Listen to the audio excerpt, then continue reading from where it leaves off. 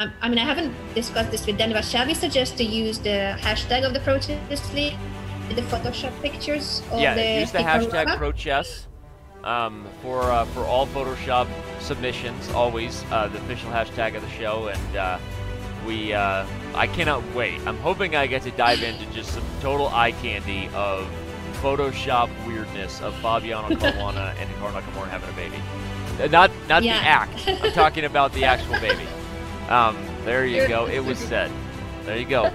Can't take it back now, Arn. It's out there. It's on the internet. You can't take it back when it's on the internet. you can't delete those clips. oh man. Okay, this is why we shut things down after hour four.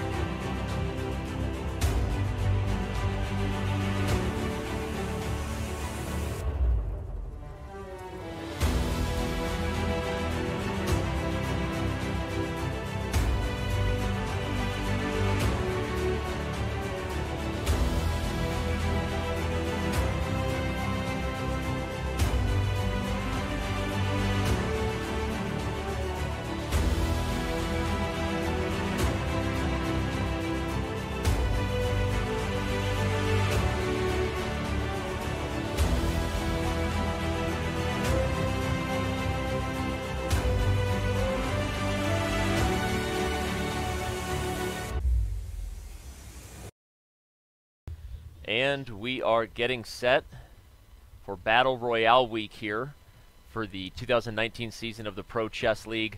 We're going to dive deeply into exactly what Battle Royale week means here in just a moment. But first, of course, I have to welcome here my co host, Anna Rudolf. She is uh, back at it with us here, sporting a new hat. I'm not sure which one that is, but, you know, stylish Um, either way. Yeah, this one, I think it says uh, be your best version or something like that. Yeah, yeah. The We kind of wanted, thing. uh, before we get Hello into everyone, I'm exact- not my favorite boss. Well, thank you. And the main the battle royale week is going to be super intense today, and this is going to be a lot of fun. And you're going to get to see the matchups that you wait for all year, where one top player takes on a ton of other top players, and the same with the board fours. We get to kind of see who's the best of the board fours on all these teams, and it's going to be an epic throwdown. But for now, we're going to dive in and remind you very quickly how you can get involved uh, when the Pro Chess League is offline. First thing, everybody should be playing fantasy. If you're not playing the fantasy chess competition, you are missing an opportunity to take $10,000 cash directly from the commissioner's pocket. We might as well rename it to the commissioner bounty. We know that Anna tries very hard to take that cash away from Greg every week, right? Normally I do, but today he is lucky because I was traveling back to Santiago here in Chile.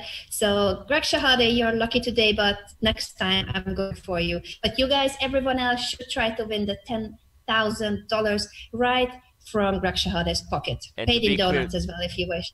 That's a $10,000 weekly prize, so it's not something that's for the whole season. Every week you have an opportunity to fill out a perfect bracket and take home that cash. when Anna and I are not live, or one of our many other great hosts this year during the 2019 season, there are other ways to follow your favorite content. And uh, our newly launched YouTube channel. Uh, you can actually go to youtube.com slash pro chess league or click on that that link right there, the go.chess.com PCL YouTube channel. Uh, International Master David Pruess is bringing us really in-depth content, stuff that's designed to make you a better chess player. Of course, also highlight the cool things going on in the league. But if you're not subscribing currently to our YouTube channel, you should definitely do that because that is a way to, to follow content when Twitch isn't live. The other way you can follow content when not necessarily Twitch, but when our official shows are not live, every week we have a halfway highlights show. International Master Levy Rozman and the one and only Bigfoot throw down there and, and review all the most interesting games and give you a bit of a preview in terms of what's going on with the league. So, for all those of you wondering what's going on today, Anna, it's time to dive into exactly what this Battle Royale format is. It is a it's a round robin of every board. So essentially, all board one players throw down against board one, board two throws down against board two, and uh, etc. Right? There are cash prizes, individual cash prizes for the players and the teams. Uh, and there's also the, uh, the, the format overall. Of course, we've talked about why it's important for every team to win every week. There are points specifically for uh, winning first in this particular format. So maybe even if your team hasn't won some of the, the, the, the, traditional format where board one plays board one, board two, board three, board four. Here they have an opportunity to prove that they are indeed the best board one or the best board two or whatever that is. So um, I don't even know where to start on it. There's so many great players here. We've got Caruana, Nakamura, Shankland, some big names there on the board one. You've got Akobian, Hansen, uh, Naroditsky. I, who, who, what, what board are you most looking forward to? I mean, the obvious answer is the big names, but there's also other boards where we have so many big names in the PCL throwing down. Yeah, I agree with you, Danny. It's going to be epic. On board one, we have four of the top five players of the United States of America. Wesley So is not playing today just because there's a round in Gibraltar. Hikaru Nakamura, who is also a participant of the Tradewise Gibraltar Chess Festival, uh, he's so dedicated to his team that he's actually going to play right now. And it's quite late in Gibraltar, I can tell you. Yep. On board two, Eric Hansen, of course, lots of fans of the Chessbrahs are here. On board three, I'm really curious how uh, Andrew Tang will do today. And board four also has some really interesting names. And as you said already, it's only board ones against board ones, board twos against board twos. Lots of matchups where the players have similar ratings. Board four, of course, John Bartholomew is one of the fan favorites. Yeah, I, w- I was going to say I think John Bartholomew definitely the most easily recognizable name right there, of course, known as Fins or Team Scandy, depending on whatever you're into. I saw he gave a diamond membership to a username called Shrimp Scandy. So that looked pretty cool.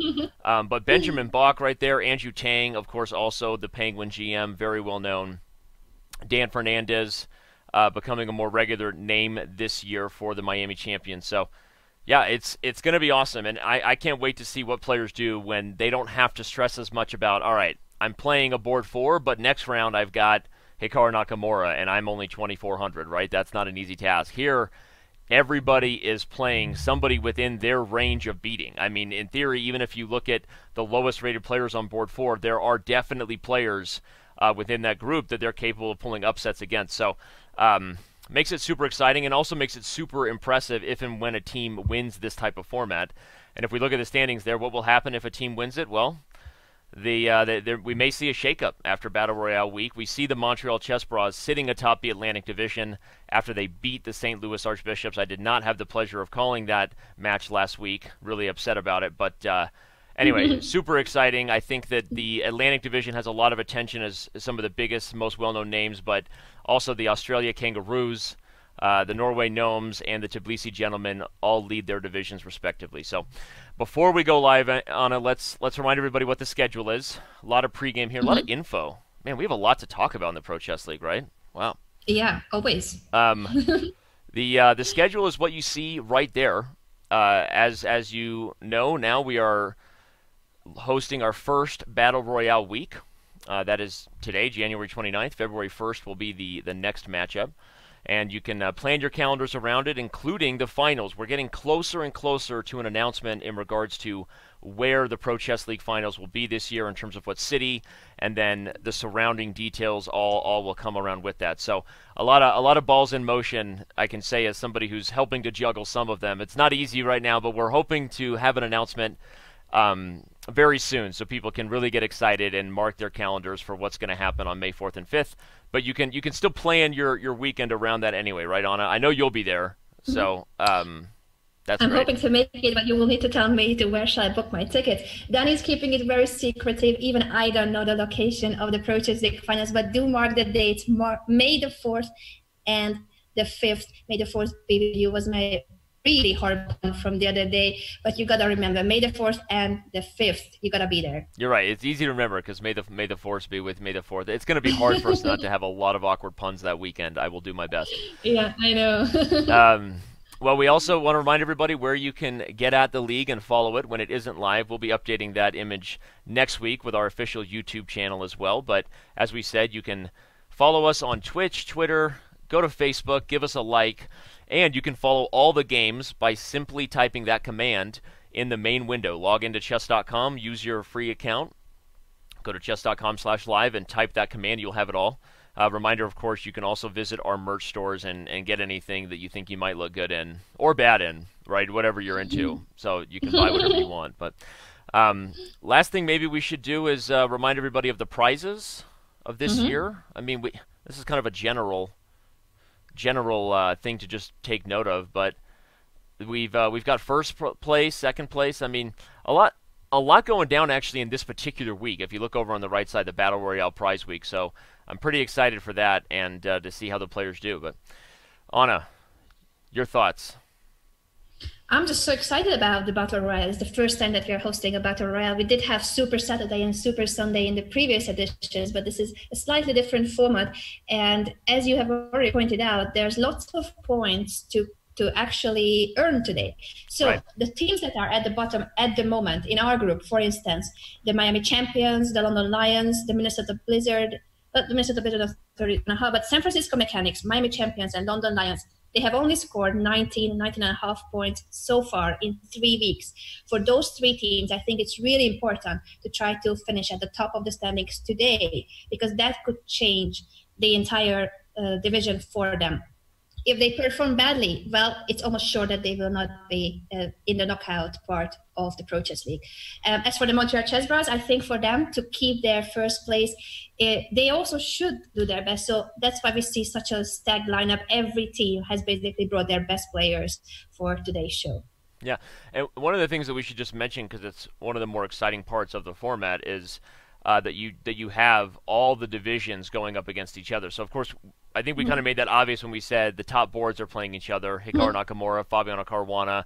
Sam Shankland, but maybe people forget that Fabiano Caruana playing for the St. Louis Archbishops, he's in the Atlantic Division, right? And Sam Shankland and Hikaru Nakamura are in the Pacific for their teams, the Seattle Sluggers and the San Francisco Mechanics. So again, it's just it's just a uh, a really fun way, almost like a I don't want to call it any kind of all-star event because we actually have one of those. It's a different event, but this is just an event where you get to see the teams cross division, like interleague play. I guess would be a, a good comparison to sports that again, that's a baseball reference, and nobody watches baseball. The ratings tell us that, so I don't even know what I'm talking about. Nobody watches baseball anymore.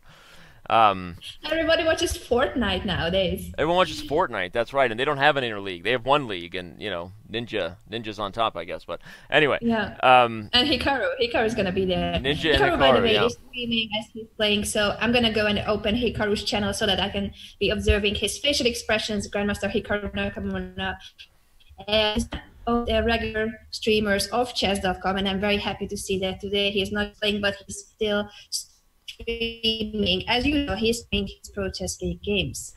Well, you, you said it. I mean, Hikaru is is staying up late in Gibraltar, right? For those of you who aren't currently following uh, Grandmaster Hikaru's commentary, you can do that. Go to twitch.tv slash GM Hikaru, but uh, he'll be giving his own perspective as he as he tries to lead the Sluggers to a battle royale victory, and it, it will get late for him. I don't even I don't I don't do the math. I try I try to avoid math at all costs, but I'm pretty sure it'll get really late for him in Gibraltar by the time this event is done. So we see him using one of his specialty weapons here for online chess. Anna, he's playing this uh, this knight f3 with with b3 ready, right? This Mm-hmm. is Hikaru's game versus Salem Saleh, who is uh, also known as Arabic Falcon. If you if you follow chess.com Yeah, he usernames. today. Uh, Arabic Falcon, aka Salem Saleh, is making his debut today for the Montreal Chessbrahs.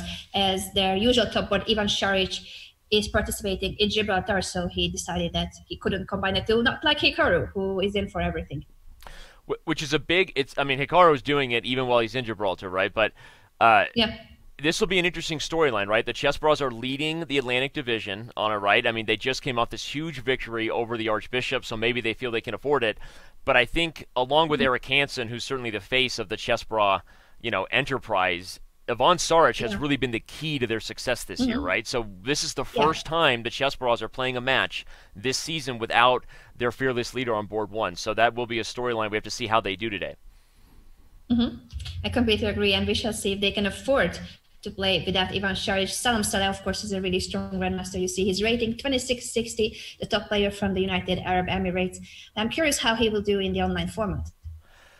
I have to just remind everybody, as I now see that there are literally so many games going, that again, uh, the Battle Royale format waits for no man or woman. It, it, this thing is crazy. On it right now, there are, I, I think, like 16 games already started, and I'm going to do our be- my best to help us choose games that look to be the most exciting. But I'm going to quickly uh, flash around the analysis board as we keep the main game here on Hikaru Nakamura. This is the game going down right now between Fabiano Caruana and Sam Shanklin. If you're into board fours, here we got uh, Dominique Myers against John Bartholomew, uh, just showing that on the analysis board. Um, As we already said, there is uh, Andrew Tang, of course, for the Blizzard as well, going on, going against international master Dan Fernandez. This may be an exciting one. On I'm looking at this one. We'll, we'll have to keep our eye on that. Um, and if you have one you want me to go to, of course, let's mention Eric Hansen here, uh, currently playing against uh, Georgi Margvelashvili. That is uh, also an interesting cross division matchup to start. We have a, an Atlantic Division player taking on one of the Seattle Sluggers. So, Anna, you can choose the adventure if you're if you want to. That'd be great. And only because I feel like it would be less pressure. I feel like I'm gonna make a wrong choice and be watching a game that people don't want to see. Um, Sure. Uh, I was looking at three games mainly. So Eric Hansen's game, of course, was one of my pick. Uh, Fabiano Caruana facing Sam Shankland. Uh, I think that's that's a Yep. huge matchup. So two of the top players of the United States. Shankland, by the way, has tweeted upon arriving home from Wijk aan Zee. He said. Um, uh, do me a favor and never resign another drawn position, said the border control agent at San Francisco airport. Yep. And passport. I really never will live this. Well, let's down. go to that game. Yeah, Caruana Shankland. I'll mention a little bit of that. For those of you who don't follow over the board chess as closely as you should, the Pro Chess League. I mean, I know this is going to blow some people's minds, but the Pro Chess League is not the only event in chess.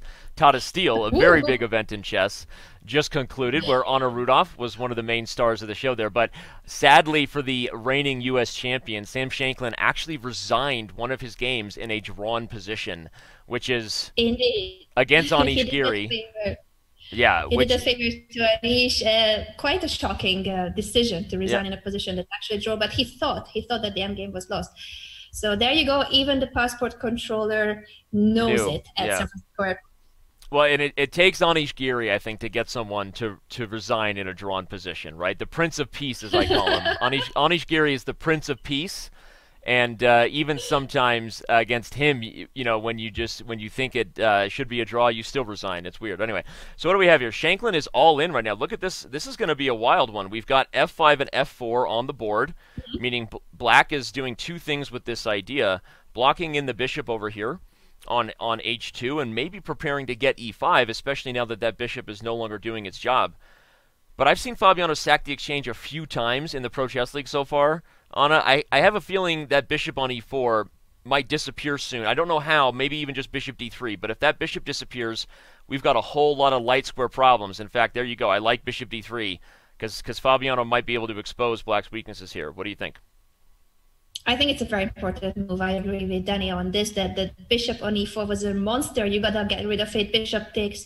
e4 is not a threat. Even rook takes e4 earlier would have been an idea, but bishop d3. Why not just trade it? And if you get rid of this bishop on e4, then the e7 pawn is a target. The weak squares around the king. Look at h7, g6, all the light squares. Without this bishop, it's gonna be tough for black to defend. I think the only disadvantage I see for Fabiano's position is that he's got less space and his h2 bishop yeah. is locked out of the game. But if he can somehow manage to activate the bishop, for instance, Right. push h4 in the right moment, start weakening those pawns that are blocking the way of the bishop after a trade on d3, queen d3, uh, queen g6, h4, at some point that would be ideal for white.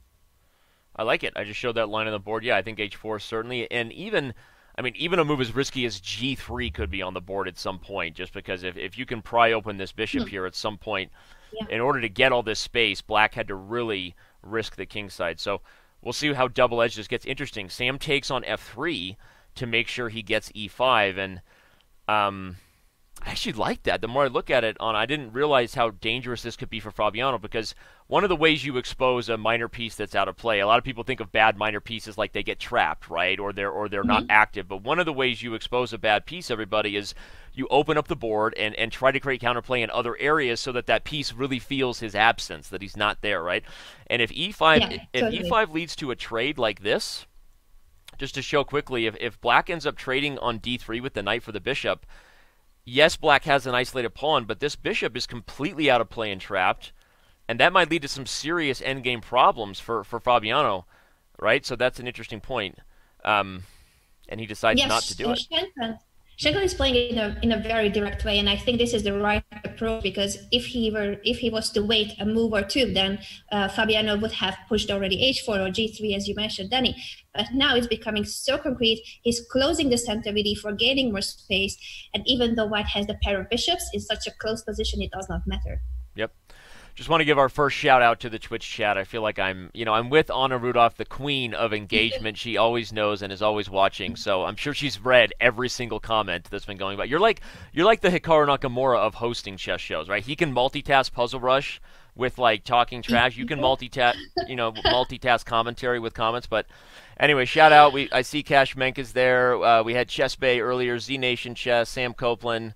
The, the, the Greg Shahade. I almost said the Shahade. He is the Shahade. He's he's the commissioner, Greg Shahade. So, thank you everybody for He's being here. Really appreciate it. It's going to be a long day from here on out for the Pro Chess League.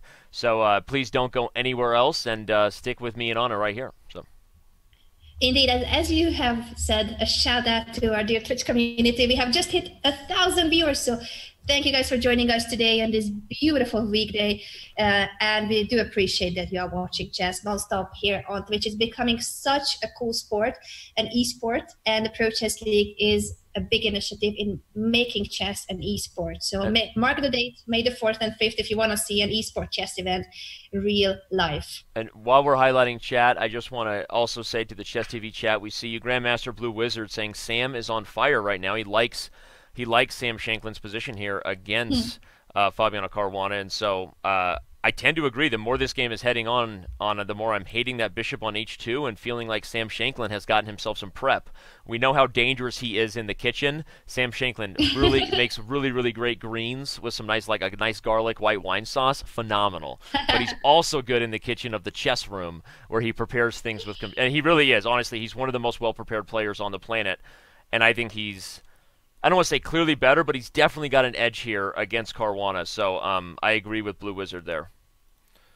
Yeah, I, I I think it was very important that he took on f3 and not on d3, pushed e5 in the right moment, and I really like Black's position. I wonder if this is enough of an advantage, or can he increase his advantage to even beat the number one player of the United States world champion challenger Fabiano Caruana. But so far, I'm very impressed with Sam, and he basically arrived home just a few days ago, so Yeah. he's maybe like having a jet lag. Well, we'll see how he finishes this. Let's check quickly back on Hikaru's game versus uh, Salem Saleh, Arabic Falcon, who uh, looks to be doing quite well here. At least if your effort is your first effort is to equalize, for sure Black has done that. And will Black even have an edge against Hikaru Nakamura here? Um, something tells me we may just be headed for a big simplification. Ooh, I'm sorry, messed with my microphone there. Hope you didn't hear that. Nothing bad happened there. Let's give a I shout out to. Aaron real quick. Aaron, the producer, Mr. Production behind chess.com. There he is. Right there. First first camera shot of the day. He's been a little stressed. He's putting on his makeup for us, but uh, he's doing a great job. Thank you, Aaron. All right. Let's use our, our emote in the chat. you guys, if you are subscribers to the chess.com channel here on Twitch and you are also an owner of these beautiful emotes, that's, that's right. Aaron, that's producer. Shout out to our producer. And, and this is what I predicted, and I, I think it, I was thinking everything would be traded on, on b4, and it's not to say uh, black still doesn't have a potential edge with the doubled rooks, but I get the feeling that a peaceful result is most likely here. Um, assuming Hikaru can find a way to deal with this very obvious threat of rook d5 to d2 to come hit the g2 pawn. Um, mm-hmm. Maybe even just knight c4 is actually just fine. Yeah, lots of simplification going on here. Uh, I think it will peter out to a draw, yes. Yeah, Some seems... pressure by black, but I don't think this is enough. Seems to be petering, teetering, petering? Petering's not a word. Thanks, Danny. All right, back to Shankland Caruana because this could be the biggest biggest matchup of the day, especially if Shankland holds this edge. Look how crazy this game has become. Fabiano did manage to get the pawn to g4 so that that bishop on h2 is no longer a prisoner, but in the meantime, Black has has completely expanded on the queen side. Although, uh, uh, how how is this an improvement on Black's previous position? I don't feel like it can be. I, I Hmm. If if we go back to move 25 bishop f5, where Fabiano first made this very direct intention clear, I want to push the g pawn to open my bishop. Sam didn't seem to have anything concrete there, and he la- he played rook d8 and then launched the queenside play. But I, I actually don't like black's position at all anymore after the nice move a4, and the reason is that if you take on a4 here, everybody, white's going to play b5 first, intermezzo, kicking the knight mm-hmm. from c6 and only then recollect the pawn on a4. And, and the difference is that uh, black's pieces are now the ones being pushed back instead of instead of white's being trapped. I, did he not see a4? I mean, th- this is this has turned around. Caruana has definitely gotten himself back in this one. Yeah, he has completely turned the, the position, and I'm just puzzled by this b5 a5 by Sam. I feel like it was a bit too ambitious. Um, and the position is opening up for the pair of bishops. The queen side is opening up for the rooks of white. So everything is now in favor of Fabiano. Yeah. Well, Grandmaster Blue Wizard saying he should have played rook f8 to stop bishop f5, but I'm not sure he ever had that opportunity. Uh, Grandmaster Blue Wizard. Sorry, I don't know your real name, but now I'm going to call you Blue Wizard forevermore. Mm-hmm. Um, after bishop g4, queen e8, the uh, the move g3 I don't know exactly where Black had the opportunity to stop Bishop f5. That's the issue. Um, um, and uh, he played Rook d8, but uh, unless there was an exchange sack on Rook f8. So interesting, resourceful defense here from Fabiano, and, and I think it may end up leading to a victory because look at that Bishop on h2. On it. It's like it suddenly planned this whole thing all along, helping the b5 pawn advance up the board. Indeed, that used to be the worst piece in position, and right now this is the one that will Fabiano win in a few moves. I think this game could be over in a few moves with this B passed pawn just marching forward, or and I don't know if B6 immediately or you bring one of the rooks to the B5, yeah. but there's no defense. I don't think that Black can prevent on the long run the promotion of this pawn without yeah. loss of material. I'm with you. I agree. Um, well, let's let's uh, let's keep a quick eye on that on the live board just for a second. The analysis board is now showing, as soon as it changes on me, Grandmaster Eric Hansen's game versus Georgi Margvelashvili, where Margvelashvili seems to be seems to be uh, pushing this one here with a very dominant knight on d4. Um, I'm not sure it'll be enough to win, but the reason I wanted to highlight this is again the storyline we talked about is without Ivan Saric on it, the Chessbrahs are, are, are shaken up a little bit. Hansen has been playing on board three for many of the weeks this year, right? And so for him yeah. to go on board two, that's a little bit different than what's been the success recipe for the chess mm-hmm. bras. So um so again, uh, they're obviously a very big fan favorite. Of course, they're also streaming their own commentary. You can go to twitch.tv slash chessbrah to check out Aman Hambleton's analysis of that. But um, interesting to see what happens here. And as you see on the live board, I agree. Fabiano seems to be grinding. So let's move everything over here to this uh, Eric Hansen versus Georgi Margvelashvili game, because I, I think Fabiano's going to do his do his deed there. Uh, all right, sure. what do you think? Can can Hansen hold this one, or is there a winning plan here for the strong knight? Uh, the knight is beautiful. The problem is that the position is so closed and black can't get through, I believe. There are some tricks in the position, so now with the rook on d8, sometimes there can be discovered attacks. I think he's trying, he's trying his best. But so far, I believe that Eric has defended very precisely. He's just moving the bishop back and forth now, rook h2. Um, I think with only the d file being open, it's going to be very difficult for Black. But Rook is actually I don't like so much because for a moment he abandons the only open file. Mm-hmm. Um, well, Black didn't take advantage of it. He he plays Rook D7, so I think this is going to end in a draw. Yeah, the more I look at it, the more I agree, and I also think that um, if you had flipped the times here, and if, if Hansen was the one under time pressure, you'd be more worried here for White. But Eric has done a very good job overall, honestly, this year as as uh, a commentator with you in the Pro Chess League. I can observe that having covered a lot of the Atlantic, Eric has done a very good job with time management. I think it's been a part of his success, um, not mm-hmm. being the first one under under under time pressure down on the clock. So now, okay, as I say that, here comes F5, and suddenly Margvelashvili yes. makes it clear. He's he's not settling on a draw, so he did find a way to break through. I wonder if Hansen should have played f5 himself. Now, I, I still believe what I said to be true. I mean, the fact that he's got, if you had given him two minutes right now, he wouldn't be able to do mm-hmm. what he's about to do, which is go into a think. Uh, that being Eric mm-hmm. Hansen. But um, but it may not save him anyway. I actually really like this f5 move, and it makes me feel like Eric played rook h2 a little too fast. He didn't realize what Margvelashvili was threatening here, and should have played maybe f5 last move. I completely agree with you. I think after f5, this is looking way too dangerous. Uh, e takes f4 is one of the threats, f takes e4 is the other. And I don't see a way for white to prevent the loss of material yeah. because uh, now there's this pin on the e file, the rook on e7. Uh, rook h2 must have been a mistake because well, this yeah, is. I think he was just playing very fast, thinking that Mark Margvelashvili had nothing, but he just forgot to double yeah. check. Because let's show everybody for the fans what this is all about. As you said, Anna, if, if white just sits Black is threatening to take f4, and regardless of how you take, we're playing rook takes e4. And if you take with the king, it's actually checkmate on e4, so don't do that. Um, but uh, even if you don't sit, if you take on f5, for example, I think I think Black is just going to take back with the knight with check, and when the mm-hmm. king moves almost anywhere, we're advancing the e pawn, I guess, and just just quickly in a position where we have um, real problems for White with that passer. So so what Hansen has now been thinking for a minute and 20 seconds. What could he do? Well, he answers that. He plays bishop d3. Hmm. Uh, e takes f4 has just been played by Margvelashvili. Uh, yeah, this is this is looking suspicious for white. By the way, shout out to my favorite chess streamer here on Twitch, Alexandra Botez. She's here with us in the chat. And Alexandra, I'm going to be taking notes when you and Robert are on. So the next stage, the next group will be covered by Alexandra Botez and Robert Hess. That's right.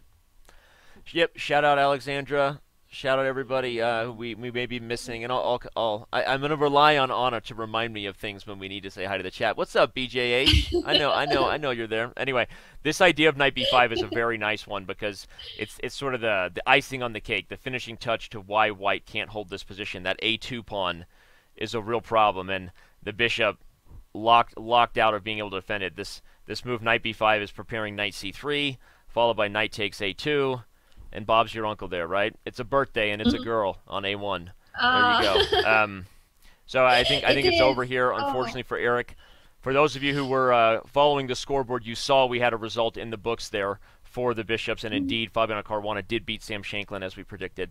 Um, but to quickly mention, the game it has been Sam Shankland doing very well in the middle game. We liked his position, but then he un- maybe yep. overestimated his chances with these queenside pawn pushes. That was very awkward. B5 and A5.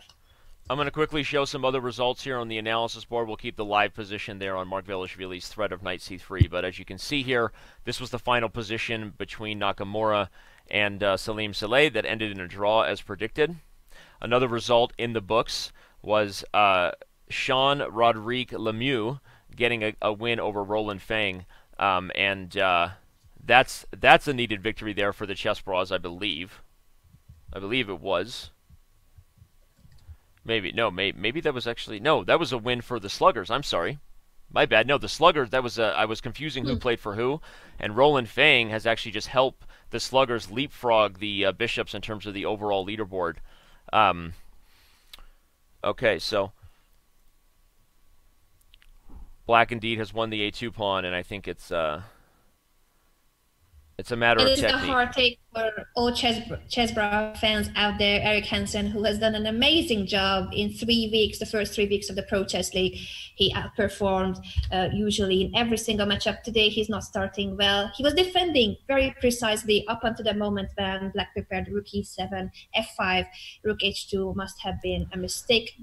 I agree with you that if he had pushed f5, closing the position, yep. I didn't see a way for Black to break through it was it was back at this moment where Hansen should have played F5. Everybody, well, I hate to do this to the Chessbrah fans who believe we're giving up on him, but we're going to, and we're going to move over to Finzo 905 versus Northridge Hawk uh, username. That is uh, Dominique Myers playing the white pieces against Finns because if we get there, you will see that we have. Uh, we have a lot of time pressure for Finns. In fact, so much so that she that uh, he loses a huge hmm. upset here for Dominique Myers Whoa. taking down taking oh, wow. down John Bartholomew. That is really impressive. John Bartholomew is the top player on board for the highest rated player. And uh, we all love John, of course. So this is another heartbreak. What's going on today? Yeah. The streamers, favorite Twitch streamers of yours, going down in the first round.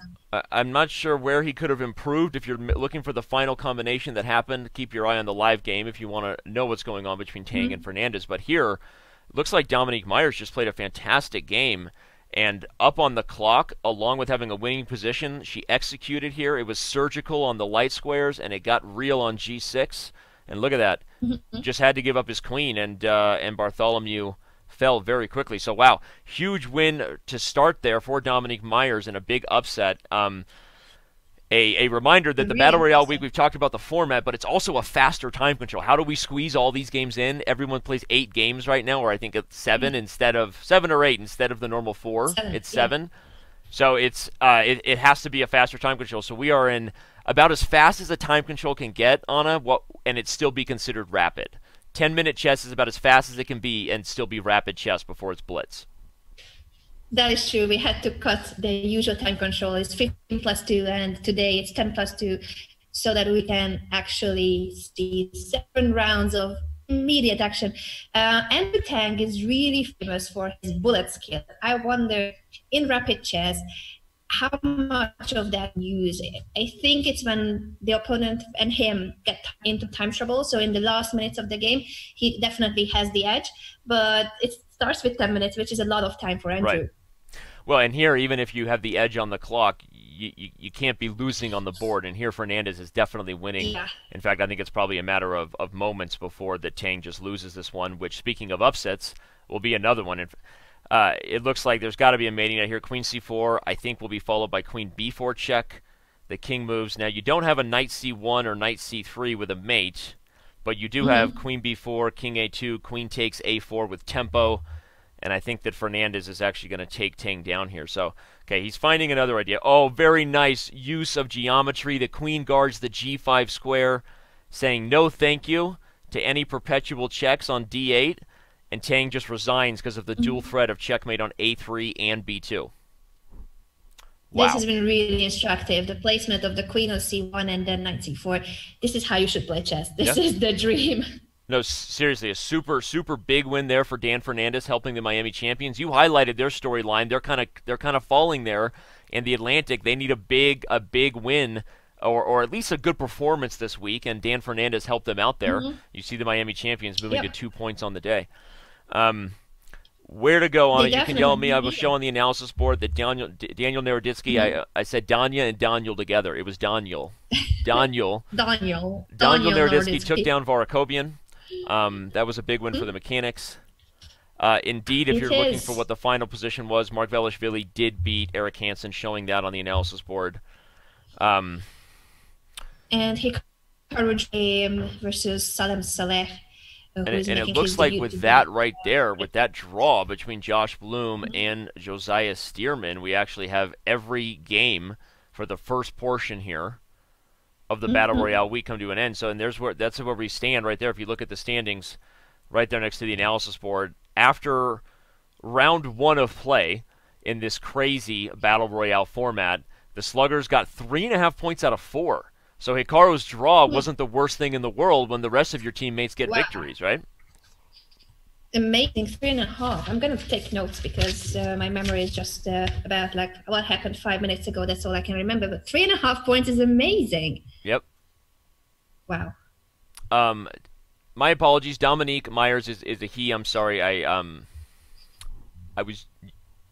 It, I don't know how to complete that sentence. Besides, I made a mistake. I I'm used to the spelling of Dominic being different with it with a D O M I N I C K. This is a Q U E. I, I know I'm just kidding. This is like when my wife is telling me to just shut up. You're making it worse. You're burying yourself, and I'm not going to stop talking about why I said Dominique.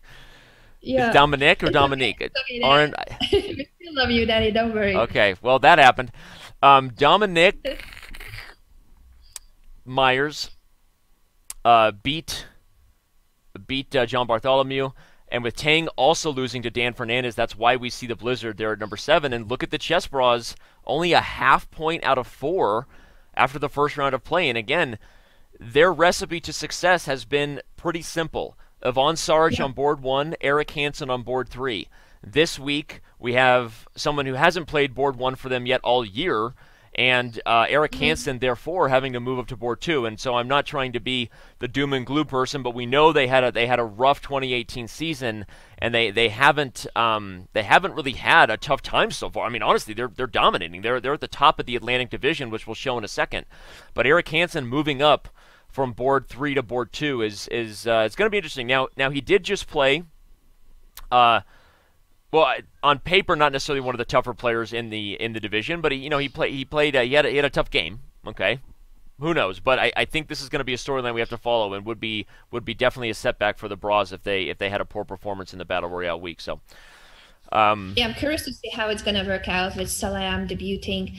But I agree with you that it's tough when you don't have your usual players. It's team that has been playing together for years. It's not just the, this season, but the Chessbrahs basically have had the same lineup for all previous seasons of the Pro Chess League, yep. including Ivan Saric, who's not from the not from Montreal, he's not from Canada, but he has been their free agent for years. Yep. No, he really and he's been he's been a star for them along with Eric Hansen. I think it's a toss up who's been the MVP, Saric or Hansen. But given Saric has mm-hmm. taken that you know, I'll play the, you know, the Wesley So and Fabiano Caruana. You know, I mean, I, I'm going to hold my own on an average score level against the other top boards from other teams. I mean, you really, you really missed that this week. But um, let's go. Miami actually has three points apparently, so the scoreboard is a little bit, a little bit off. Um, we will. I'll provide some more info on that in a minute. But um, let's go back real quick to the player matchup cards showing us board one and board two. Um, because one of the storylines there, you saw the San Francisco Mechanics starting out with a only one and a half out of four score, but Danya Naroditsky did just beat on paper the highest rated player of all the board twos in the field. And if that continues, look for the mechanics to have a good day. Just wanted to point out that storyline because Shankland Shankland just played the toughest player in the board one division, known as Fabiano Caruana, in case you've heard of him. Mm-hmm. And Naroditsky just beat the top board of board two. So so let's look for the uh, mechanics to maybe make a move as the battle mm-hmm. royale uh, continues here. Yeah, that that is a storyline that we're gonna follow, of course, and also keep are they going to make a comeback in the next rounds? Remember, it's seven rounds today, so lots of action. And just because the first round didn't turn out so well for some of your favorite teams and streamers, uh, it can be changed in the next round. Seven rounds is a very long tournament. And uh, we are off here to see the Wizard in round two of play here in the 2019 Pro Chess League season. Battle Royale Week 1, the first time we've done this format this year, and it will come back. If you like it, please give us feedback. Let us know. Uh, you can find a lot of ways to comment on it and share your feedback, whether it's the official club on chess.com or post a comment in an article on chess.com. So let us know if you uh, how you like this format and how it compares to the traditional uh, every board of every team plays each other rather than only playing the top boards of every other team in this sort of more round robin format. So um, we're underway. The first game I see on the uh, on the show here is Dan Fernandez taking on one of the Dallas Stars, that being Andre Gorovets. But uh, a lot of places to go here as uh, as the games continue here. So if you see one you like better, let us know in the chat. Um, again, I'm just uh, just I'm just creeping here. I'm just looking at games because there's so many remind everybody, of course, Hikaru Nakamura is playing and streaming his own viewpoint. And right now, it may be the matchup that gets the most attention this round. Anna, as here Hikaru is taking on Sam Shankland in a game that is is going very, very quickly here. Looks like a bunch of Nimzo wow. theory. I didn't look at the opening yet, but I'm yep assuming this is a Nimzo because this is one of the few openings that I still play badly. So um, it has indeed been a Nimzo-Indian defense. Both right. players are still in the book, and Hikaru at this point started spending some time um, well, we are not going to cover the opening, but it's certainly surprising to some of you who may not play the Nimzo in the end that after 10 moves, half of the pieces are gone from the board, at least the queens as the main piece. It's not usual that you see a king side that hasn't been touched at all. So kings and pawns on the king side for white haven't made a move yet, and this is move 11. Yeah, and this is this is theory. Uh, uh, I like I said, I play the Nimzo badly from time to time. I don't pretend to be an expert in this particular line, but I do know that neither one of these guys would be going into it so quickly if they didn't appreciate what the middle game is going to become with the queens off the board. They clearly have an idea of what they're trying to do, and I think that I think that when players play Sam Shankland, Anna, they're just ready to get a lot of theory. Sam playing rapid or blitz, he doesn't change who he is, which is he's a very well prepared player who's going to mm-hmm. challenge you and try to outplay you from there. There's no Hikaru Nakamura specialty when he's playing blitz and bullet with B3 and G3 on move one. You know what I'm saying? He's just going to go with yeah. what he knows best. And so I think the players playing him know that they're in for a theoretical battle, even in a rapid format like this. And so Hikaru is playing quickly and keeping pace.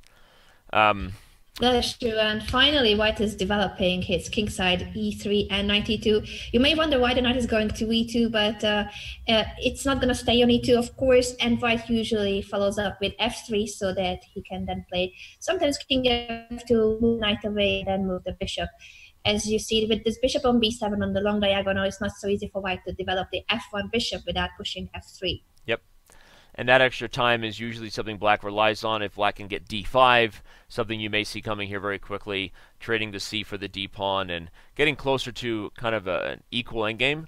Which, um, not to mm-hmm. say it will be a draw, but I think from a theoretical point of view, black has to equalize first, especially when you're playing someone who's going to challenge you in that theory um, and not not make a sideline opening. So.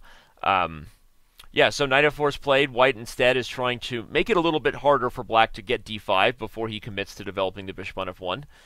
And again, if I had to guess, these players are both still uh, in theory. So let's go check on the game between Fabiano Caruana and uh, Fidel Corrales.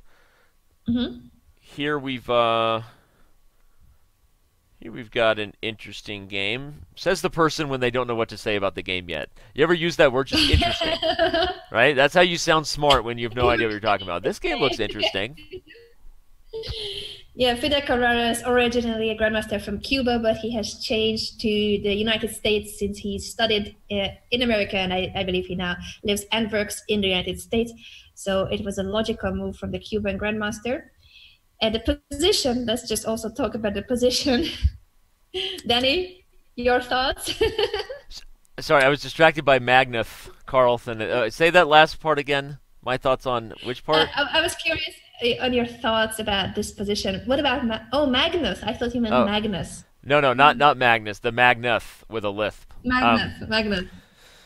My real thoughts on the position, besides just the 166 of you guys tuning in for today's Battle Royale. This is the Pro Chess League and a very exciting format today. More points up for grab than usual. So it's a really crucial round today for all teams. The teams at the bottom can make it back to the halfway the standings and the, keep their lead. The chessbrahs, uh, well, they should start scoring points if they want to keep that first place. Yep.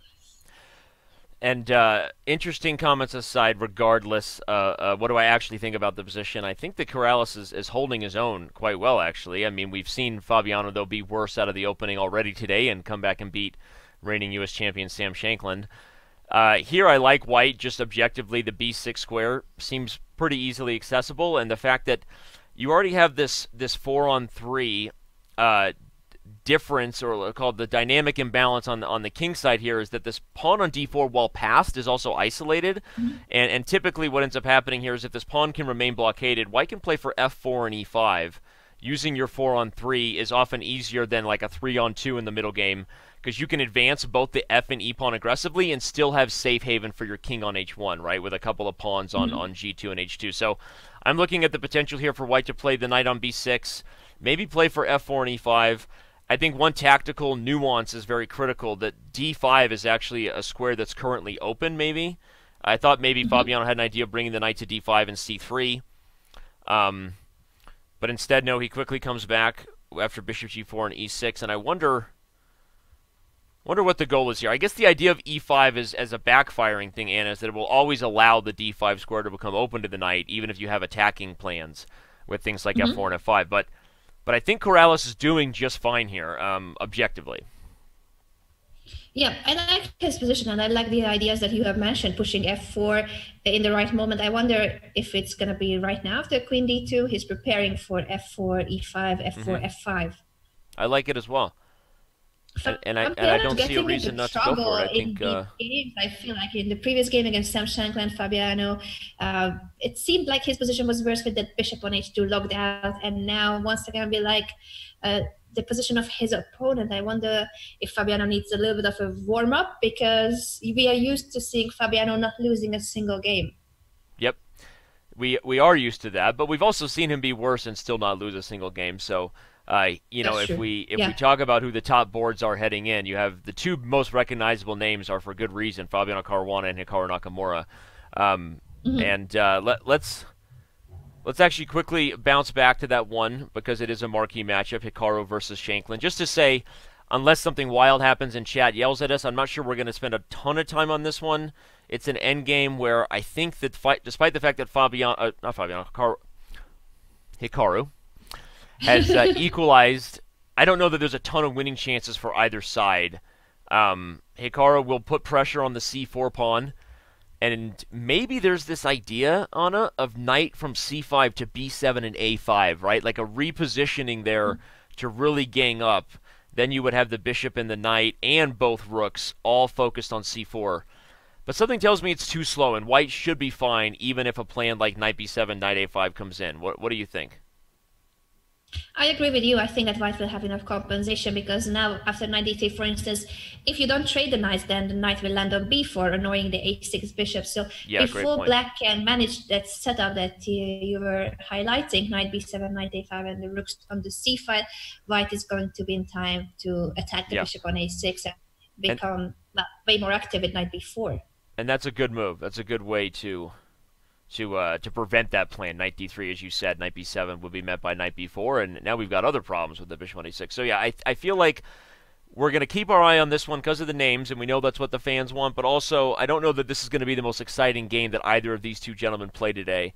So let's bounce over to um, a different one. One that just caught my eye because it looks completely insane is the game Northridge Hawk versus Jinbo Jinbo. First of all, phenomenal username, Jinbo oh. Jimbo. Um, secondly, I feel like we're about to see something just nasty on the board, and I don't want to miss it. Woo! Um, oh yeah, let's not miss this. Let's not miss this. This is uh, Woman International Master Zhu Jiner with the white pieces, and your new friend Dominic Myers with the black pieces, and it looks like there's something gonna happen. So am I not allowed to say Dominique? What's judge's ruling on that? Even if even if it's a guy, I can still. It, it looks like Dominique, does it not? just Myers. Okay, just Myers. Sorry. Call officially. shout out to our second producer shot of the day. Let's get him on camera because uh, you can use those Yay! emotes. We love that guy. There he is doing it. Yeah, he's producing. Hey, Arn, what you doing over there? You're producing. Um, okay. Bishop f8 actually seemed like a saving grace. I just want to point out how crazy this position almost was for black. If this queen moved anywhere, not only was the c5 bishop hanging, but really the, the, the fireworks that caught my eye when I came to this board a few moments ago was yeah. queen takes g6 with that pin on the f7 pawn, and that that looked like we might get something real crazy. But but Myers found the move, bishop f8, and after the queens were traded the old-fashioned way, uh, black, while still probably clearly worse, is not necessarily checkmated. So good for Myers to to survive that somehow, right? just say the chat big. Um, uh, very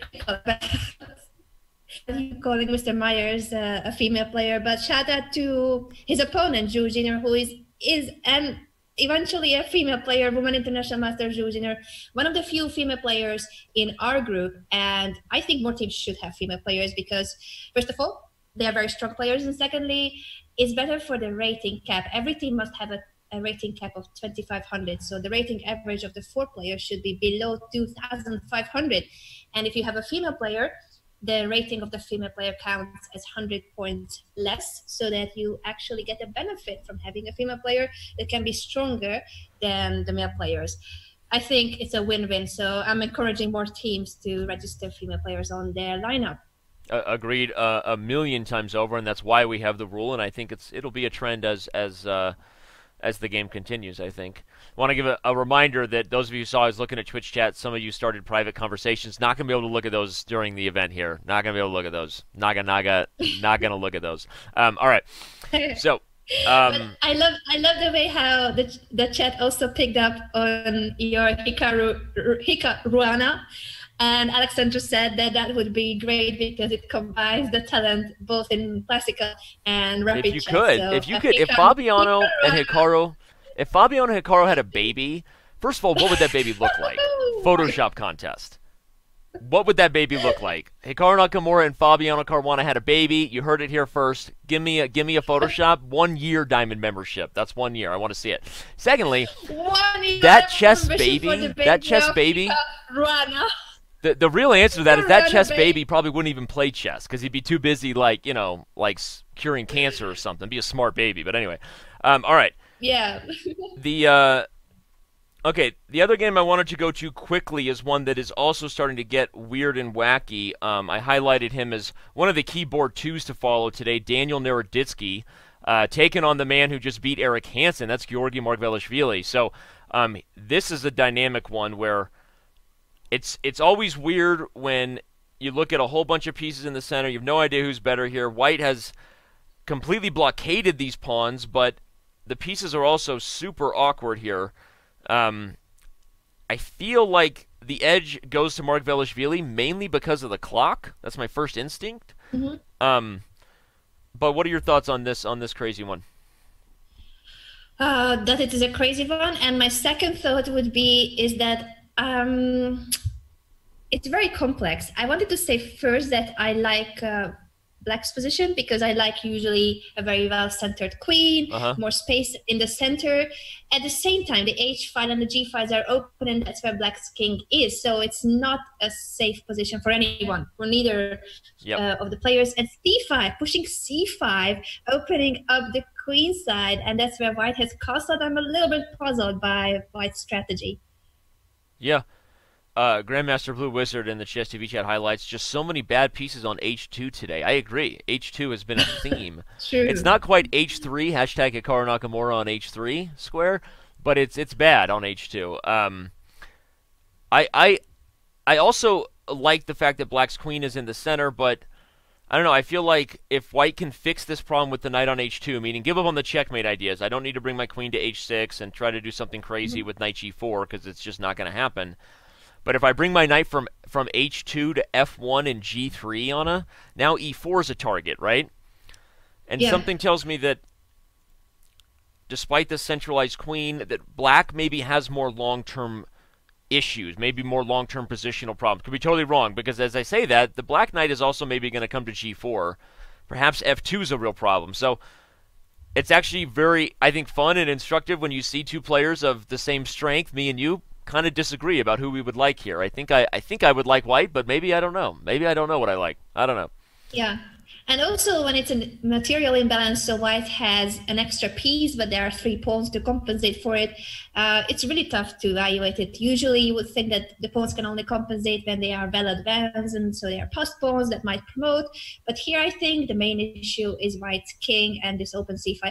Maybe you're right that there's nothing wrong with this position for white, and white will converted somehow but i'm a little i'm a little in doubt whether this position with the h2 knight and the king on the c5 can be that good for yeah. Margvelashvili.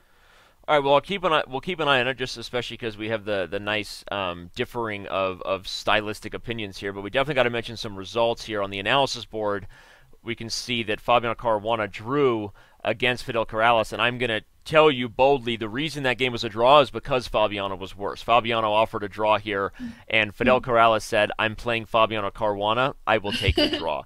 And although that's not something you teach your students to do, there is the reality of playing a 28 30 plus yeah. player.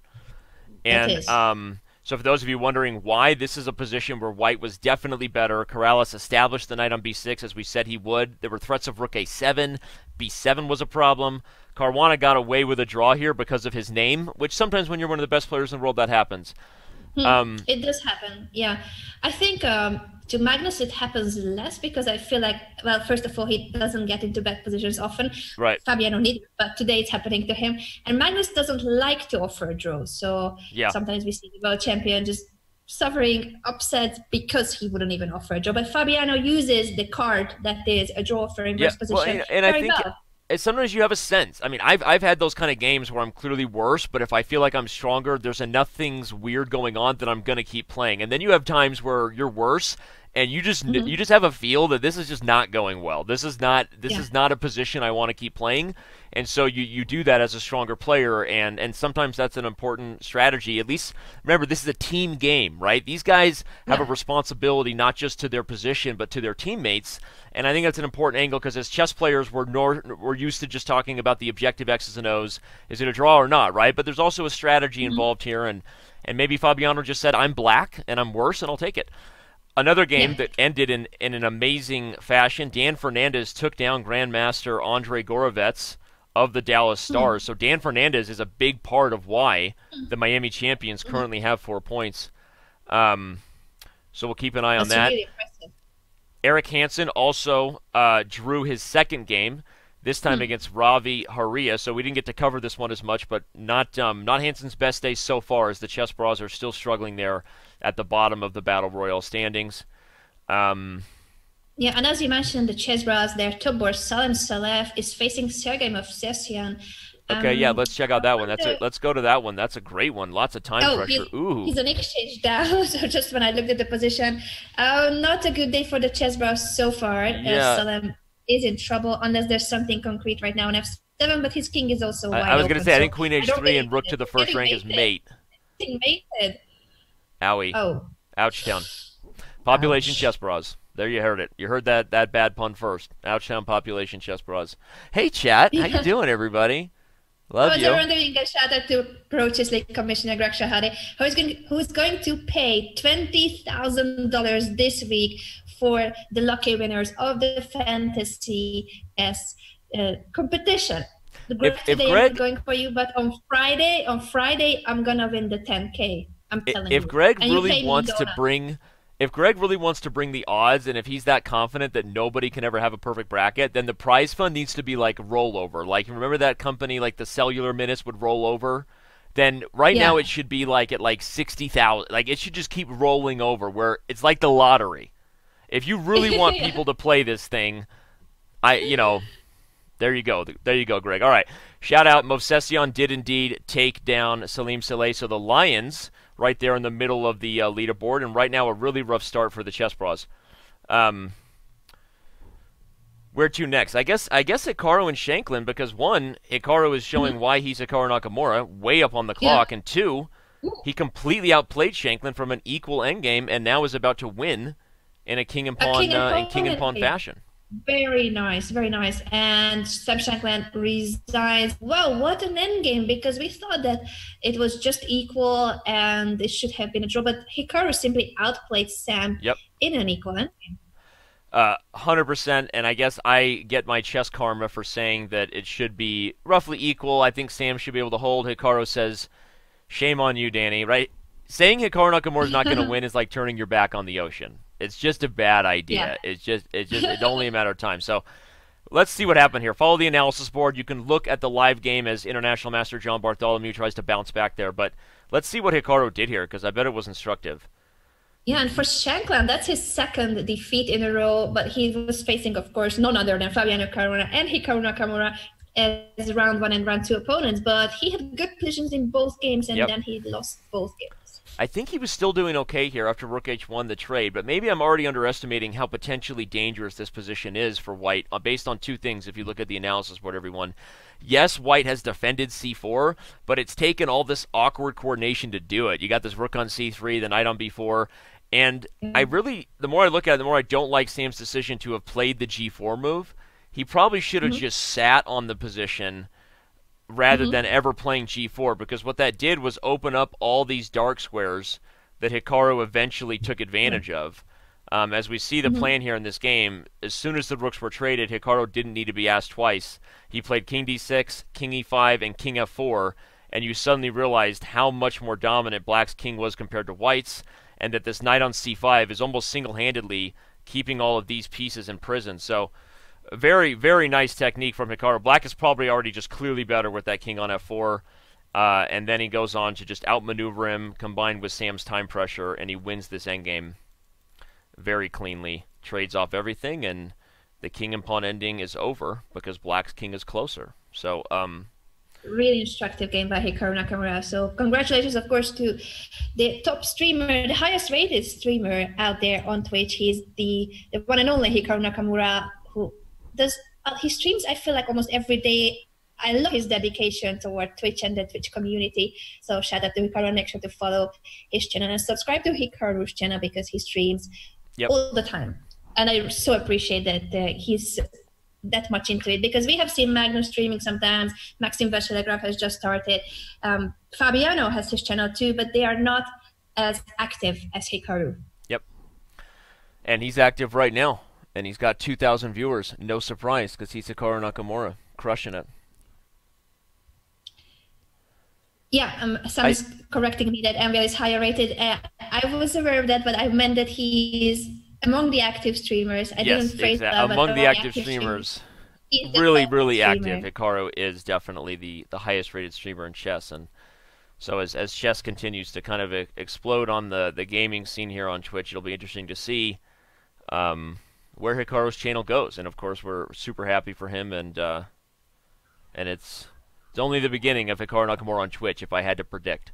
So, all right, well, um, Finns, i.e., John Bartholomew, managed to win a piece, so I guess in theory, Black should be just easily winning here. But as I look at the clock, I don't want to go anywhere because something something magical might happen here for, for either side. This is this is going to end in fireworks. Yeah, and in the meantime, I was looking at the end uh, of the game between Margvelashvili and Naroditsky, where White had a piece up, but Black were, uh, was compensating for it with three points, where Danny liked White's position, I liked Black's position. Black won. no, but the position was the position was super complex anyway. So. I did I didn't interrupt you because uh, you were on you were making a point, and obviously Black should win anyway. But it definitely was a fun way for that to end there with the Queen just uh, departing departing on G two, oh, right? Oh Oh, the other, yeah, I didn't see John's game at the same time. I'm sorry. I was looking at the other game. Oh, well, let, us go to.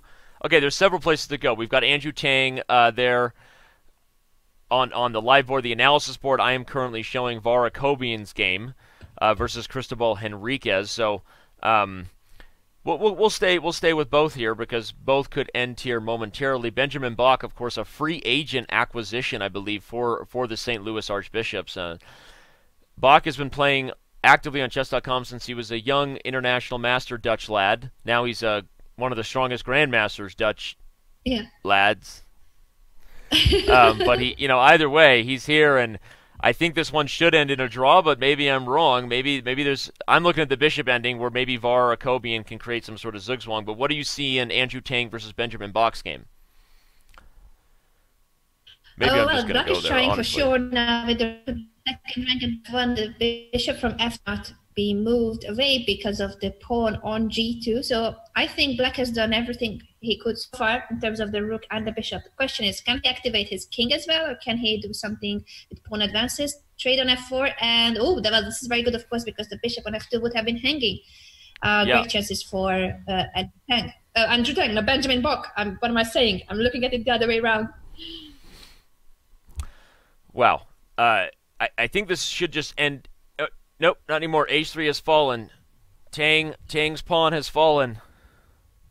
Yeah, it's gone. It's gone. Uh I wait, wait, I I was distracted by a million things. What just happened there? How did Bok work this one? He played Tang played f4 here on the analysis board, thinking the simplification would help, but was that really necessary if he had blockaded? Well, you know what the threat was on a back on move 68?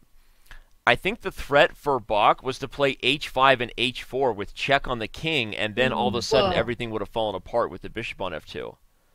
Yeah, so, so he think, went for f4 trying to save the situation, but yeah. it all looks bad. White from then on is downhill. Yeah, so he played f4, everybody, because of this threat here of h5 and h4. So Bok had really been creative and done the best he could, as Anna said, to coordinate the rook and bishop. But I objectively probably Tang shouldn't have been in this spot. I mean, this knight moving to e5 rather than a square like e3, perhaps, to maybe defend f1 and g2. No way with two pawns for the exchange, or what? Sorry, one pawn for the exchange, but double pawns should Tang have lost mm-hmm. this. But and as I look at the live position, maybe he won't. He swindled his way back into it. Now he's got rook and knight. Oh wow! How did he? How did he do this? I have to go back and look again. I was trying to be instructive. Shame on me.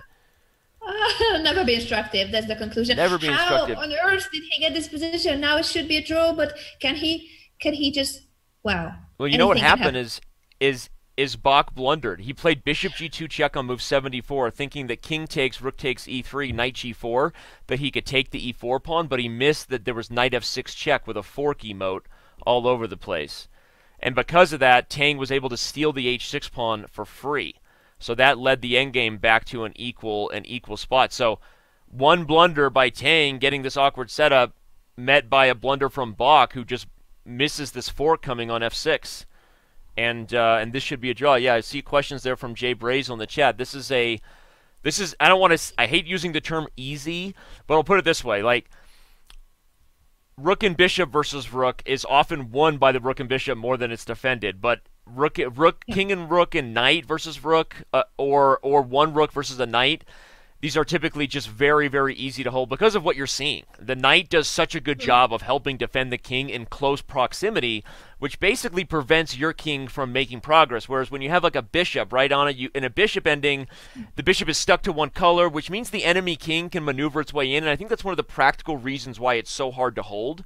But in this case, there's just there's no progress that the black king can make because this knight does such a good job of just holding squares around around his king, and it, it's just so. Yes, you can lose it, but it's a very easy draw, and it's much harder to lose than it is to draw. I agree. Although Howard is saying in the chat that he has seen a person with the knight winning this in classical chess, uh, that takes some uh, skills to step into a fork when you're playing it with the rook. But it should be a draw, it's a theoretical draw. What an escape by Andrew Tang! His position was completely lost at some point. Yeah, completely lost. But again, I guess uh, Bok, um, Bok just under. Oh, he, like we said, he made that blunder and missed missed a chance there. And the, the next round is actually mm-hmm. already underway, so no rest for the weary. I think I think these last couple games that went really long made it so that the next round started. Last, I feel like the last round you and I had almost two two to three minutes of dead time, but now yeah. that long game really pushed us right up against it. So here we go. Where you want to go? We got Fabiano Caruana versus Iturrizaga. We've got Hikaru versus yeah, Fidel Hikaru Corrales. Versus Fidel Corrales. Those of you wondering, by the way, when will Hikaru face Fabiano? It's coming up next. This is round is three. It really? round four. Fa- round four is Fabiano versus Hikaru. So one That's what round. I'm talking about. Don't go anywhere, people. Caruana versus Nakamura coming up. Um, yeah, it's coming, it's coming, it's coming. Where shall we start? I think everybody loves Hikaru's games, and well, it's just in the opening, but we can highlight what Danny already mentioned that Hikaru sometimes likes to go for a little bit of an up, uh, well, uh, how shall I call it? Not so usual openings, one b3. In this case, it was two b3, so knight f3, b3. But even when you start with these moves, oftentimes it just transposes to yeah. something more classical. If you look at the ECO, it'll it'll call this some sort of ready. I don't know exactly what. I'm not a scientist, but it's some sort of ready. But um, the the regardless of the name, the the point is it's it's a unique development setup that you don't see in over the board high level grandmaster chess as much. Uh, but in but in mm-hmm. blitz, I think where or like we'll say blitz and rapid, where very often your understanding of the plan and your experience in a position can be just as valuable as whether it's objectively the best, right, Anna? And I think that one thing Hikaru Nakamura has taught us is that your ability to be up on the clock, your ability to choose a plan that is that is pretty good very quickly mm-hmm. is sometimes more important than whether it's objectively the most theoretically challenging line. And, and, so that's you know for those who tune into that and wonder how come Hikaru gets to play knight f3 and b3 and my coach won't let me do that, right? If you look at our analysis board, well, again, there's a there's a lot to playing these sort of uh, slightly obscure, less known openings, and Hikaru just knows them really really well, which makes him even more dangerous and rapid and blitz. So. Um, yeah, as Angie Greg is saying in the chat, uh, I expect that Hikaru has had all these positions literally thousands of times. I think you're right, Greg. And it, it is useful when you play so many blitz and bullet games and you go for these kind of schemes. Of course, Hikaru knows so much uh, opening theory anyway, but yeah, it's good to have experience when the time control is shorter than classical chess. 100%. Um, I'm gonna I'm gonna try to spy some games that may end up being interesting for us mm-hmm. later on, even if we don't switch now. Um, mm-hmm. Let's let's take a quick peek here on on both boards here over to the Sam Shankland game. Shankland versus uh, what's Mogusession's name? Tesla 37. And uh, this one I think is going to get wild for us, mainly because the uh, the kings on opposite sides of the board could get us some fireworks here. Yeah, and Shankland, I wonder how he's feeling after his first two games, two losses from good positions. Uh, chess players are not robots, and psychology, psychology does matter. So I wonder how much uh, of his confidence has been shaken. Yeah, I'm gonna guess he, will be all right. I mean, he, he lost to, I mean, uh, don't want to put this the bad way, but two guys that he's lost to before, and Hikaru Nakamura and uh, Fabiano Caruana, and I don't think guys like that are ever happy. He was certainly much better against Fabiano. I, the Hikaru game was, you know, um, he, he he shouldn't have lost, but okay, that's that's life. Here he's gonna he's gonna be in a wild one. This last move, f6, a really good move to play when you've got kings on opposite sides of the board and you're looking to open up lines, open up access points over here. Uh, I like I like that black is not just gonna let uh, the position stay closed. And the reason why this is nice is because after e takes f6, I think he'll take back with the bishop, but he could also take with the d7 knight. My mm-hmm. guess is that the opening of the position will become more important over here than the fact that the e6 pawn is a new weakness. So, um, yeah. so we like this. I, totally I, I like agree. f6 here for Shankland. I wonder how he'll take back. He can also, uh, I like if he takes with the knight, the bishop can go to d6 afterwards to put pressure on the h2 pawn. So ah, there's plenty of point. ideas. But bishop takes f6, uh, then the idea would be to target the d4 isolated pawn there are plenty of plans that black can go for. I wonder actually, that's why he's taking his time because in this moment, I think he can go for knight 7 takes f6 and then bishop d6 or bishop takes f6. Uh, mm-hmm. He goes for bishop takes f6, and in that case, there's a lot of pressure on the isolated pawn on d4. Yeah, and maybe he wants to play e5 in some position. Okay, knight d3 is a nice way to stop that, poking at both c5 and e5.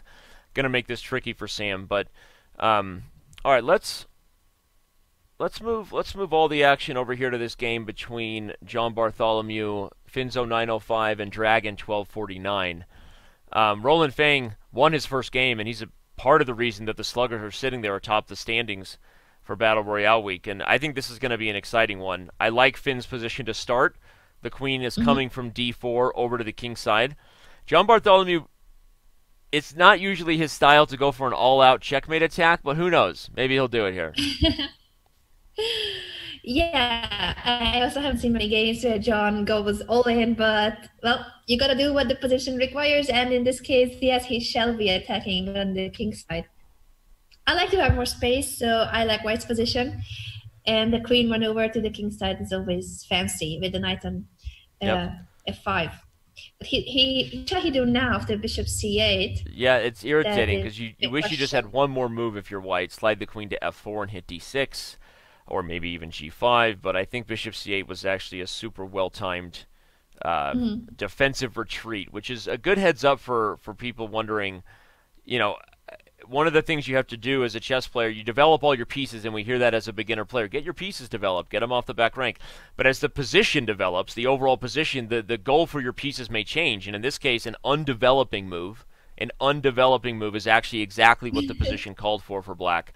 And so being aware of, of the bigger picture plan, and we always like to say develop plans, not pieces. So if the mm-hmm. plan is a remaneuvering, you got to be open to that. And I think that's an instructive point right here for maybe beginner level chess players. Shout out to Addison Lee, Diamond member. I think I know that guy from Twitter hanging out in the Chess hey, TV chat. Shout out to you and to 1,699 of you guys out there tuning in for Battle Royale of Pro Chess League. This is a really exciting format, and there are more points up for grabs. So today's round is even more important than the usual matchups. That's it's right. uh, basically the teams can double their points or triple their points if they are doing well today, or the opposite can happen, and the standings will be completely mixed up after today's round and it'll be exciting to see what happens because right now, atop of the atop of the performance so far, are some teams that aren't necessarily leading their divisions. Okay, the Sluggers are doing quite well, mm-hmm. but the Bishops they're right in the middle of the pack. The Chessbrahs are at the bottom of the standings right now in Battle Royale week, even though they mm-hmm. lead the Atlantic Division. So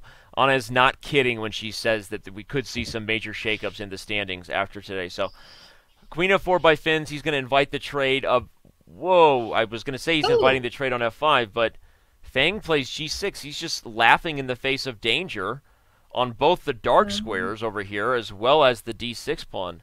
Um, I wonder. Well, first of all, we gotta check what happens if you take the pawn on d6. I think if you take um, the pawn, it's knight h5. Now I'm I'm real. Yeah.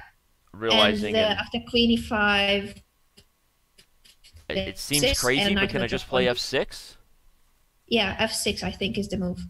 I know Finegold so, says never move your f pawn, but we know Ben is wrong most of the time. I mean, so if you didn't know that, I just told you Ben Finegold wrong most of the time. Um, yeah, even if you can't take the pawn, I was going to say that I like knight d4 because of these holes on the knight squares, the yeah. c6 square especially. Yep.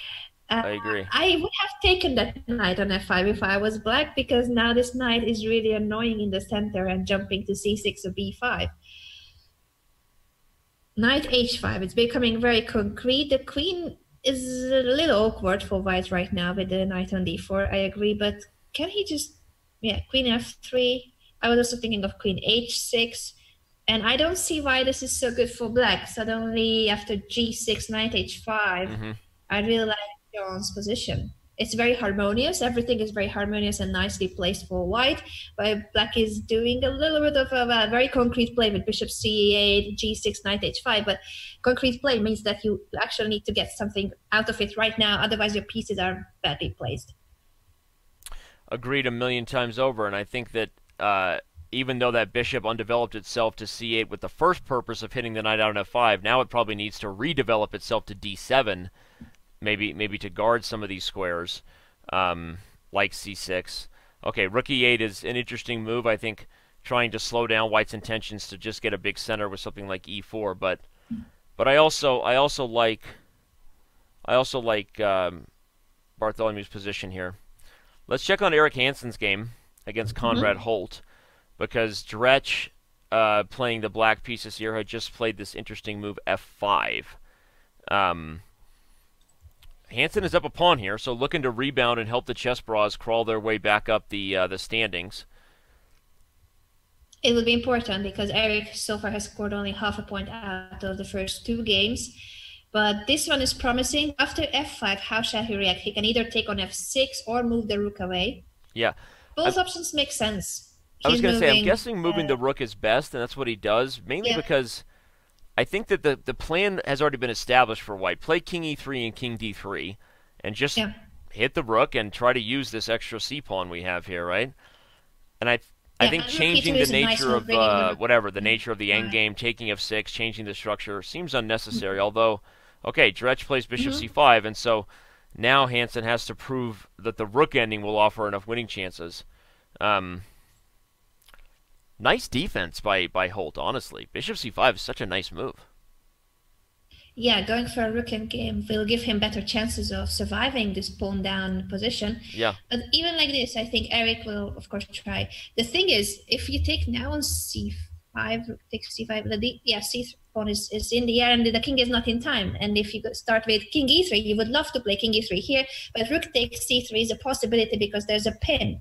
Yep yeah, very nice point. The pin on d4, that's a problem. Um, Okay, so he trades on c5, but I mean, frankly, the more we look at the position, the more it seems like White's advantage is not going to be enough with this, even with this extra healthy c pawn. It's passed, but it's isolated. Black will double rooks here, and uh, likely this one's going to end in a draw. We saw our first result in the books here in the third round of play. That's uh, FIDE Master Josiah Stearman, Josie Wales did get a victory there, which is why the mechanics have tied the sluggers there with five points on the day at this point. So that was the final position there on the analysis board. Um, but let's let's go back to Fabiano Caruana's game versus Iturrizaga, because Fabiano now with the white pieces has just played mm-hmm. this move knight h5. Iturrizaga quickly plays Ooh. knight g6, but something tells me Fabi's about to uh, about to get freaky over here. Fabi's about to get freaky here. He's going to take this on g7 with h5. Maybe he plays g4. Oh, oh my. I think knight f6, I mean, I'm not calculating, but knight f6 works so often in these kind of positions. If you can place a, a pawn on f6 and then queen h6, because the black queen is very far from the f8 square and there's no dark square bishop for black. So um, that could be one of the options.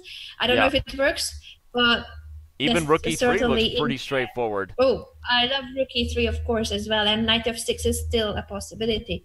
I, I think we'll see Just knight f6 now. I really don't think Fabiano's going to let the queens get traded. Yeah, he shouldn't, of course, and he he knows it. he knows that if he wants to give mate, he should keep the queens on the board. And knight f6, a piece sacrifice, yep. just so that he prevents the mate and creates a, a pawn on f6 that will be really a, a very painful piece in black's position. Yep. Almost worse a piece, this pawn on f6.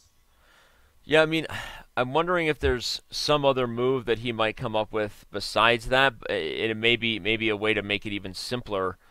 Um, but overall, the reason why this attack is so dangerous for white, everyone, is just because even if you don't see a forced mate, you can get away with a piece sack like on a saying that's kind of slow with knight f6 takes takes because look at all these pieces over here. The knight, the bishop, even the rooks are completely out of play in regards to helping the king defend. And so you just start you start to that's when you smell blood because if you can make any sort of avenues for your pieces open up, it's going to be very difficult to defend. Queen g3, I'm guessing um, he meets. I'm, I'm, not so convinced by g3. What's what's uh, he meeting? He allows queen takes h. Oh, but now now he's trading queens, yeah, and he's just going to win the pawn. That yeah. Seems it's a completely different position. I still what? like White's position because it's more space and. But you know what? I actually I don't think I think Fabiano had a brilliant point here. Black is not out of the mating net woods. Now that the H file's open, oh. he's going to play F3, King F2, and the other rook's going to come to H1. True. Although I'm not sure that queen takes h4 was any forced. Like, I mean, I'm pretty sure it wasn't forced. So if there was a better move for black in that position with the yeah. queen on g3 blocking the rook's way, uh, I thought that it wasn't so convincing. But after queen takes h4, certainly bishop takes g6, very nice move. Yeah, and, and so now you see Black kind of playing a gambit here, giving up the g7 pawn because he knows his real his only real chance to draw is counterplay on the queen side, not to try to defend the king. Again, to show you the point we were looking at, rook g8 might have been met by a combination like rook takes g7 and knight f6 check. Mm-hmm. That was one idea, but also just in general if you're if you're sticking to just defending such a bad position f3 king f2 and then rook h1 might be mate very quickly so um, okay Black and in the meantime. Hikaru Nakamura has won his game against Fidel Corrales, so that's another point for the Seattle Sluggers, an important point. Hikaru Nakamura is doing what they hired him to do there in Seattle, which is win chess games. He's currently at two and a half out of three on the day, so playing very well. But he will be taking on Fabiano Caruana next. So if somehow you're just joining the show, please don't go anywhere. Thank you for being here. Next round, we have the two highest rated so players much. on the day going at it Hikaru Nakamura versus Fabiano Caruana. I'm so hyped. I'm so hyped. That's going to be a poggers moment when Hikaru Nakamura faces Fabiano Caruana, the top two players of the United States in today's round of the Pro Chess League. And shout out to almost 2,000 of you tuning in for the Battle Royale, a very special format of the Pro Chess League. But there's lots of points up for grab. It can shake up the entire standings in all divisions of the Pro Chess League. And the uh, the the standings that you just highlighted have okay, they haven't been shaken up yet, but again, those of you who've been following the league, you know that the the Bishops and the Chessbrahs are leading the Atlantic Division, and right now they're they are not leading play today. right? There you can see heading into this matchup, you have uh, Montreal with 60 and a half points, the St. Louis Archbishops in third place, actually, but not far behind. Um, hmm. but if you look at the standings for today as play is underway, you know that they are fighting to stay out of the bottom uh, right now. So, really interesting stuff. All right, Fabiano Caruana looks like he should be moments away from uh, taking this one home against Iturrizaga. But where's the beef? Where's the mating net? I want to see it. I want to go back to that game too because I was briefly looking at Hikaru's final position. Um, but yeah, it's a good question. With a knight and f6, it's looking very promising. Is not winning yet because the king would just simply go to e7, b4. Mm, yeah, that's a interesting. It allows the knight yeah, it allows the knight to jump to c4, but I guess his point is that he doesn't need the queen side. He wants to play. If the knight goes, oh wait a second, if knight c4 or knight c6, he can play bishop to c1. Yeah, and then and g5. the bishop will join the attack. Before yeah. the c5 was covered by the two rooks of black, so there was no bishop c1 possible. Well, not wow. only not only that, I just realized that's not even. He's actually going to get this bishop c1 idea no matter what, because the knight only has c4 or c6, yeah. and so I think Fabiano. Indeed, it, has this in his pocket if he wants it. Although knight c6 is better because it hits the d4 pawn. So at least here, if Fabiano plays bishop c1, black has knight takes d4. Black might still be getting mated after something like bishop g5, guarding the dark squares, threatening rook h8. I do believe that if there's a mating net here, Caruana will find it. it. Looks like he decides there isn't just yet, but it's still very dangerous for black. Yeah, first he occupies the c5 with the rook, makes perfect sense. And rook c5, I love this move because now he frees the c1 square for the bishop. So all the white pieces will be attacking. And he just made sure that the one and only open file that black controls the c5. Now, if there's a trade on c5 on the c file on c5, a pawn will appear protected pawn for white, so he doesn't have to do anything about this on I mean, about the rook on c5. He just keeps the rook on c5 and waits for the trade on c5. Uh, it's a very precise, surgical kind of way to approach this position by Fabiano. Just closing off all counterplay. You put that rook on c5. It's like a thorn in your shoe. You just can't get mm-hmm. rid of it, and you don't ever you can't want to take here. It would make it worse, and that allows the c file to be sort of the the train station, the routing the routing station for the bishop to come over here to g5 very just accurate. And I think you'll play Bishop G5 here anyway if you're Fabi. He loves to sacrifice the exchange, first of all. It's like one of his favorite things in the world, I can tell you that, along with the circus. Fabiano loves the circus and sacking the exchange. I don't know why. Um, Bishop C1 97 on the board, but this is looking I, I think like I'm hoping he plays Bishop G5, so my point about the circus can be proven. But shout out real quick. Oh no, okay, he didn't. Diamond member uh, Sor Sorjon or S O R J O N Sorjon or Sorjon says that Fabi lacked the confidence to take on Magnus, but had the discipline to play smart. Hikaru would have had the courage to beat Magnus, but would have taken more risks. And uh, given that there is a Photoshop challenge right now talking about what would happen if Fabiano Caruana and Hikaru Nakamura had a baby, I thought that was a great comment to to uh, to read on air because it's true. I mean, people have different styles and with yeah. it comes different strengths and weaknesses. Fabiano can get surgical real fast, and I think Bishop G5 is that okay. He plays G4, but wasn't Bishop G5 also just lights out? I don't uh, know why. It, it looked like a potentially game over move, but you're right that Hikaru is more likely that he would have gone for that kind of uh, way of winning the game, and Fabiano well, he he's better now in this end game. More yep. space, more active pieces, protected possible on c5, but there's no mate on the board. Yeah, I don't know why he's not playing bishop g5 because if king g8 you just move the rook and then there's no way to stop bishop f6. So mm. this is getting awkward. I don't know why he's not playing bishop g5. Uh, I'm wondering what is wrong with bishop g5. That's a very natural move. Okay, I don't, I don't know. know. Uh, bishop g5. I'm trying to see what the what the deal is here, but bishop g5 seems pretty straightforward. So um, we'll see if Fabiano does that, keeping it on the live position. Uh, Want to mention quickly, there's another game that's about to come to an end, a battle of well-known board ones. That's Arabic Falcon versus Jeffrey X, Jeffrey Xiong. So uh, mm-hmm. the analysis board is now showing white up on the clock. You'll see that in a second, but also maybe on the attack here on the H file. So we'll see if Jeffrey Xiong can get a big win here for the Dallas Stars. Um, Fabiano finally plays bishop g5. Hmm. Okay. He's yeah, bishop g5 with is very logical. I, did, I didn't understand if there was anything against it, but simply Fabiano took some time to calculate everything.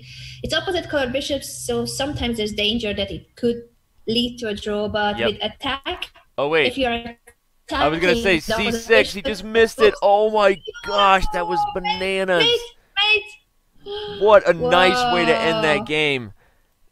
The point, everybody, is I guess we have to back up here on the analysis board and show everybody why Fabiano's idea was so accurate that all of us were being critical of, and shame on us, because here's the point. I guess bishop g5 wasn't ever going to be enough if the king just ran on the light squares, but what Caruana does with g4 and then f4 and f5 is he creates a new threat, which is this seventh rank and the targeting of this bishop on b7, kind of an x-ray there with the rook. So by bringing up f4 and then f5, he's threatening to take either pawn, and black's f7 pawn is pinned to the b7 bishop. So that that tactic by itself forced Iturrizaga to panic and play this move bishop c8, to which Fabiano just uh, delivered delivered the. Is it just unstoppable mate now after c6? I think it is. c6 is just lights out. It's just mate next move. It is, it is, mate. And then uh, we were claiming that Kara would have uh, gone for the mating net already earlier on, but Fabiano, he wanted to go superior endgame. He's winning, of course, and he eventually gives me two. So it is Hika Ruana in action, complete action. Remember the Photoshop contest? It's a one-year diamond membership offered by Danny Raj That's right. for the person that creates the Hika Rana baby. That is the baby of Fabiano and Hikaru. How would it look like if they had a baby? Yeah, and I see Diamond member uh, Razid Art is saying Fabarama. Fabarama. First of all, Fabarama sounds like a place I want to go to there, like Woodstock, Fabarama. Sounds like a cool place. Secondly, Dan Fernandez wins yet another game here for the Miami champions, this time taking down Benjamin Bok. Just showing the final position there. He was black, and he took care of things in the simplest fashion by just eliminating the bishop on g2 to get rid of this passed c pawn. So, shout out to the Miami champions who came in so un- so uh, I guess down on, on the standings have really worked their way um, back into things here if they can continue to have a strong performance being led by Dan Fernandez. So, all right, uh, we're looking at this one on the board right now between John Bartholomew and Roland Feng.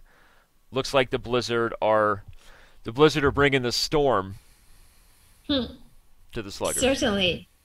There sometimes there could be still be some tricks, a stalemate idea for black, but I'm confident John will not blunder any of such. Yeah, Um, this is actually a harder position to win, I think, than it looks, though. Yeah, because there's this blockade on the uh, h5 square, and it's not so easy to activate the king. So Yep. if king g4, the knight comes back to f6. Um, rook check, but king f5. He they are repeating moves. You can do this, do that, try a little here, and then come back. Um, the thing is, white will eventually need to play king g4 in the right moment, Uh huh. but the knight comes always back to f6. So how do you achieve? Okay, now the rook on g5 and the g Yeah. file. He's got the um, king on the G5. File, but I, I Yeah, think it's the, not so easy. I think the right plan is to get get the rook back where it was and bring the king to either g3 and f4. At some point, you want to like bring the king into e5 and try to try to smoke out the king and the knight by using your king in the center. I think that's the winning idea for white, where you end up not worrying as much about the h pawn. Um, and instead getting your king active, something like king f4 now. Yeah, this is the Yeah, this is the right idea. it.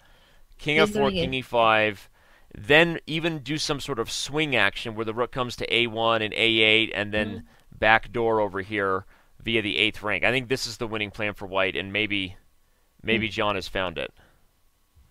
I Yeah, think king e5, yeah, this is the right idea. now. Yeah, it's looking really nice, and it also cuts the black king from kn- the knight king. f6 would actually Uh, lose on the spot here because of rook g1 and then rook f1 pinning the knight. And now there you go. Wait, he's he's he's separated the knight and rook, but maybe that was a mistake because Yeah. now he can't stop knight g2. Ooh. Oh my gosh, Uh, he's really let this one uh, slip. Oh no, this is the this is Wow. problem, and the h pawn might fall. Um, there's some practical chance because at least the king, the black king, is on the rim. But after knight g6, Not anymore, king right? g5 and king f6, oh, And it's the day Whoa, of Rook and that- Knight, um, this is- apparently. Slide out to Slide Talent there. Thank you for the sub. Appreciate it. thank you so much for the sub. But what a turn of events! We thought that Yeah, John was is- already on his way of winning the game. I think he was on the right track with this with this king to uh, to e5 plan. If we go back there, um, I think rook f4 was just a big mistake, but uh, something like rook f8 instead to prevent this with a check from behind. I, I think this was the right plan, the winning technique, and um, okay, more analysis would tell, but that's not our job here. If you thought our job was chess analysis, you are wrong. um, We are here to shout out your names in the Twitch chat and shout out to everyone, by the way, tuning in for today's battle royale. You are already, you are, we are, I think we are already 2,401 viewers out there enjoying the chess action today in the Pro Chess League. And this is just the beginning. Next round is Fabiano Caruana versus Hikaru Nakamura.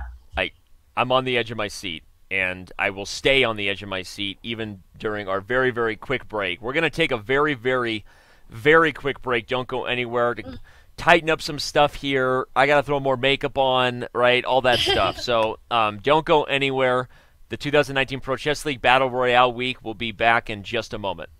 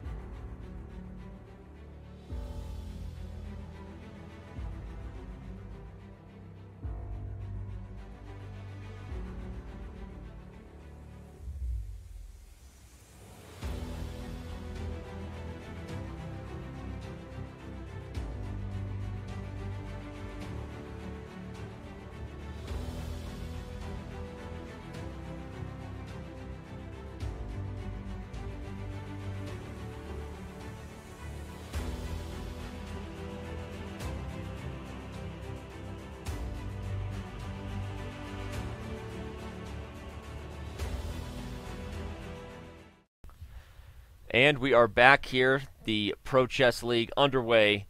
The next round has begun. The matchup you're all waiting for will be starting in probably about T minus 10 15 seconds. That'll be Hikaru Nakamura versus Fabiano Caruana. Right now we've got Eric ha- Hansen versus Axel Bachmann on screen. And uh, pretty pretty exciting stuff here today. Standings on I don't know that um, we would have predicted it at the start, but I did say a couple rounds ago to look for the mechanics to keep making noise because even though it didn't look impressive after the first round, they had gotten some some key strategic wins. Right, Naroditsky, I would argue is probably the strongest player in the board two division, and I know you can say on paper that's not necessarily the case, but he started out mm-hmm. beating the highest rated player on paper there, and I would say that Danya is is uh, is up there in regards to chess talent, and so I'm not surprised to see the mechanics doing well, despite the fact that Sam Shankland, in fact, another reason why the mechanics might are, might really be a favorite to win the first battle royale. Sam Shankland lost mm-hmm. his first two games on board one against yep. Caruana and Nakamura, and yet the mechanics yep. are still here. So look for the mechanics to uh, to really have a big day. So true, but I think everyone is waiting for the game of the day to start. It's Hikaru Nakamura versus Fabian Caruana. And remember that there's a Photoshop contest, one year diamond membership that Danny has offered. Very, very generous offer from Danny Rensch. The task is to create how the baby of Hikaru Nakamura and Fabiano Caruana would look like. I don't think that's a I'm weird thing to ask for at all. I, just, I just don't think that's weird. I think it makes sense. Caruana and Nakamura having a baby uh, for for chess purposes. It's science. It's just for science. Okay. Um, anyway, the uh, all right. The the game is going also with a lot of theory as we've seen all the top boards, at least in the games we've covered closely here. Uh, in the battle royale week, when these when these super high rated grandmasters go at it, they're playing a lot of theory and really challenging each other. This is the kind of Ruy Lopez that you might see if these two guys were playing in Tata Steel or Gibraltar or any major event, yeah. right? This is a very well known yeah. kind of position. Indeed. So they're going for the very theoretical lines with the D3 setup that has become extremely popular, uh, the anti Berlin. Um, mentioning Berlin, I will ask you later about um, a certain former world champion's retirement and your feelings on that, but not during this game because this is the game of the day. Yeah. Fabiano Caruana with the white pieces against Hikaru Nakamura, two of the top grandmasters in the world, facing each other. Fabiano has played this move G3. Very interesting. I think it has a dual purpose to both open up the H4 square for the knight, now that now that the pawn would protect that knight, um, and, and even potentially to play things like King G2, and if this knight moves, maybe play F4 at some point. So Fabiano playing very fast, and I think for the first time has either surprised Hikaru or at least played for a plan here, Anna, that maybe Hikaru hasn't seen every day, right? So mm-hmm. th- these guys don't take time, especially in rapid settings, unless they know they need it. And so the fact that Fabiano is up a minute on the clock against Hikaru is kind of telling. And this move G3, the first the first interesting one really that has my eye uh, caught here. I, I really like this plan of knight H4 for Fabiano. What do you think? I, I like to forward at h4 heading toward the f5 square. He can also push f4 later on. I'm wondering what should be the plan for black. I think that's less obvious than white's one. Bishop e7 I like because it prevents knight h4, but here comes Harry going yeah. to h4. Harry 4. No, it's a good point. Bishop e7 was played to stop knight h4, but then here comes Harry. h4 and h5 played very quickly by Caruana. Uh, Hikaru freeing the f8 square for probably a number of pieces to share. Maybe the knight can come to f8 and then to e6. And you also open up ideas that the bishop might use this square f8 just to help defend things over here on the king side. But look at Caruana. I feel like he's on a mission here to say, I'm going to play as quickly as I need to to beat Hikaru Nakamura. I mean, we know that there's a lot of. Uh, I don't I don't want to just uh, add controversy unnecessarily, but we know that there can be sometimes some differing opinions as far as uh, Fabian Caruana's strength in rapid in, in regards to how he compares and stacks up against his peers. We know that Magnus mm-hmm. took the entire World Championship match, put it all on the line, thinking he was that much better than Caruana in rapid, and Hikaru. Yeah. Hikaru has also said that Fabiano is just not as strong of a player in rapid and blitz, and so it's just interesting. I mean, look at how fast he's playing here. He's already got more than a minute on the clock yeah it kind of feels like he wants to prove that he he can yeah. do it. He, he's just as good uh, in rapid chess as in classical chess. Certainly he has been training a lot because fabiano knew that for the world championship match he needed to improve his rapid skills. Um, he didn't manage to improve it as much as magnus at the level that magnus has but also the psychological part of the playoffs is really tough. So we don't know how is hikaru how is fabiano's rapid chess at the moment for sure is better than before. The question is how much better. Yeah. No, it's true, and I think he has some to prove, and he's played this next move, knight h2, very quickly, coming into g4, where maybe it helps with an attack. It also opens up the g4 square for the queen. Okay, no, he, he, he fills it with the knight first, but I think, I think is correct, because if we get a trade here, you could still take back with the knight and then use the f5 square with the queen also coming to g4 to hit g7. Um, and you could also take on, you could even take on e3 with the pawn, and as ugly as those two Peshki look there, the f file mm. is very useful for white on the king side. And so I think that white has an edge strategically here. It's very, very small. The question is whether his edge in knowledge will will also prove against Hikaru, because I think if you look at the clock, again, Hikaru doesn't make a habit of getting down on time against anybody. So he, he knows he needs to figure this out. Doesn't want to get in a bad position against Caruana here. Um, okay, simple developing move. Queen e7 connects the rooks, right? Yeah, I'm wondering what shall be here to follow up for white. Um, there are a few ideas. He can simply improve the queen, queen e2, queen d2 to connect the rooks. He can aim to push the f pawn to expand further on the king side. I really like white's position here. It's very comfortable and he has more space. But also to take it to the next level, to improve the position, it's gonna take um, a new plan because the knight is now well placed on g4. The bishop will be traded on e3, but he shall prove what is next, yep. how to go. Uh, oh, the bishop d2 is surprising. D2, he just this I didn't see forthcoming. Decides he um, no longer wants the trade. I wonder if there's ideas yeah. to spy on h6. And I, I know he probably wasn't calculating it. That's a me problem. We know Danny always wants to sacrifice. But bishop takes, takes, knight takes, h6 check, and then knight f5. Certainly had had me looking just to make sure. But he, he does decide, even without a sack, that he wants to keep the bishop here. And I think one just main point here – on it is that if white can get f4, you're mm-hmm. going to start to get new ways to bring the, the pieces to the to the king side. It's a very double-edged move, right? f4 will be a pawn you can't ever move back. And so, mm-hmm. you know, maybe Hikaru prepares for that. Okay, queen e6 is a move that maybe opens up the idea of f5 at some point. Um, also, like the other bishop retreating, queen e6 maybe opens bishop to e7, right? Using a, using the c5 square for the knight. So there's a lot of little things these players are sort of jockeying for position right now, shuffling. Yeah, um, I like I like this idea of bishop d2. I didn't see it at all, but now I start to like it more because of uh, the power of the pawn push f3, and later you might place the bishop on c3. Mm-hmm. Queen e2 connecting the rooks, preparing for f4.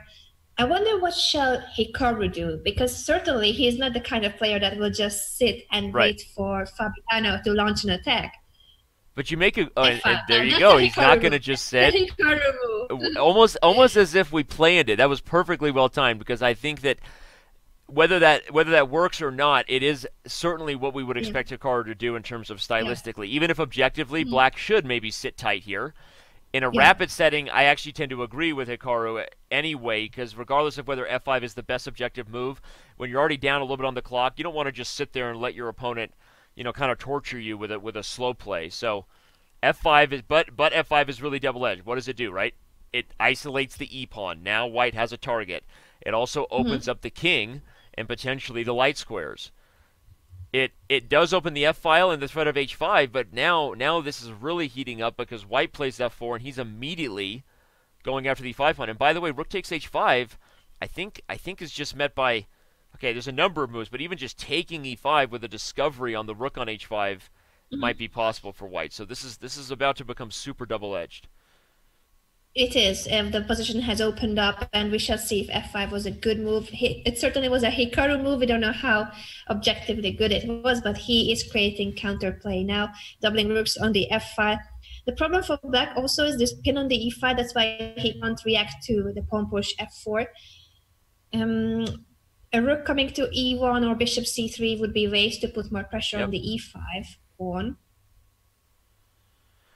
Yeah, and, and you may end up being able to steal this H pawn, even as dangerous as it looks, as Grandmaster Blue Wizard just points out in the Chess TV chat. And I was about to follow up and say I agree, because as I highlighted that knight takes E5 might be possible for the for the discovery for White, even a simple move for the to protect the rook, like Rook F5. I'm saying it's slightly unsure, but there's there's no like immediate knockout there for White, right? It's it's not maybe as bad as it looks, and so I think um I think Hikaru is taking yet again a little bit of time on the clock to calculate things like this and maybe see if he can do it.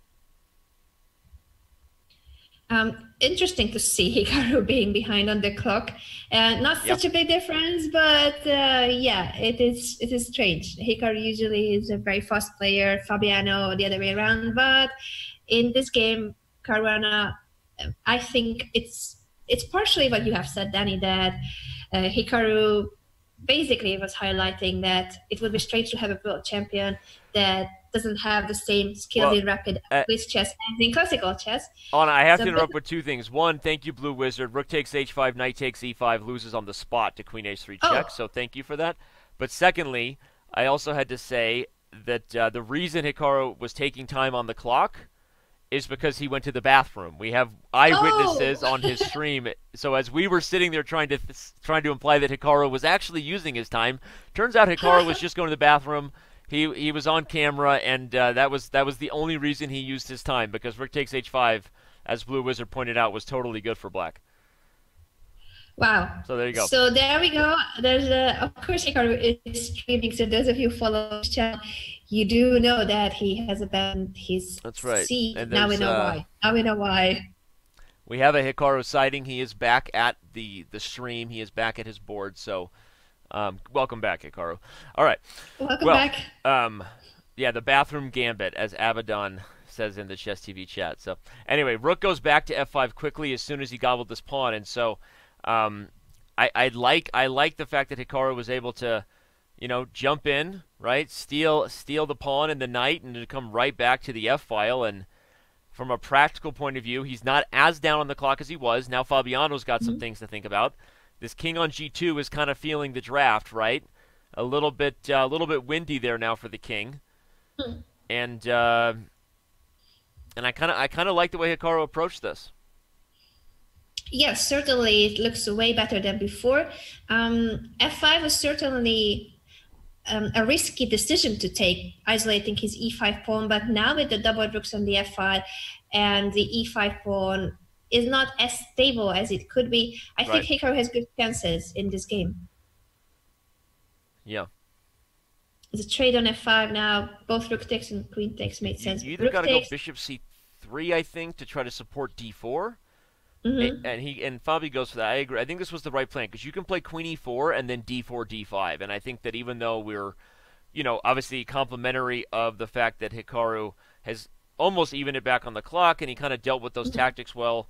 I'm not sure that White isn't still doing fine here. I think if the queen comes to e4 and d4 and d5 become a real threat, this e5 pawn is it's passed, right? Okay, so Hikaru's going to be all in and try to get rid of it. And very nice. Look at this. He goes for a forcing combination to stop exactly the idea we were just talking about. Mm. D4 will no longer be easy for White.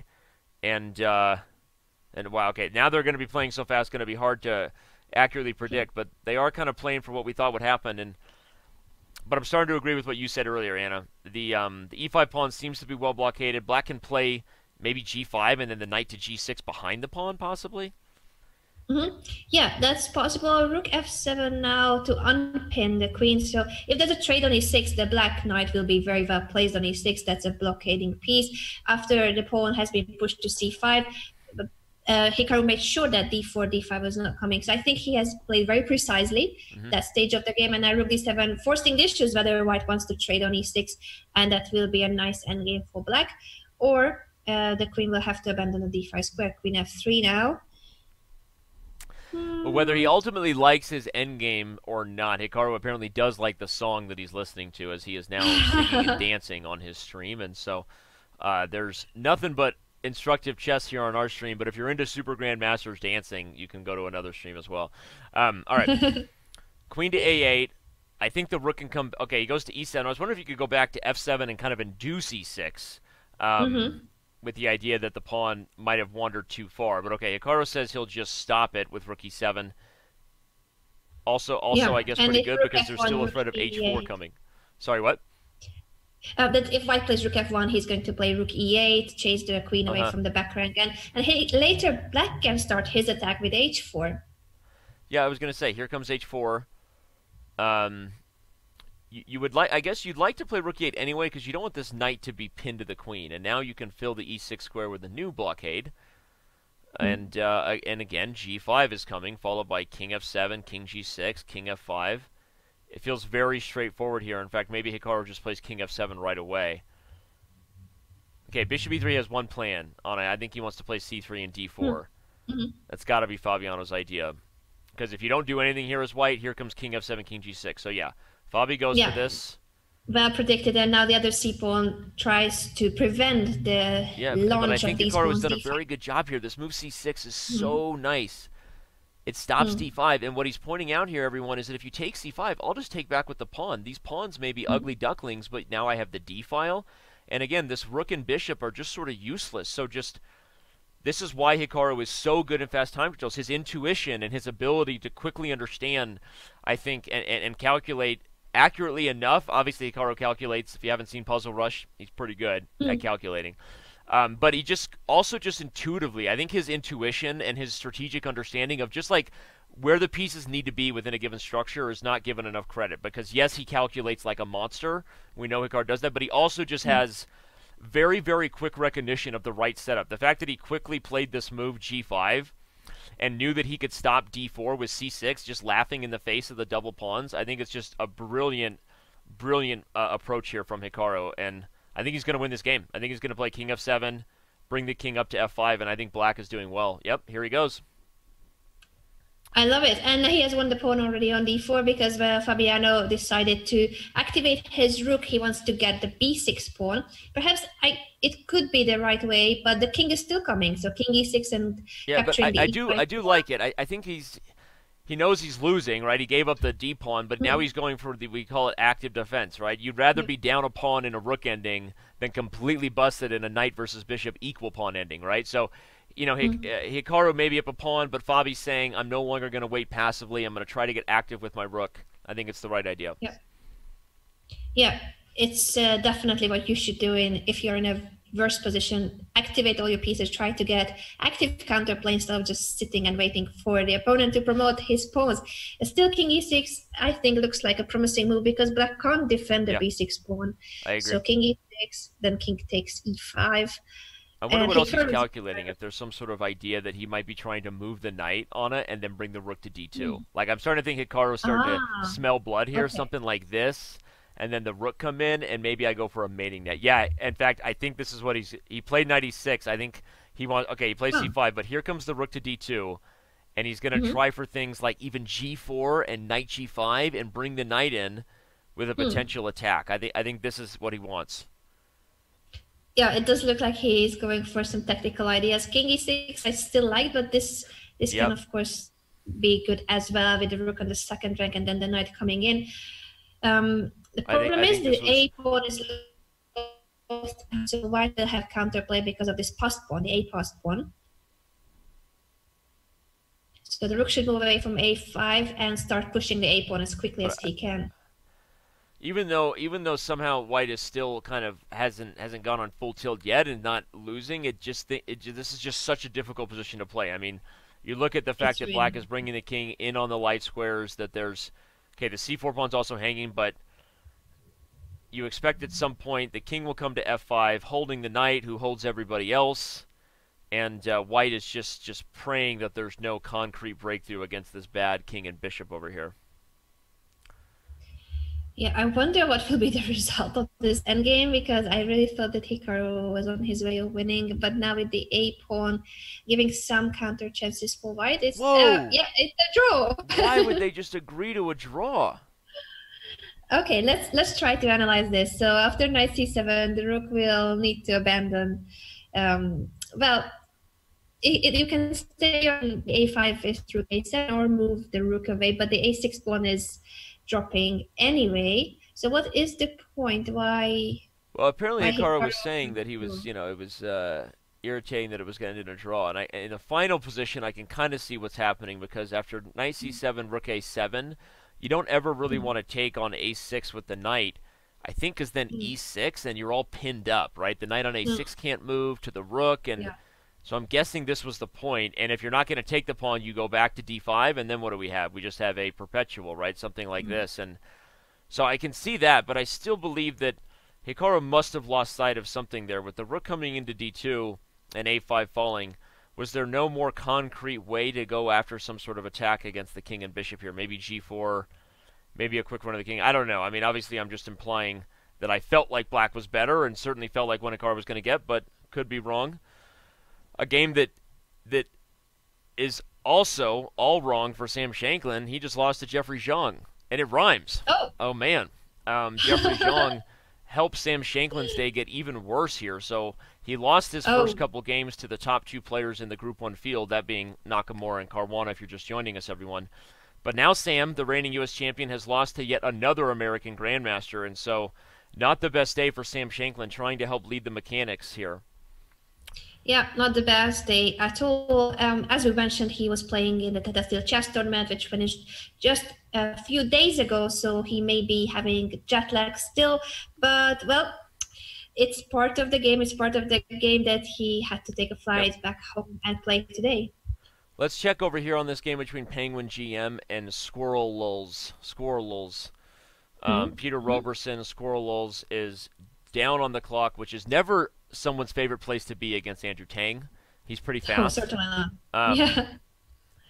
How much of an advantage does White have here, though, besides on the clock? I don't know if he has any. Because actually, it's super awkward here for White. There's threats of both the skewer on the bishops and rook c1. By the way, we have a skewer emote now, if you haven't used that in a while. Ooh. I know. Oh, I gotta check this out. I, I, know the pin and the fork. There you Ooh, go. Yeah. How cool! I know, right? These Whoa. are the things that they oh, pay me the big bucks for. Same amount. Look at that, Danny. We have. Oh what? no, you have more. I thought, I thought we are like twins because we used the same emote almost the same amount of times. There you go. we did it back to back. Uh, Yay! Whoa. Chang is willing to part with the uh, the bishops for the rook versus the two minor pieces, but this is one that only black can win if you don't include the clock. I think. Hmm. True. Well, may, maybe I'm wrong. Maybe I mean I guess the idea that G4 and F5 is coming is maybe harder to deal with than I thought. Mm-hmm. Here comes some point if this bishop leaves G4, look for G4 and F5. Okay. Uh, Tang doesn't want to lose the F pawn, so he gives check instead of trading on A6.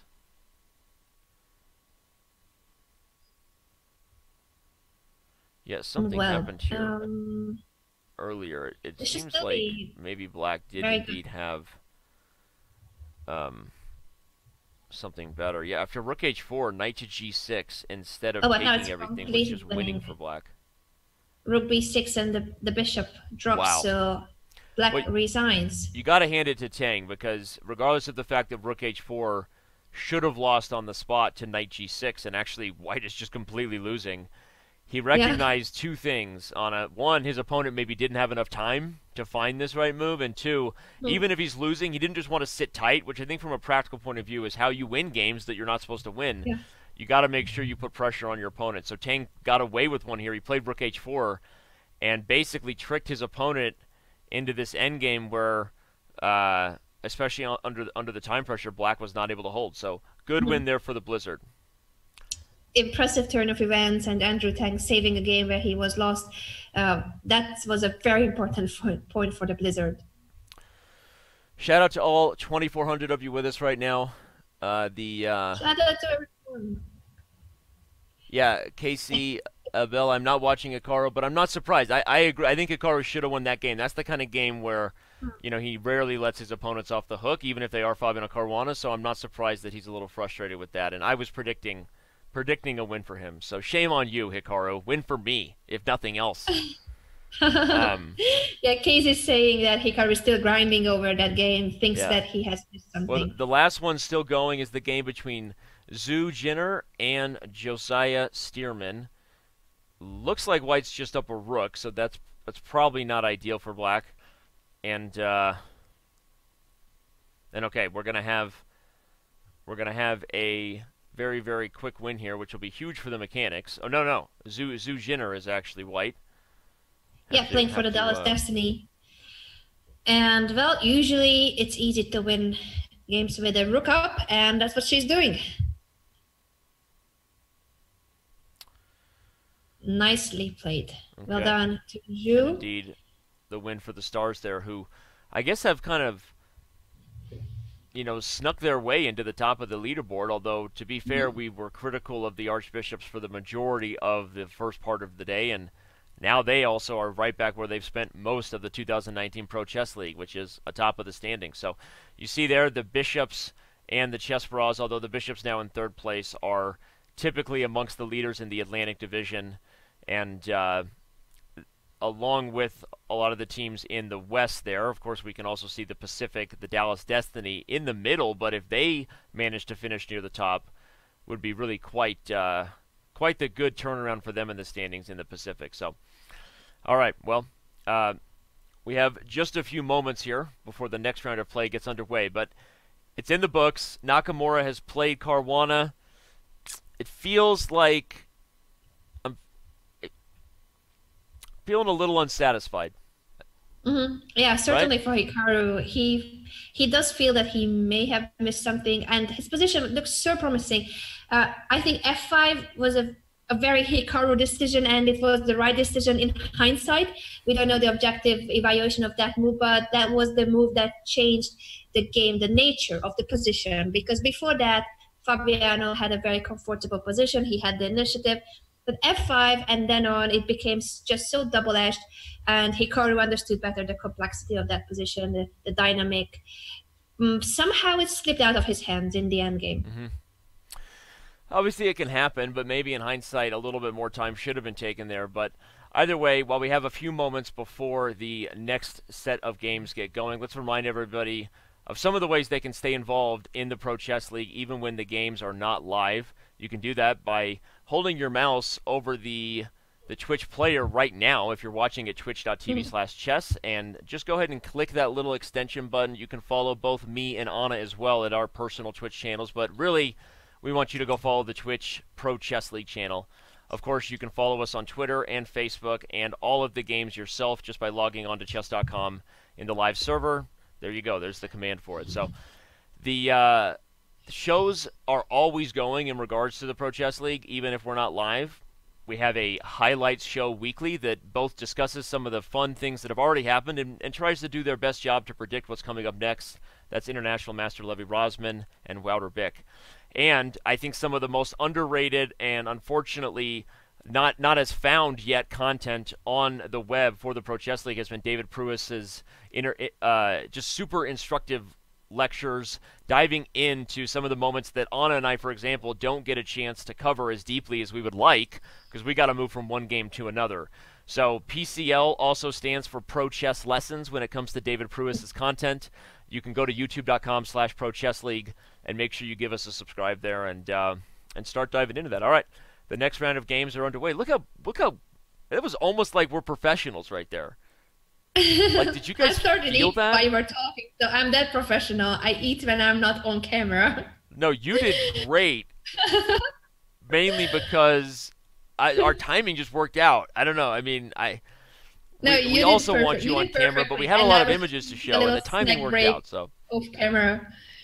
Well, here we go. This is round five of today. There are seven rounds in the Battle Royale. This is the group one. So the action is just beginning. Then we will have the next group with Robert Hess and Alexandra Botez. Don't go anywhere. It's, I'm looking at the game between Sergei Movsesian and Fabiano Caruana.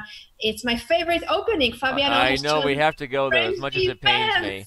The French we have to go to Fabiano Caruana's game versus Sergei Movsesian because it's a. Go ahead, you can say it the French defense is the best opening in the world. it's the French, you know. All right, well, uh, I we know Fabiano likes to dabble in the French from time to time. the okay? devil. A little bit. Sometimes he dabbles. Um, but tell us, Anna, what exactly about this particular line is is is good for Black, or or take us through here. Um, we had uh, an interesting variation with the move bishop e7 on move 4. Uh, if we can bring yeah. up the analysis board. And uh, after knight f6, e5. What about this line catches your eye as somebody who plays the French all the time?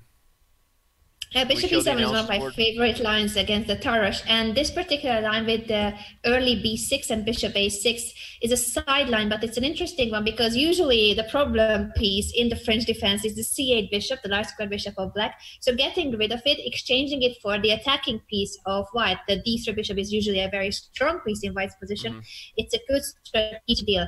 The well, the drawback of this is that the knight is on a6, so it's going to take a couple of Maybe we lost Anna. Apologies yeah. if so. But no, there oh. she's back. Am I here? Am I here? You're here. Oh, you're sorry. here. And we oh. caught, I think, 99% of what you said. But yeah, as you said, Black is eliminating the normally bad bishop with bishop a6, and but uh, sort of the, I guess the the compensation White gets or the compromise is that you temporarily put your knight on this bad square of a6 if I'm not, I'm not, I'm just trying to help finish your sand sentences here, right? Um, yeah, the, uh, I apologize for my internet connection. I know that today it's been struggling. Uh, I have just traveled to Santiago, so I didn't have that much time to check uh, if this is the the best possible internet condition. But for next time, I promise, I promise, I promise, uh, I will make that's, sure that it's even better. That's was, okay. Was, that's okay. but I think I think we finished each other's sentences well there, and and as you said, Black has eliminated the worst piece on the board, uh, but has had to lose some time with the knight coming back and forth, and now Itur uh, Movsesian, excuse me. Um, I had Iturrizaga on the brain because he's playing Hikaru, and I have that game, mm-hmm. the side rear view here. Um, okay, but Queen e4, and then the knight comes back to a6. Okay, despite the fact that we know it's the French, your favorite, and Fabiano's playing black, do you not like white here? I mean, what are your thoughts about this position? Well, it's difficult to be objective now, actually. I like White's position. It's more space. I'm a fan of having more space. Right. Queen in the center. Everything that I praised earlier in the show, White has it. And now after Rook d1, the d file is about to be open. So yeah, the French defense has its drawbacks to say, and Fabiano didn't get many good positions out of the opening. Not today. Danny, are you happy to see another French defense not being a very nice position for uh, back? I'm, I mean, obviously, we like to have our fun and, and poke at different openings and positions we, we like and don't like. But again, I don't I, I don't really uh, have any bias, believe it or not, other than the fact that I do not I, I don't prefer those types of positions as black, as you know. Um, mm-hmm. But and in this case, I think we both like white mainly because the time that black lost in order to rid himself of this bad bishop now bringing the knight to c7 to try to make up for that undeveloped pony. You may not be able to yeah. recover if, if the attack continues to get uh, really crazy over here on the king side with um, with bishop h6 coming. So, um, so I don't know. We'll I see. I'll let, I'll let you kind of steer the way here. Black plays f5. That's normally a very double-edged decision, right? You're trying to stop the attack, but if yeah. I if I en passant, now e6 is a new weakness, right? Indeed, I think f5 is usually a move that uh, um, if black has to play f5, it's not a good sign because, the, as Danny has pointed out, the e6 pawn becomes permanently weak. It's an isolated pawn, a backward pawn.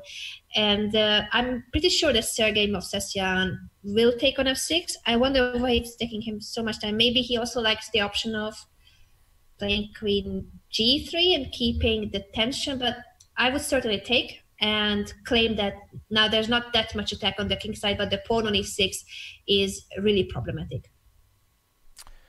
And not just the pawn, actually, but the, the e5 square. So the e5 square right. is an outpost for white's knights, and the e6 pawn is a weakness. So it's not only about pawns, it's also about the squares. Okay. I like queen h3 because it keeps an eye on the on. e6 pawn and also the h7 square. Knight yeah, g5 is there may be ideas like knight g5, right? Yeah, now after queen e5, we gotta move the knight from c4, but the e5 square is a perfectly nice place for this knight. So knight c, e5, and then knight g5. I'm loving this position for white, actually. Yeah, and again, it's just probably the best case scenario for black is eliminate the c for the d pawn, and, and hopefully the e pawn doesn't become the biggest issue on the board. If it does, white will white will just end up being up material. There there are there are some practical things though about about Black's position. I mean, okay, the F file is open. White is still, at least at this point, officially not not completed development yet. The bishop on c1. So if mm there's some timing that black can take advantage of, and, and to be more concrete about what I'm saying, I think that there's a, maybe a threat of knight e4 coming in some positions.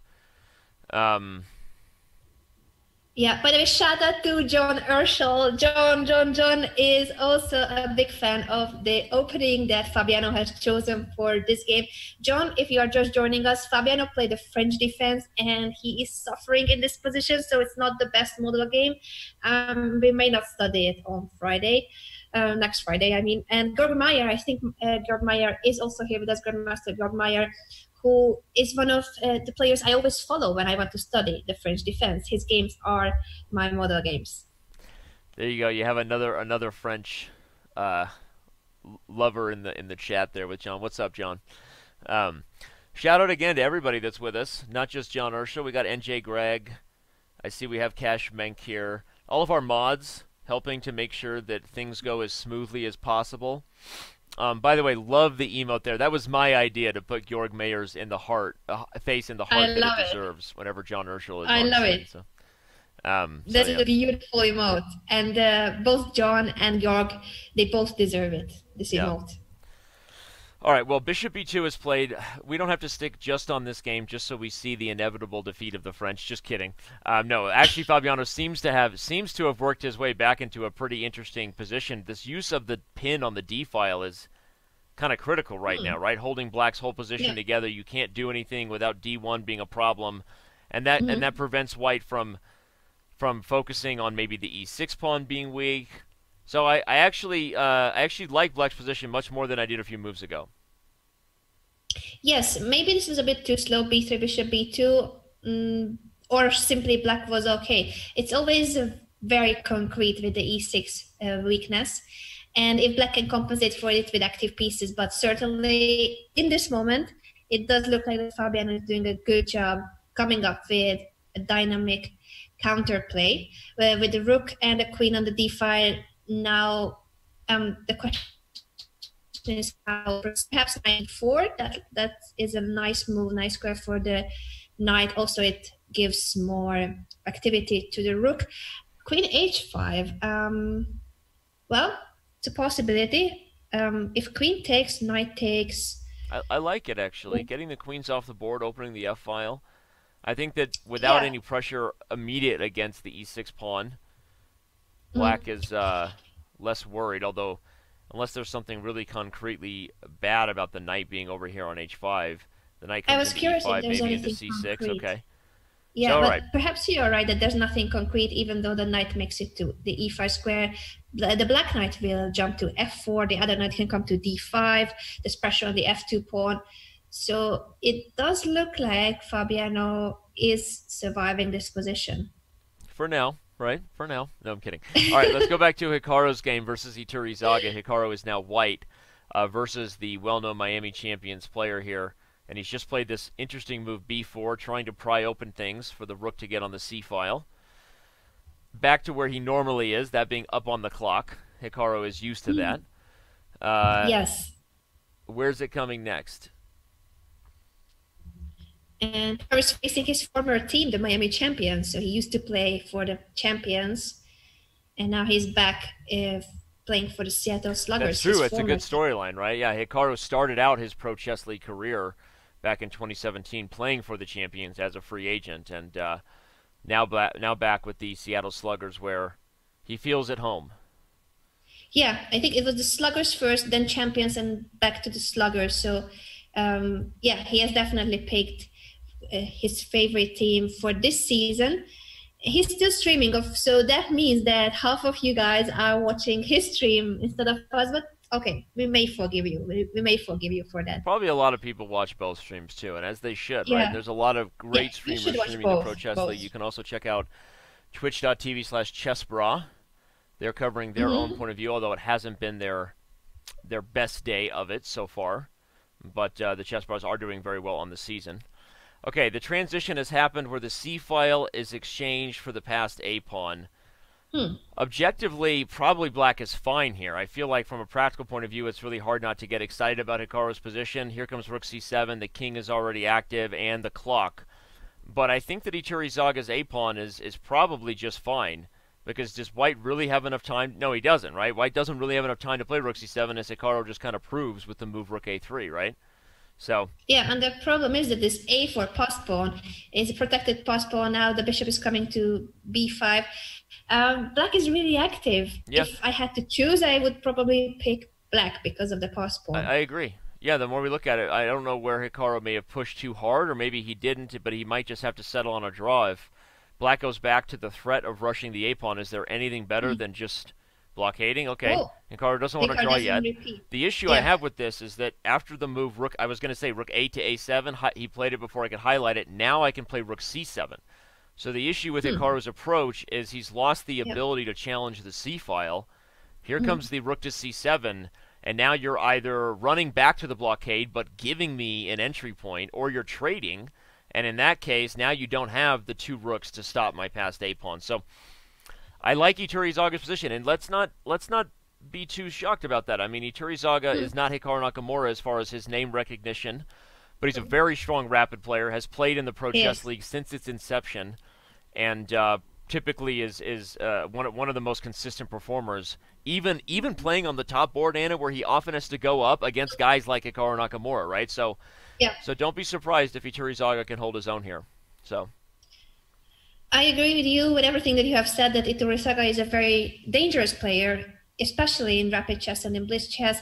And this position, after Hikaru not repeating moves, perhaps he should have gone for the draw. But we know that Hikaru's approach is, well, I'm going to go for the win. I have more time. He's got seven minutes on the clock, twice as much as uh, Iturrizaga. So it's logical that he wants to play, but maybe he's taking a bit of a, risk that was not necessary. I think we have one game we should definitely go look at. Okay, we know mm-hmm. there's these top big names we've been following Fabiano seems to be doing well in the French, but we'll keep our eye on that. The game I think that a lot of people want to see who know of these two players from their online streaming efforts hmm. Eric Hansen and Daniel Naroditsky. Naroditsky being with the white pieces.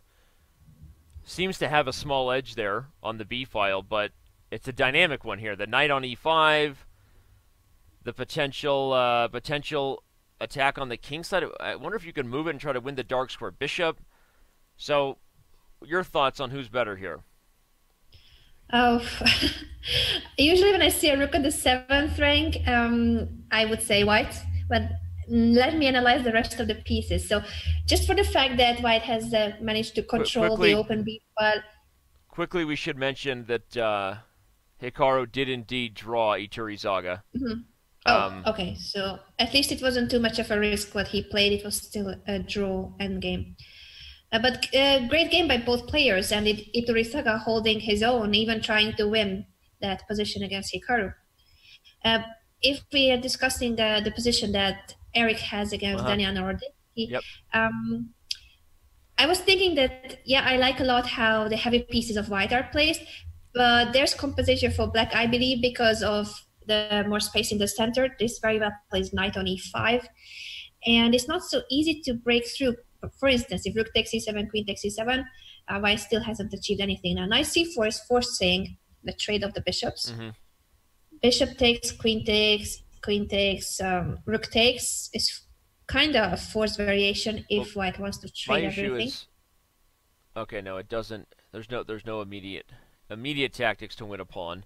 Was looking at some opportunity to expose the. Uh, hmm. Maybe the pawn on d5 being overloaded to guard everything, but it looks like Eric calculated it well, and there's no concrete thing to do. And I, and I, guess the one real nice thing about the knight on c4 is that if everybody gets traded and white hasn't achieved anything, this knight immediately hits the a3 pawn, right? Mm-hmm. So, I mean, yeah. knight c4 points out that, okay, if you just make a huge trade and don't get anything, in the end, the tables have turned, and black is better in an endgame where the knight immediately has this a3 pawn as a target. So, nice move, nice move there with knight c4.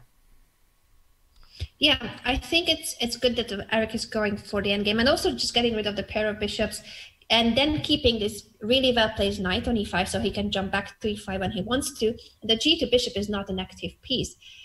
So white will try to open up the diagonal for the bishop somehow, but it's not so easy to push f3 nor play h4, bishop h3 and come through the e6 or d7 squares with the bishop.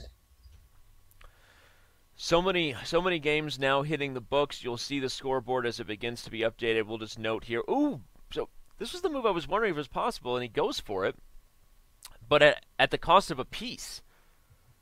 So Naroditsky, from what I can tell, maybe just making a practical decision about about time, about the difficulties of playing an open king, Wow.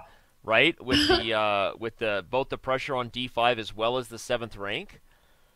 I Well, think objectively, it's hard to believe that this sacrifice should be great for white, for but it. from a practical point of view, this might be this might be much harder for Eric to play than than for uh, Danya. Yeah, and Naroditsky has more time on the clock, so certainly that that is a detail he has taken into account. But um, this is a piece up for black. So if Eric can defend well, then he could just simply win the game. Depends how this position c6. Of course, this is dangerous because there's a c passed pawn. The black king is uh, vulnerable. But wow, But yeah, I mean, objectively, you're like, that he went really? Like, can you do this? But. I mean, this is going to be super tricky. We will note that Fabiano Caruana's game is also in the books. He did indeed draw uh, that game there with the with the French, so a big win for the French in that in that it drew, right? Yeah. Well, The uh, um, yeah, the French defense is, is a good opening. I, I'm, I'm Um, kidding. I'm kidding. No, a, a win there. uh, sorry, not a win, but a draw for Fabiano with the black pieces there. Not a bad result. Um, okay, rook e4. Yes, so the queen has to either abandon the long diagonal or the d file.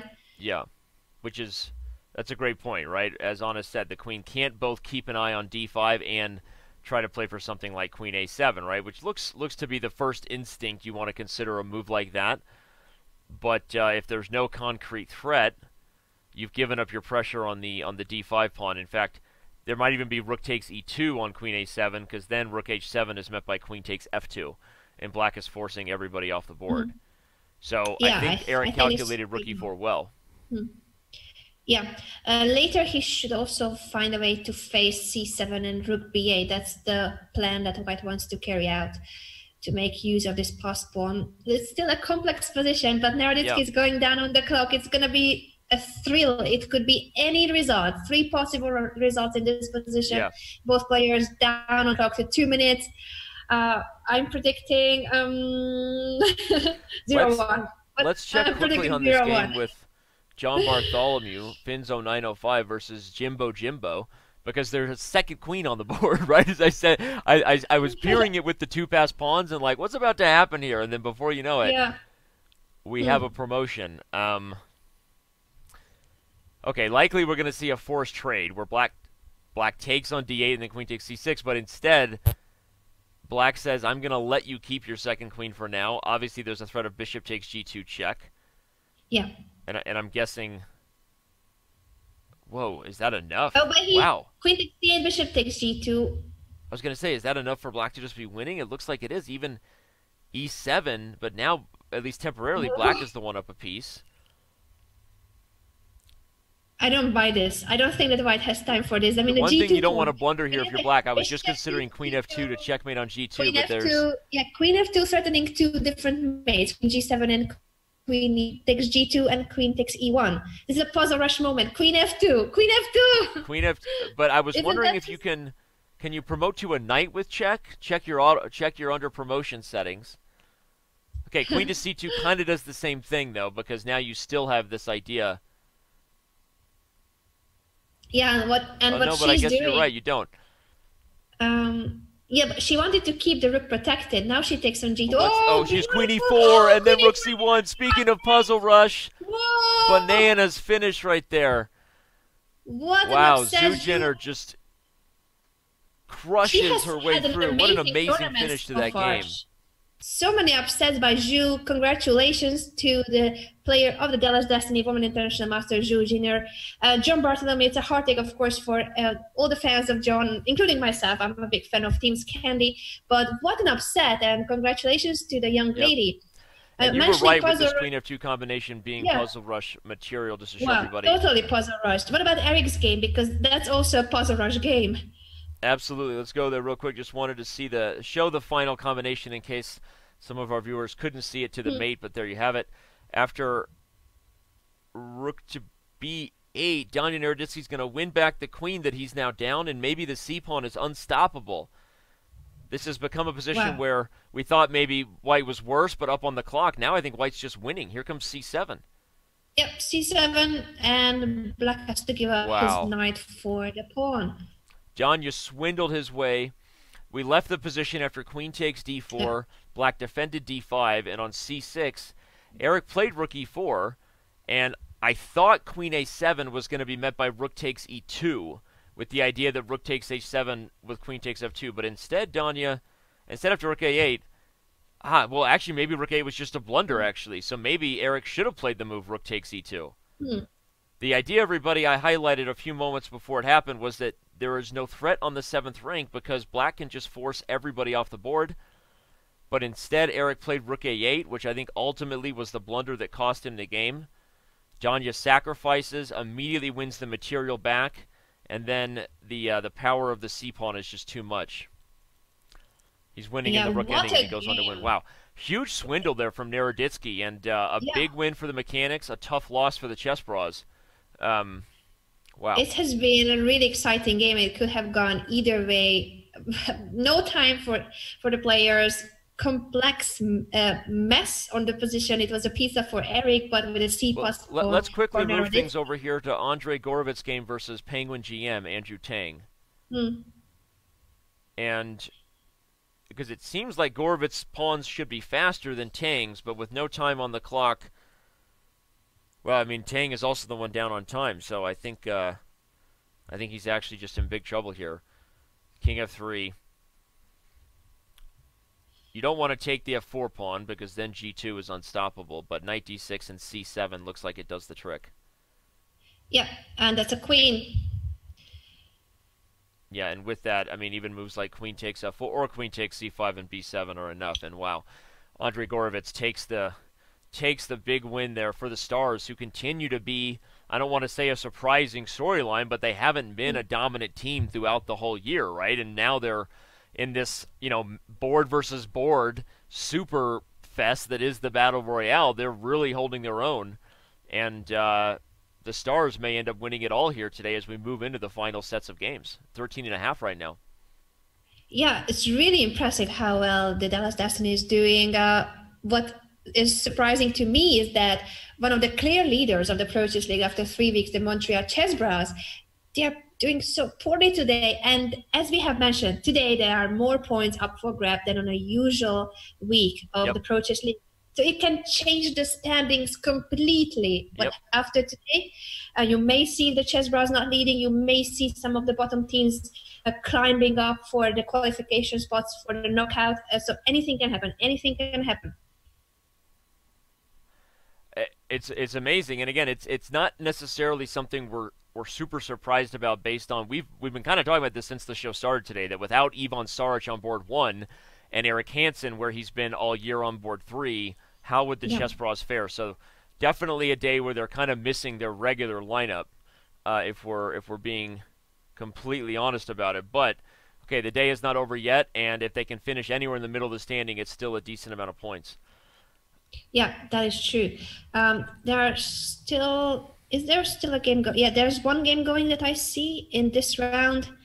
Uh, Cristobal Henriquez against Conrad Holt. Looks like eh. looks like White should be able to get this one, right? Yeah, usually with a piece up, unless I mean, the pawn is I was wondering if there was some weird draw coming, but the surprised by no. this. Although I guess knight e4. Okay, then I come to f3 and e5 with check. It should be made soon. Wait, wait, wait. Oh, uh, what about the g pawn? Okay. Okay, he stops it with rook g6, but uh, you have to be very careful here. Things like knight e5 will allow rook takes f6 check and then getting a queen. I, I don't. Yeah. I don't feel like this, this was the a... uh, the cleanest approach here that White could have taken. Suddenly, the pieces are sort of stuck. And White is repeating moves. Yeah, I uh, mean this. Is... One more time. I, I can't okay, believe he goes for it. Now it makes sense. You can't take f6 because he takes with check, but it's just a draw anyway. Whoa. Wow, what a what a misplayed finish there. It was super hard, obviously, on White, given that he didn't have a lot of time. But I think the, the I think the victory could have been much cleaner for White than, than what was taken. Rook h6 felt like the wrong approach as compared to something with knight e4, but ultimately, uh, Okay, even something like King F3 in this position and on G2, uh, Rook to G2. No, but then King H1. This this was this was quite tricky actually. Hmm. Yeah, it wasn't as simple as it but well, it is. I mean, what a save by Conrad yeah. Holt. Uh, half a point more for his team. The was Destiny. And, and, and again, I mean, uh, wow, a, a, big game for the Stars, right? Conrad yeah. Holt has his uh, has his stars right there. I mean, uh, the the the fact that they have Jeffrey Xiong on board one, and we know that those who followed the Pro Chess League closely for for years, and even the predecessor U.S. Chess League we often refer mm-hmm. to, know that Conrad has played for the Dallas Stars for a long time, um, but he hasn't always had Jeffrey Xiong on board one. I don't think uh, Jeffrey. Uh, really has advanced over the last few years, become the super strong grandmaster he is, and so with Xiong on board one, I think it relieves a lot of pressure for Conrad, and, and he's definitely a board two that that's going to be difficult for a lot of people to deal with. So the Stars performing very well and uh, seem to have a lineup that that they need. So, all right, yeah, we have a small break in the action. Anna, sure. what should we talk about? Chocolate break. chocolate break. Chocolate break. Chocolate we know you break. need it. Well, let's take a super super quick break. a uh, a, thir- a, 30 second step off camera. Let Anna get some chocolate. Right. We don't want we don't want a chocolate fit here. Um, and uh, we'll be right back. Don't go anywhere.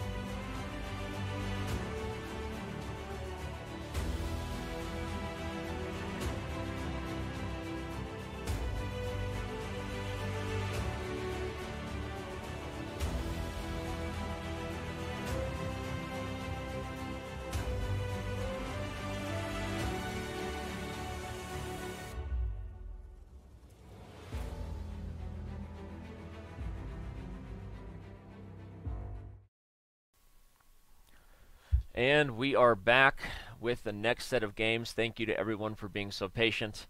As uh, we took a very quick break, wasn't that long. So thanks for being patient anyway. But uh, we've got Anna Rudolf all chocolated up, right? Still follow so the last all, piece of chocolate. You've got all the chocolate that you needed to make sure that we could get through this day with nobody harmed. Um, and we've got we've got a million different great games to look at. We've been talking about uh, Jeffrey Xiong helping the Dallas Destiny, not Dallas Stars. I don't know. I don't know how somebody was calling them the Dallas Stars. I just started reading chat, and somebody's been calling them the Dallas Stars, but no more. They're now the Dallas Destiny um, from here on out. Um, well, the logo looks like a star, so maybe that's why. I and and you know what? There's a there's an NHL team, the Dallas Stars. So I literally just like saw the star, said Dallas Stars, and that was it. Uh, anyway. Um, The uh, the game between Fabiano Caruana and Jeffrey Xiong is going to be a big one. Speaking of the Dallas Destiny, because they are in first place right now, Battle Royale week here on the Pro Chess League. Thank you for being here. What that means for all of you is that unlike the normal Pro Chess League format where every board on every team plays each other, it's a round robin team versus team. Here, rather than a round robin of team versus team, it's a round robin of the top of every board versus every board. So that means we have players from the Atlantic playing players from the Pacific. We have all kinds of, of matchups happening that we don't normally get to see. Uh, compare it to sort of interleague play, if you will, if you're a, if you're a baseball fan. There, just a, a, slightly different format that gives us a lot of interesting things to talk about. All the board threes and board fours you saw there, that's who's playing for board ones and board two. We already had Caruana and Nakamura throw down. They drew their game, but we still have a ton of exciting matchups left, including what you see, as I said, Jeffrey Xiong versus Fabiano Caruana. So I think this is a game we definitely have to give a lot of time to right here, Anna, just because it's mm-hmm. the Destiny and the Bishops are leading the the format here today. So let's let's make sure we follow Caruana's game with Jeffrey Xiong here closely. Sure, it's a very instructive middle game position, typical uh, for this variation of the Sicilian defense, the Taimanov variation. And I'm pretty sure that Fabiano is still in his preparation. He hasn't used much time and I like these kind of positions for white. I know I'm I'm a little bit biased because uh, yeah, you see the queen and the king side, the bishop is there too on the, on g5, but it's not so easy to attack. So even though there's no knight on f6, uh, black's position is quite safe. Right. Uh, bishop back to e3. That's usually in order to regroup his pieces. Sometimes he can go for f4, then place the bishop on d4, put pressure on the g7 pawn. But um, yeah, it's not that easy to attack, even though the queen is on the king side. Yeah, and Jeffrey playing really quickly here. I think he's comfortable in this structure. I liked what you highlighted that yes, we had this queen on the king side, but as you said, there's uh, there wasn't really any concrete threats despite black not having the knight on f6 and and now, I mean, in the current position with the queen on h5, something feels very sort of superficial about uh, white's position here, right? I mean, this just feels weird with the queen on h5. Black can play bishop f4. Um, you know, maybe black can play rook to d8 to try to over support yeah. d5 so that you might get e5 mm-hmm. or c5 at some point, right? Feels like white is uh, going to have to prove something here. I, I, actually like Jeffrey's opening here a lot. Yeah. Um, at the beginning, I thought that Fabiano still knows what he's doing, but maybe he's just playing very quickly. I'm not sure that this, this is still so good for white, actually. I like knight f4 and bishop f4, both moves. Yep. And black doesn't seem to have any problem in this position. Well, you mentioned Fabiano playing very quickly. For those of you who may just be joining us, one of the key storylines to Caruana's game with Nakamura was that he played very, very fast and was not under time pressure despite playing Hikaru, who's known for, for doing that to people. And uh, ultimately, when he was worse in that game, I think the time really paid off that he wasn't worse and down on the clock, right on it. And so here, Fabiano making a concerted effort to uh, to play some some faster chess than maybe um, he has the reputation for. Again, I know it's a maybe I, I don't always feel that it's a deserved storyline that Fabiano is not the best rapid player, but you know, pretty well documented what happened at the World Championship and that, you know, rapid and blitz hasn't always been his best time control. So when he's leading the Archbishops right now in second place in Battle Royale and playing quickly, it just makes you feel like he's making a concerted effort to change that that point of view, right? Yeah, I agree. Um, and yet he isn't he isn't having his best day today, Fabiano. He, in terms of the number of points he has scored, it's not bad, but the positions we have seen in Fabiano's games were quite suspicious. Sometimes he saved yep. inferior positions. Um, He's had a few suspicious that's- positions, not just because he played Yeah. the French one time, right? Not just because of that. So, um, but well, uh, I'll pretend I didn't hear that. yeah, But bishop c1 is a nice move because the b2 pawn was in the air, and you don't want to push b3. That would weaken the dark squares, and the c3 knight after bishop b4 could be problematic. This pin. Yep. Or bishop highlighting e5. that right now. Uh, so I like bishop c1, uh, bishop c1. Sometimes you see that the bishop can be just as active from the back rank as on another square, and it opens also the e5 for the rook. Bishop e5 anyway. Well, this I'm not so sure about. Without b3, I don't know if it's that. yeah, especially because. Are you really intending to take on c3 if you're Xiong and give up the bishop pair like that? I mean, Mm-hmm. if I'm Fabiano, I'm thinking about playing f4 and kind of Yeah. calling his bluff if he's going to give Mm. up the dark square bishop. Okay, I understand there's obviously dangers of pushing the f pawn and it opens up your own king, but the dark square bishop might be super valuable. Although Fabiano points out that there was another problem here, which is like, hey, a6 pawn.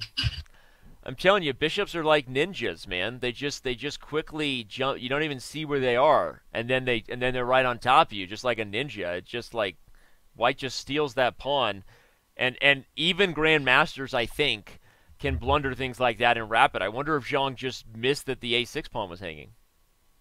Uh, he could have missed it because of the bishops hiding on the back rank. Right. As then, So- then he pointed out something new that you can learn for your games: hide the bishops on the back rank, and your opponent may blunder because Right. they, they can't see Right. the, the power of these bishops. Ninjas ninjas are sneaky.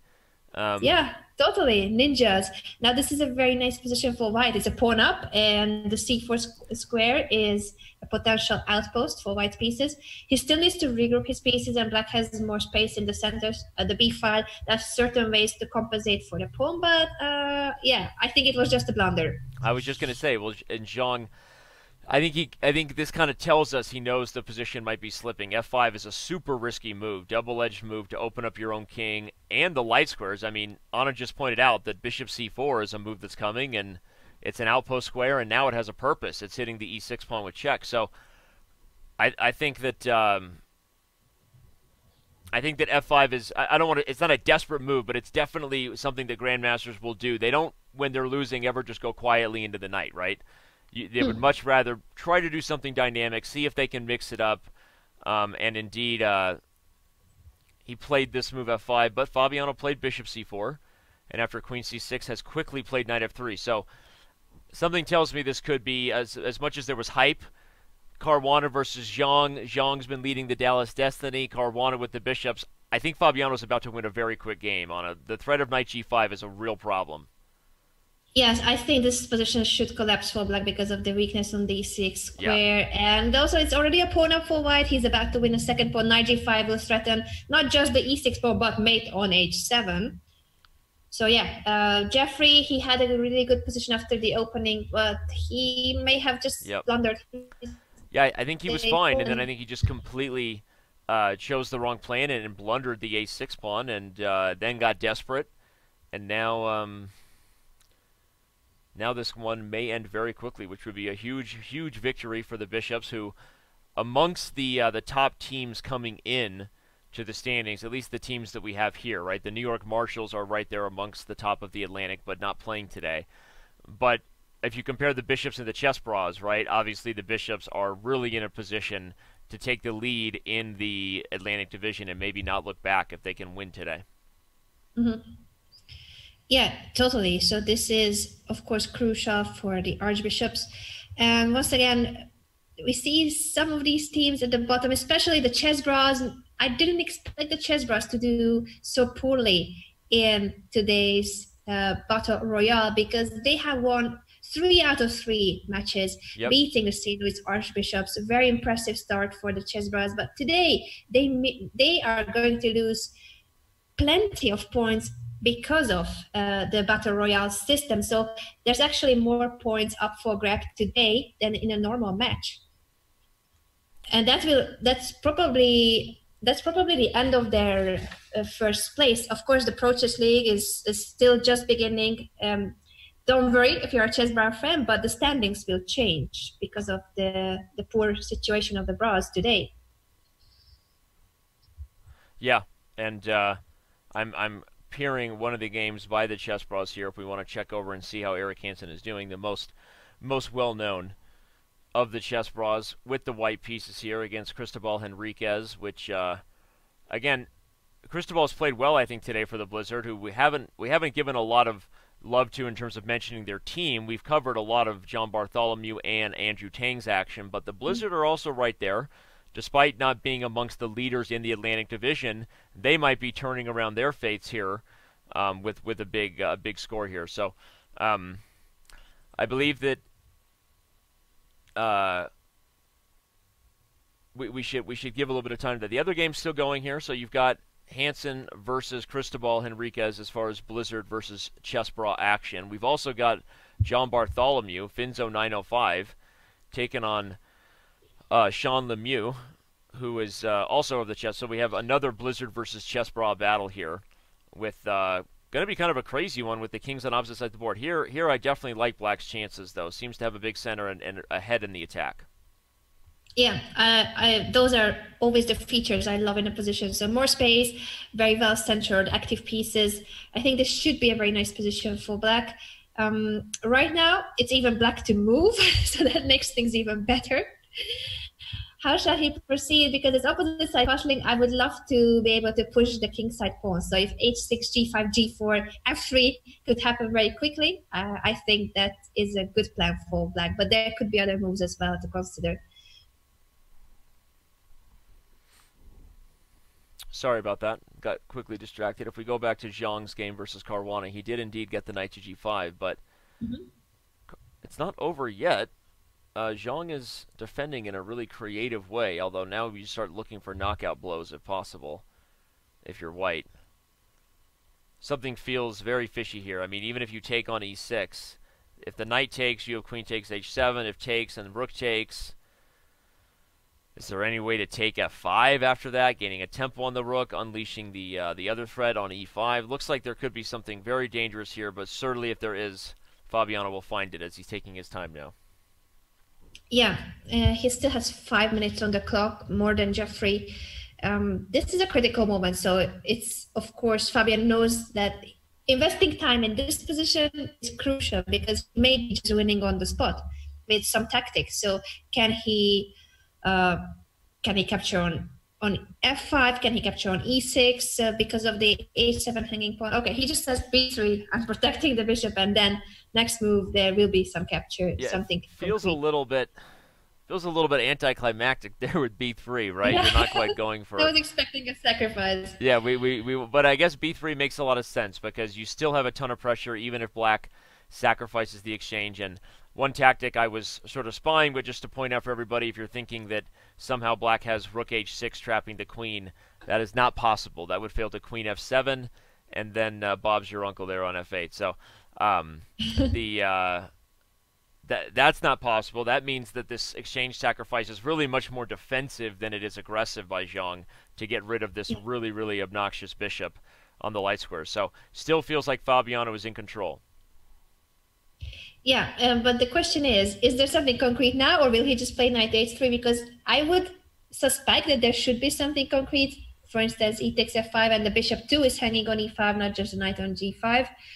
Um, if he goes back to h3, I was I've been expecting a sacrifice in the past couple of moves, so that would be a little bit of a disappointment to me if there's no sacrifice in the position.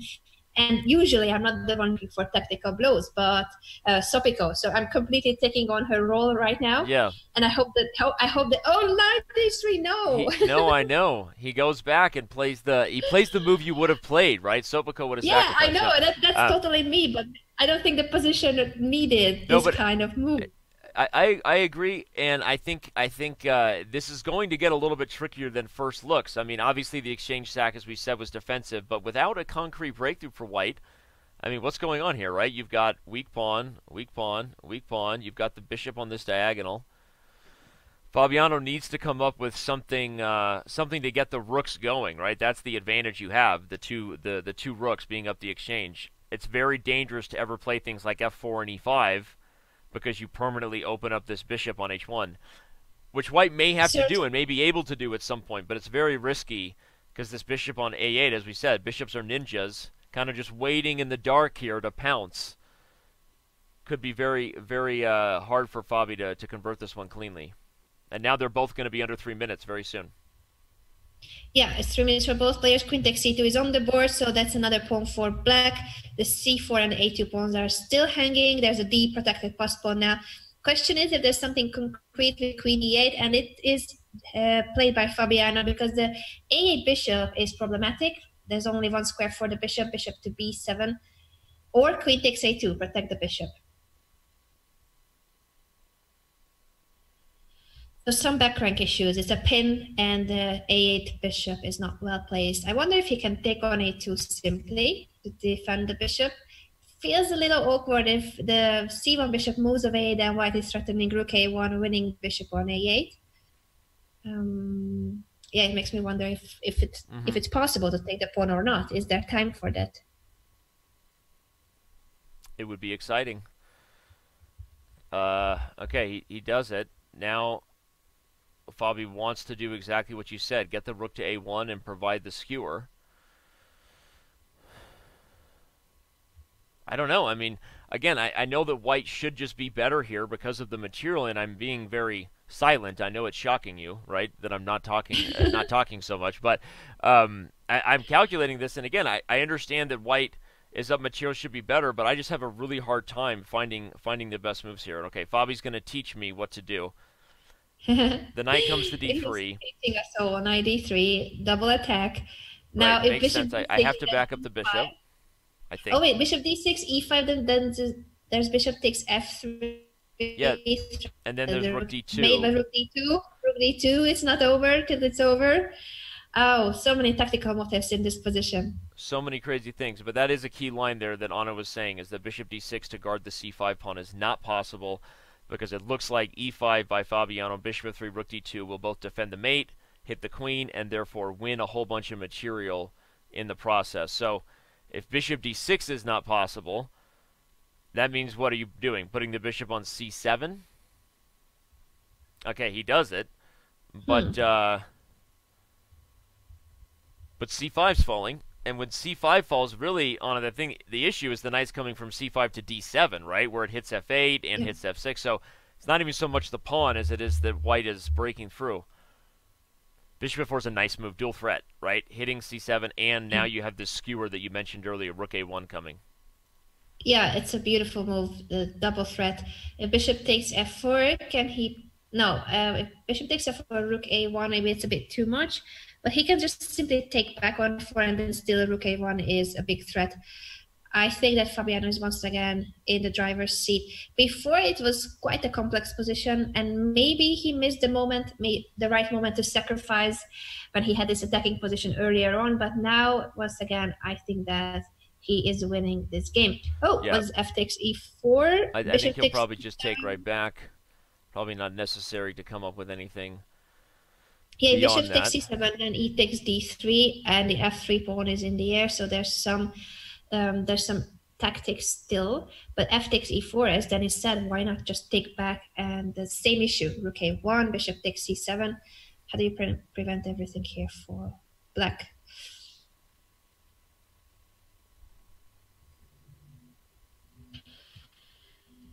Jeffrey's down to 40 seconds, yeah, and his position is really difficult down to 40 seconds and down on the and uh, down in the position against Fabiano Caruana.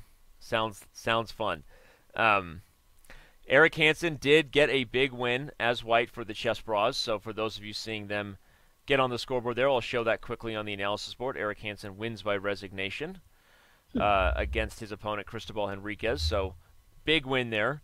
Unfortunately, Grandmaster Sam Shankland lost again, this time to Ettore oh Zaga, as we've said is a uh, one of the more consistent, less known names to the OTB over the board chess community, but very very strong in all these online formats. And so Iturrizaga beating Sam Shankland, uh, the difficult day for the mechanics top board continues there. Um, yeah, that's a really tough day for Sam Shankland. He has lost almost all his games, if not every game. I, I don't know if he has scored. Has he scored any points today? Because we have only lost the game. I don't think so. I think, he, I think he's drawn a game. Zero out of six? Is that even possible? Is he 0 and 6?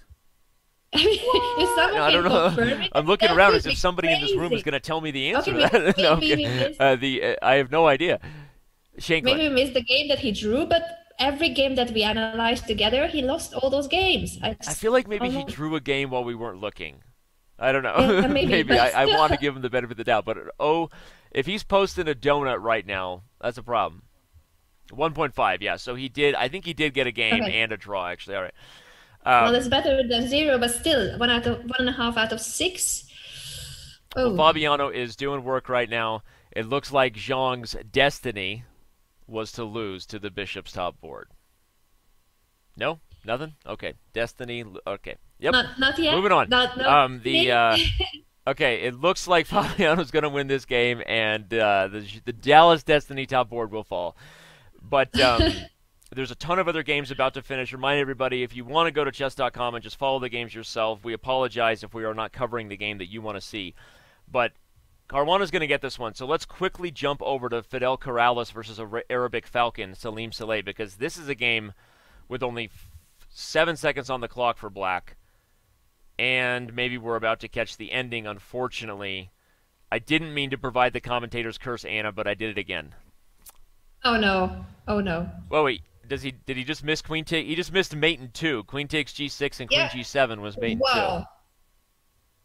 But okay, I guess it does the trick.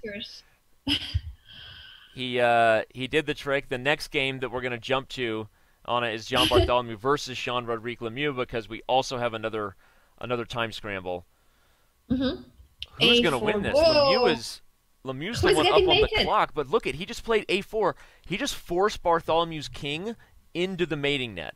Like he's he's helping to walk that king up the board to checkmate the white king. It's crazy. Yeah, this position is madness. Uh, it is an exchange up for white, but black has a piece and tons of pawns. Is it like how many? Four pawns, a knight and four pawns. That, that is worth more than the rook. And now it's a mating net around the white king, and the black king is pretty safe on c4. And that is thanks to this d4 knight. So there's no check on e6. There's there was a rook c2 check because of the pin on- the fourth rank, but there's nothing more. Now queen c4 check. And there was the winning move. King takes a4 calmly. And now back to b5. Wow. There has to be something with knight b3. No, not yet. Queen f5 check.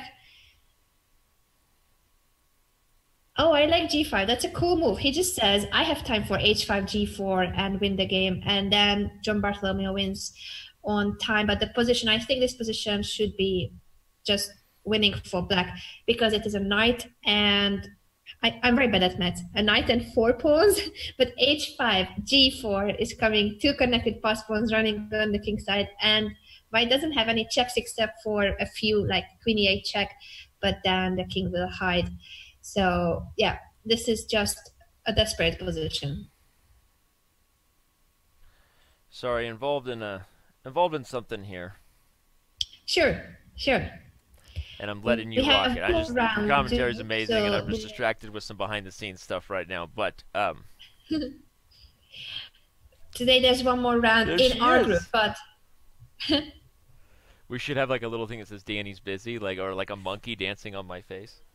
Am I the only commentator now? Well, I'm happy to take over. I'm happy to take over. Apologies if my sound is cutting out sometimes. I don't do it on purpose. Uh, I was sure that the internet was working perfectly until I started the broadcast. So, so uh, apologies for next time. It has to be better. I'm trying my best. I'm not at home. I'm in the other part of the world. I'm in Chile, and uh, that's a bit far from my usual home. That is Spain. Progress, progress, progress. Thank you guys. Thank you guys. Take over. I was just going to say that today, this is group one. We have one more round in group one, but after our show is done with Danny Rensch, the next group will start, and it's none other than Alexandra Botez and Robert Hess covering the next stage of the Pro Chess League Battle Royale. So don't go anywhere. Don't go anywhere. Because, hey, it's all about the Pro Chess League today. Remember that the top players are playing today. Every team has brought their best lineup because there's more on, there's more at stake, more points up for grab. and I wish I could move the board too and such, but I don't have the control over the board. So I will need Danny to move the mouse. I can do the talking, I can I can dance, I can try to sing, but I cannot move the pieces. So I will need Mr. Rensch to come back and move the board. In the meantime, let me know in the chat which teams are you supporting? Shout out to by the way, whoa, 4,550 of you. When did we get when did we get so crowded in here? 4,574 of you right now. Shout out to everyone. Thank you for tuning in for today's Pro Chess League broadcast. It is the Battle Royale, a new format similar to the Super Saturday, Super Sunday that you might know from earlier seasons, but there's a twist on it more points up for grab, different system. Today, board one face board one players only, board two versus board two, board three versus board three, and board four versus four. That's why we have seven rounds with a different time control, shorter time control. But you see Fabiano Caruana, Hikaru Nakamura, Jeffrey Xiong, Sam Shankland. Uh, it's all such a stacked lineup. I'm forgetting names. I have all these papers here to cheat a little bit. So, um, Sergei Movsesian is here. Fidel Corrales, Eduardo Iturrizaga. Salem Saleh has made his debut for the Chessbrahs on the top board of the Chessbrahs. It didn't go so well for the Chessbrahs. As you can see, they are only on seven and a half points, which is last place. If the Chessbrahs finish on last place, they are not getting any extra points. So it's zero plus the seven and a half points. Um, I'm gonna tell you the system. Uh, we have a graphic for that, which I cannot bring up. But anyway, the top finisher of today will get 24 points plus the score that you see next to their name. The bottom finisher of today will get zero points, zero. Just just like the bagel emote Robert has, has on chess.com. The bagel emote is zero. That goes for the Chessbrahs. Unfortunately, if they finish at the bottom of the standing scale, zero plus seven and a half. I'm really bad at maths. Oh, thank you so much. Aaron is with me. So we do have we do have a producer with me. I'm not completely alone. Thank you so much, Aaron. Shout out to our producer, Studio C. Zero points for the chess Chessbrahs if they don't come back in the last round. Oh my, John is here with us. Shout out to my favorite co-streamer, John Urschel. We do have our shows every Friday. Urschel learns chess, and John is a renowned mathematician, former NFL player. He is a legend. And he knows that I can't add up two numbers. Oh, look who is back! Look who's back! Yay! Hey there. Danny. Hey Hello. there. Hello. First of all, that was phenomenal. I took a quick nap. I grabbed a bagel. Everything Oh, went you got the bagel. everything went swimmingly. Oh. There is there are zero things for anyone to be worried about or speculate about or anything. All I know is we're going to take our last quick break of the day. Do not go anywhere. Anna and I will be right back with the commentary for the final round of Battle Royale here with uh, a tie atop the standings with the Destiny and the Archbishop. So it should be a very close finish down the stretch. Don't go anywhere. We'll be right back.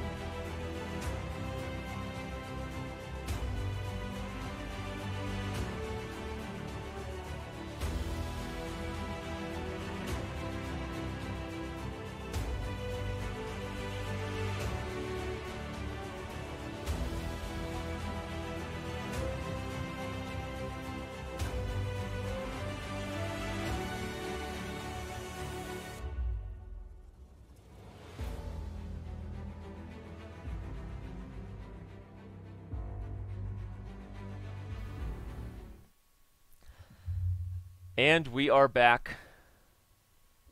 I, I need a lot of breaks. You know, I already took one break. Anna did the all the work, and then we need another break. And I see the chat making fun of me for it. But okay, all that matters is uh, the nat the last round of games are getting underway. Anna, I'm excited. I'm excited too. I have seen many bagels in the chat, and unfortunately, the Chessbrahs are getting a bagel if they finish at the bottom of the standings. It's zero points for the bottom team in today's Royal Battle. So that is Battle Royale, Royal Battle. Um, I'm confusing the two names, but it is a very sad finish for the Chessbrahs, who have won their first three matches, beating the St. Louis Archbishops last week, and today it is zero points point plus seven and a half if they don't come back now in the last round. And the uh, the chances of a comeback based on how it's been going today don't seem very high. But either way, what we know is we will have uh, two teams that are right there at the top of the standings to battle it out. So it'll be interesting to see. I, I, I don't you know, it's not our job to root for anything, but I'm definitely surprised and intrigued by how this this destiny, not the stars. Now my producer's making it even harder on me with the image that's right in front of my face. Sorry, inside production jokes. But uh, the St. Louis Archbishops and the Dallas Destiny are tied atop the standings, and the games are getting underway here in just a moment. So. Um, let's give a shout out to Aaron. He's producing things. Um, shout out to Aaron, Studio C. Making it happen, Captain, right there.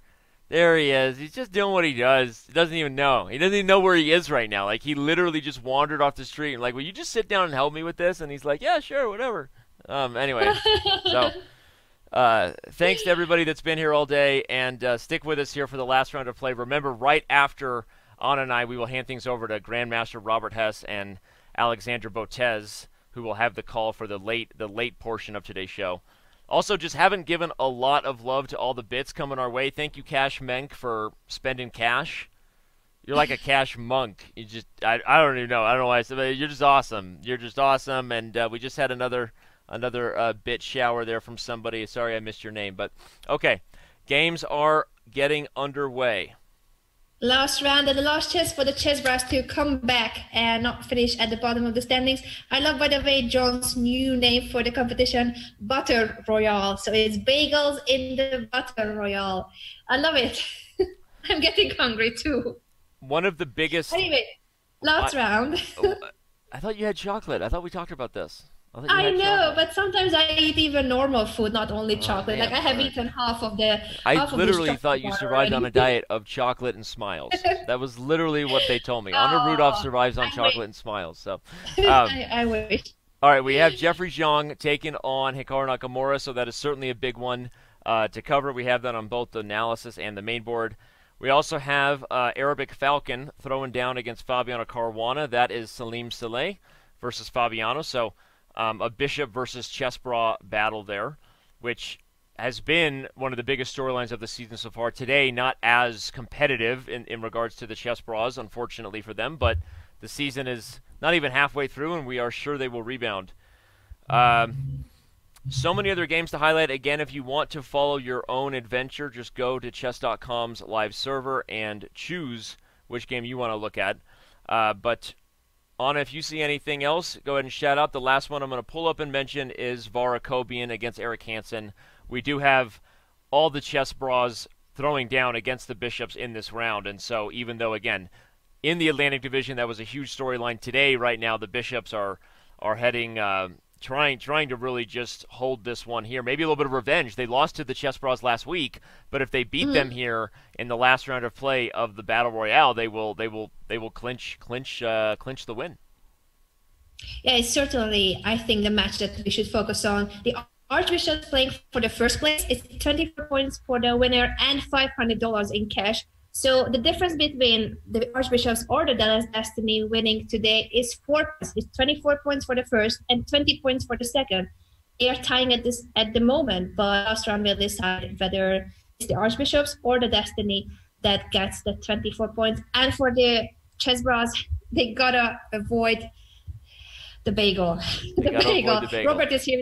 Shout out to Grandmaster Robert Hess avoid the bagel. Avoid the uh, bagel. Yeah, avoid the bagel. Nice. Put the bagel down, Robert. Put the bagel down and walk away. now, all right. Well, um, we're going to stay tuned to as many of these games as we can. one because the bishops are right there atop the standings, although not anymore because we already had one very quick draw taken.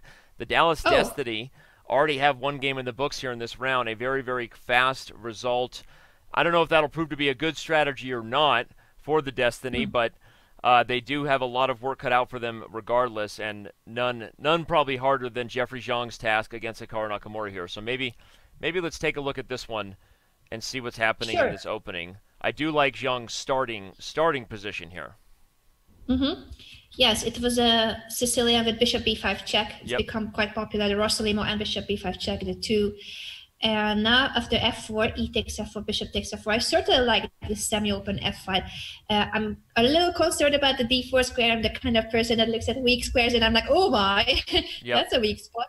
Uh, but uh, black is undeveloped at the moment, so I think that white's uh, initiative should give him the edge. Uh, Having said that, Hikaru's position is pretty Well- solid.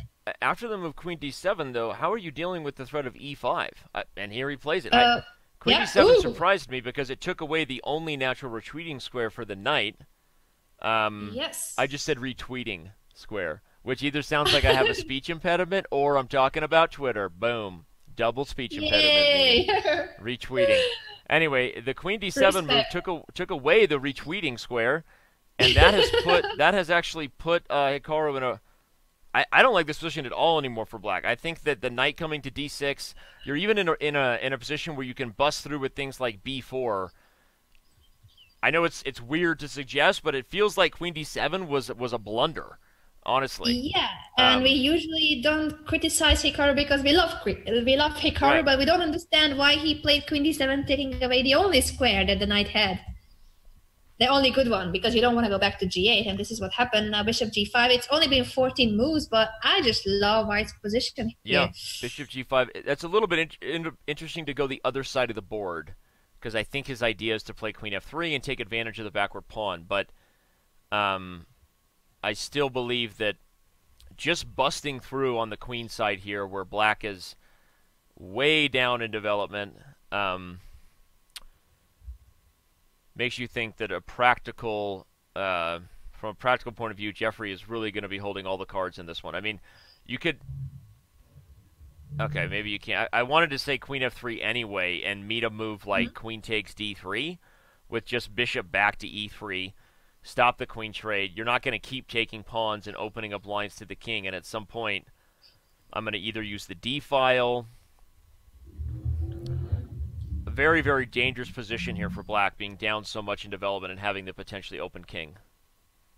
Yeah, um, I would I would be very scared if I had to play this position as black. Um, Hikaru, I don't know how he is in this moment because he's also streaming. So if you guys are watching his stream, please let us know how is Hikaru's mood. I would be worried. Um, Queen takes d3 is the threat of black, but apart from that, all his king side is undeveloped. Even if he wins the d pawn, I I would still pick white. Initiative, uh, very active pieces, and the king. The king on c8 is gonna suffer. It looks like they have a bright destiny. I love it. Thank you, Blue love it. Wizard, for that awkward pun. Blue Wizard seems like he could rival me today in the Chess TV chat for the for the ridiculous dad jokes and awkward puns. So thank you, Blue Wizard, for bringing for bringing the awkwardness. Um, all right, Queen to A4. Again, I mean, from a practical perspective, regardless of whether this was the most accurate, this is the move I was calling for earlier. Queen A4, B4, like just go for it over here. Um, Oh, we have an update on how is Hikaru doing. He Yeah. is taking yet another bathroom break. Hikaru's taking another bathroom break. Well, maybe that's maybe that's something also to look into. You know, he's getting a little bit older. We all struggle with different things. I, I don't know. I mean, I, I maybe that's another another issue on the day. I'm not saying. I'm just saying. Um, okay, if you're just joining us, you've missed quite the day, but don't go anywhere. The Pro Chess League still has hours and hours left. Anna and I are bringing this thing to a close in a very exciting finish here between the Bishops and the Destiny. But um, we also have Grandmaster Robert Hess, Alexandra Botez, and a whole lot of people still here watching the matches. So, all right, and look at this. Knight h6 to be played. Whoa, there's no way Oh. Hikaru saw rook takes f7 coming. Whoa! Whoa! This is not a good finish on the day, and it may indeed be fate for the will pick up Destiny to win the first ever Battle Royale. Ooh. Look at this move. Rook takes f7. The point is after trade, queen e8 comes with check, followed by winning the rook with check, and combine the fact that white is, you know, clearly on the attack. White here has the material and the compensation. Black's pieces being horribly underdeveloped. Um, so, in fact, so much so that Hikaru just kind of tucks his tail between his legs and just lets him get that f7 pawn. Doesn't even doesn't even do anything. Just plays bishop e7. But uh, I think now there's several good moves for white. You could if you want to just be really simple, you could bring the rook back to f3 to make sure you hold the d3 pawn. Um, knight d6 check has to be in the air because if knight d6, bishop takes, don't I have queen takes d7? Yeah, and mate on b7. So knight d6, the king has to move. Uh, but where do you move the king? I mean, the king has to be defending the d7 rook. Yeah, if, if knight d6, the king has to go to either c7 or d8, and Ooh. both run into queen a5 check and rook This e7 looking fails to rook. so I think this Knight is just d6 is on the board, king c7. Whoa. And now queen a5 check. Oh Queen wow! What a what a shocking finish here! If Xiong just takes down Hikaru so Yeah, quickly. it does look like a, a white is doing uh, very well. It should be a winning position, but what is the final blow? Where is the final blow here? Queen a5. Um, maybe then the king would have gone back to b8 because we want to keep an eye on this d7 rook and give a check at the same time. But how do you do that? There's no such move yet. Bringing the rook is a good idea. Doubling rooks on the f5. That was the last piece that was not doing anything. Queen takes b2. I don't think this is an issue because you don't really count the pawns. You want Yeah. to give mate here. you know, honestly, taking b2 is more useful from a defensive perspective because the queen can now come back to b6. I, I think I was saying queen b6 unless there's some weird tactic. Um, maybe maybe there is a weird tactic on queen to b6 that uh, Hikaru didn't like. Couldn't calculate it So fast enough, but okay. King goes back to b8, and now where's the Yeah, I mean he's surviving right now. Somehow uh, Yeah. there's there's no knockout despite the dominant knight on d6, the rook on the seventh rank. Um, maybe maybe this is not the precise way how I should have played. Once again, we are just trying to evaluate this position objectively and analyze objectively. We are not rooting for anyone or against anyone. We are all fans of Hikaru and for what he's doing on Twitch. He he's just an amazing streamer, and you guys should follow his channel and subscribe. The position is It still is- it is uh, slowly looking getting- it, it seems like it's slowly like you know maybe getting in swindle territory. The one thing Hikaru always does well, regardless of his position, is time. So if he can maintain an advantage and Xiong doesn't put him away, right? I mean, you know that's a recipe to make a comeback in any game that's not going well. Is if you can at least keep an edge on the clock. In rapid chess, people don't always convert on their advantages perfectly. Um, Yeah, uh, question in the chat is what happens if bishop takes d6, and of course that's a, a very important question because white has back rank issues. So if Yep. bishop takes d6, There's e queen takes g1 at the end, but Hikaru Yeah. has also calculated it all and instantly grabs the d3 pawn. Indeed. He is. He's slowly working his way back in, and I wonder if Xiong either missed queen takes d3 or just evaluated this endgame must be good for him with the passed d6 pawn, but I, I don't think it's as good as it once was. Yeah. Um, maybe now Hikaru can drive the e pawn. So he's slowly working his way back in after a super tough start. Yeah, I agree. And uh, a good point also in the chat that uh, Hikaru is at the And- Tradewise Gibraltar Chess Festival. He has played his classical game. He won his game today, and now it's about like 1 a.m. in Gibraltar. and we have so, to we have to mention we've been highlighting the uh, the opposite trending storylines for two Atlantic Division leaders. The Brahs having a tough day, the Bishops doing well, but Fabiano Caruana has just fallen to the Chessbrah top board Whoa! in uh, super decisive and quick fashion. So, whatever happened here, as we quickly roll through it in the analysis board, keep your eye on the live game for Hikaru's uh, defensive effort right now with Black against Xiong. But this was the game where Salem Saleh, if you're looking here on the analysis board, just beat Fabiano Caruana. A very theoretical approach here to start, and then just uh, let's see what happens here. I mean, it looks like White's a little bit better because of the isolated queen pawn, but nothing super fantastic. Now he trades on e6 and plays bishop g4. I wonder if it was just that simple of a blunder. Fabiano just blunders this move Yeah, and it's a double threat. Uh, the e6 pawn hanging with uh, the rook hanging afterwards on c8 and f4 at the same time. So white is winning material after knight e6, bishop g4. Wow. Could black have just played something like queen f6 to defend? Maybe? Instead of instead of rook c6?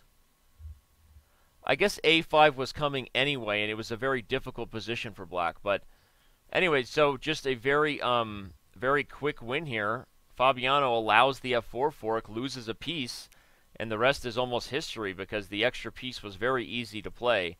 And uh, the game ended very quickly here after rook f1. So, okay, we'll go back to this game with Hikaru and uh, Xiong. Obviously, it's a huge one, but surprising result in the books right now with uh, Fabiano losing so quickly. Yeah, um, well, he hasn't had his best day. We have been looking at Fabiano's games, and there were quite many uh, suspicious positions for Fabiano today. Yep. Um, not the best day for the world number two. Of course, he's still an extremely strong player. We all know. Um, still, still world number two. You know, number yeah. one in some hearts, yeah. world number two on the rating, right? um, the uh, yeah, yeah, certainly. But today Caruana. hasn't been the best day for Fabiano. Yep. Okay, now Xiong is thinking about how to convert on this one. If he thinks he can do something nasty with the D pawn. He's got to prove it now. But look at look at how quickly Hikaru came back. And this is like literally what he does so well. His ability to recognize, yes, he was just losing and just worse here. I mean, Rook takes F7. Look, if you're just joining this board, White is clearly better. It feels like the win is imminent with the knight on d6 mm-hmm. and the queen and the rook on the seventh rank. And yes, White is also just up a pawn, I think. Yeah. But he but he doesn't put the game away being Xiong and, and Hikaru plays super quickly and resourcefully yeah. gets his king out of danger. And I think the biggest lesson is just that even if you're down in the position, making an effort to to stay up on the clock may pay off. And here now, Fa, not not Fabiano, excuse me. Now Jeffrey Xiong is down under two minutes on the clock. Hmm. Plays Queen takes b7. I think he's just simplifying into a drawn rook ending. Yeah, and, and he just offers yeah. the draw. Wow. Wow. It's quite an escape for Hikaru. We thought that his position was really uh, suspicious, if not lost at some point. But he defended very well. He, he kept playing uh, also with confidence and quickly because keeping more time on the clock is a good strategy in these kind of situations and in general but only players like hikaru can actually do it in practice Yep. it's wow. amazing, but it's advice that we should all take regardless of whether we can all execute it at the level Hikaru does, right? I mean, just making sure that you, you know, when he's down, you can see how much he just focuses, starts calculating his his uh, you know, his his bleep off. He starts calculating as fast as he can so that he can play quickly. It's something that again, I think a lot of young players just don't appreciate on a how mm-hmm. much work you have to do on your opponent's clock if you want to be up on time, right? A lot of people, you watch kids at tournaments, right? They get up and walk around, they're relaxed when it's not their turn, and then they got a lot to think about, right? The best players in the world, especially the fastest ones, typically work very, very hard when it's their opponent's turn so they can play quickly. And Hikaru does that better than anybody, and it's one of the reasons he was able to make a comeback in that game against Young. Just get a huge time advantage. Yeah, so true. Very instructive. And once again, shout out to all of you tuning in here on Twitch. We have over 2,364 chess lovers all the world. Shout out to everyone also on Chess TV. We are everywhere, Chess TV and Twitch. And we so appreciate that you are here with us at the Battle Royale of the Pro Chess League. A very exciting day with lots of points up for grab. Will the Chessbrahs finish at the bottom of the standings? Will the Dallas Destiny take it away, the 24 points? We shall soon figure it out. Yep. Well, right now, the Destiny, despite Zhang sort of failing, quote unquote, to not beat Hikaru Nakamura, uh, the Destiny are still on their way to, to winning the first Battle Royale, in, in large part due to the help they got from the Chessbrahs with Salem Saleh beating Fabiano Caruana yeah, um, huge story. We were discussing whether the chessbrahs are missing Ivan Saric, and they're clearly missing him because Saric has been performing excellently. But he is now busy at the Gibraltar Chess Festival. Um, Hikaru is one of the few players who can actually take on more than one tournament at the same time. Usually, professional chess players take a break from from the Pro Chess League when they are at the classical tournament. Yep. Uh, not Hikaru. Not Hikaru. Well, it, it seems that whether it's the, the hangover of resigning in a drawn position or just that he didn't get off to a good start, Sam Shankland really did not have his best chess today for the San Francisco Mechanics, which unfortunately for them, uh, if he had scored, you know, frankly, even in the 500 realm, the Mechanics would have been right there at the top, right? And and here Sam yeah. lost once again here, showing the final position on the analysis board to Fidel Corrales, losing with the white pieces. And uh, so tough day there for our buddy Sam Shankland. He has a lot of fans on chess.com, but unfortunately for the Mechanics, not what they were hoping for there. Um, yeah, not at all. And Greg is updating us. Shout out to our commissioner, Pro Chess League Commissioner Greg Shahade. He's saying that there's one game remaining in the match uh, of the Dallas Destiny, and the St. Louis team has three games going on. So the, uh, the Dallas the Destiny. Match, so there's there's a number of games still going, but um, I was we were looking at the Akobian Hansen game on the main board there, but uh, yes, we can also take a look. I'm I'm trying to see which is uh, well, okay. We also have Josh Bloomer taking on uh, Shawn Rodrigue Lemieux for the Chessbrahs. This is a game that, at least for the bishops, has huge significance today, because if Bloomer can mm-hmm. get a win against Lemieux, it'll help them to make a comeback there. As you see, the Destiny are now a point and a half ahead. Yeah,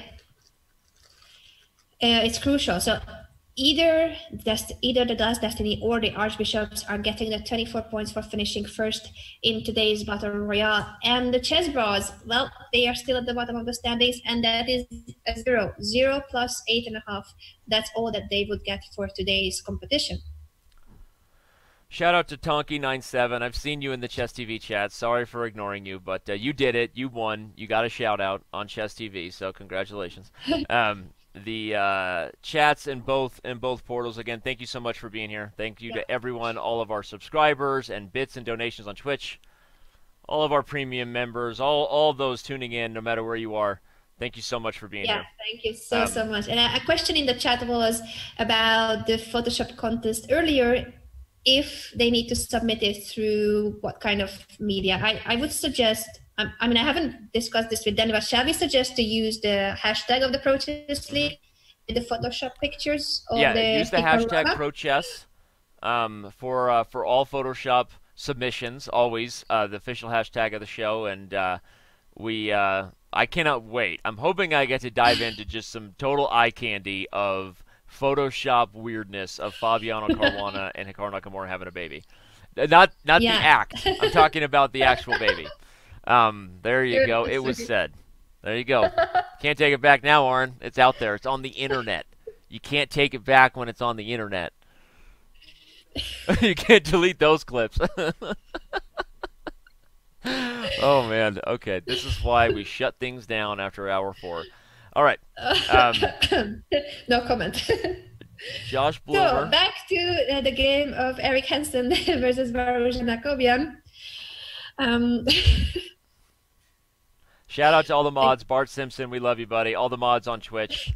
Sorry about that. Thank you so much for the moderator, especially in moments right. of need. in moments of okay. need.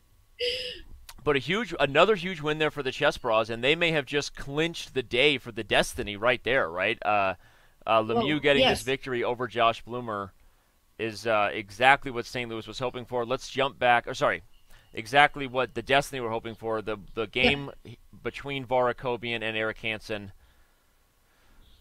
Uh, who's pushing here? I mean, I, I guess Akobian is because he's up on the clock, but isn't Hansen better with this pass deep on? If he can if he can find a way to hmm. maneuver around, I mean, bring the knight to c6. yeah, bishop on h2. What is the deal with bad pieces on h2 today, by the way? I know it's the theme of the day. It's amazing. Right? That's a bad bishop, and it could be a good knight. For now, the b8 knight, you, you may say that is a bad piece, but it has potential. The yep. b8 knight has potential. The h2 bishop does not. So knight c6 is done. He said attacking the b4 pawn. I like I like Eric's chances. I think he will win this game. Yeah, I do too. And I think again it'll be a tough finish there. Whoa, rook d four. He's he's allowing this rook takes b4 tactic. I, but he oh. doesn't even want to trade the rooks. I wasn't sure if, if that's the right decision from Eric. Should he have taken the opportunity to get the rooks off the board? Here was the difference, everybody. He played knight to c6, which is a fork, but rook takes b4 first. then knight c6. I didn't think Akobian could go for this because the knight getting here. I guess I assumed there was a clear route to the g2 pawn on him, but maybe mm. there isn't. After bishop g1, knight c2, bishop f2, guarding all the all the squares, maybe the knight doesn't have a clear path to winning g2, so that's why Eric keeps the rooks on the board. Um, hmm. Interesting. All right. Well, quite possible. And now he can go for the a pawn. The thing is, after bishop g1, of course, white wants to go for a rook game, take the yep. knight on d4. So he so plays rook b5. Rook b5 He's got. Oh, okay. but he can't take bishop takes c4. Rook a4 check. He missed it. Rook a4 yeah. check first. King Eric. Yes, yes. It's a Eric has it. This is a, a huge little trick there. That's an intermezzo. Um, he can take on d4 with okay, either pawn or rook, actually. Yeah. Yeah. And he's gonna keep the pawn because white cannot take on d4. That would be a winning king and pawn game, and we know it because it's a distant passed pawn. The a pawn would win the game. And and if this victory goes to the Chessbrahs, not only will the bishops not have finished first, despite being tied heading the last round, but the Minnesota Blizzard, who we, unfortunately, apologies, did not give enough love to, they they practically swept the last round with John Bartholomew yeah. already winning. Um, if you look at the analysis board, I'm now showing the position with Penguin GM, who looks like he might be about to win his black as well. How do you stop mate on H2? I don't think you do. Ooh. So if Andrew Tang wins, which he's about to do, the Blizzard may have come all the way back to tie atop the standings. How ridiculous is that? Yeah, and so unfortunately for White, this is no stalemate because there are pawns that can be pushed. The king was on stalemate, but not the rest How of the pieces. How sweet was that finish there by Tang, right? Keeping the yeah, mate beautiful. in sight. Yeah, it is a very nice, very nice position. Mate on the board, puzzle rush emotes out there. There's some progress. Let's get some hype in the chat because yeah, really. this has been the last round, but this is only the beginning of the Pro Chess League week. Yep, let me know. Mr. Rensch, have I missed something? I think I think that might have been it. That Tang victory there brings um brings the Blizzard up to 17 points if I'm doing my math right, and they actually came all the way back to tie.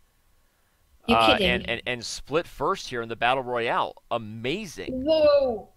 Whoa, that's going to be 24 points uh, and 24 plus 20 split between the first two teams. Yep. Amazing. And the Archbishops is now down to the third place. Wow. The third place is 16 points, quite the difference between uh, the first place, 24 points, and 16, that is the third place. The Chessbrahs have managed to avoid being lost, and they are not just not lost, but they finish on the sixth place, which is not too bad. Not it's not bad. a bagel. Six points, six points, much better than zero. So, wow, what a turn of events in the last yeah. round. Okay, the Destiny did get a final win. Apparently, that last game finishing the books that we were waiting for. They do. Oh. They, they do actually nice seem to have taken yeah. first overall. Um, so still, indeed, it was their destiny to win today. And yeah, uh, still the a Blizzard great performance by the Blizzards. And John Bartholomew is in the chat. Shout out to John Bartholomew, one of the main Blizzards. What an impressive last round, John. And we thought that your team was about to win. Actually, yep. we didn't see that. It was one more point for the Dallas Destiny, but great, great team effort. Dallas Destiny. Congratulations to the team from Dallas, the Dallas Stars, aka Dallas Destiny. Mm-hmm. Forever will be and known as the Dallas Stars. I mean Destiny. Um, the, yeah. uh, unfortunately, the champions finished at the bottom of the standings. The Miami champions.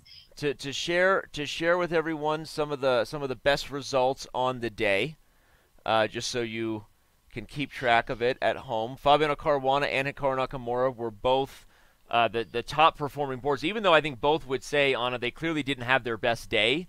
Fabiano yeah. and Hikaru both still finished with a score of four and a half out of seven. So those were our top two performing board ones.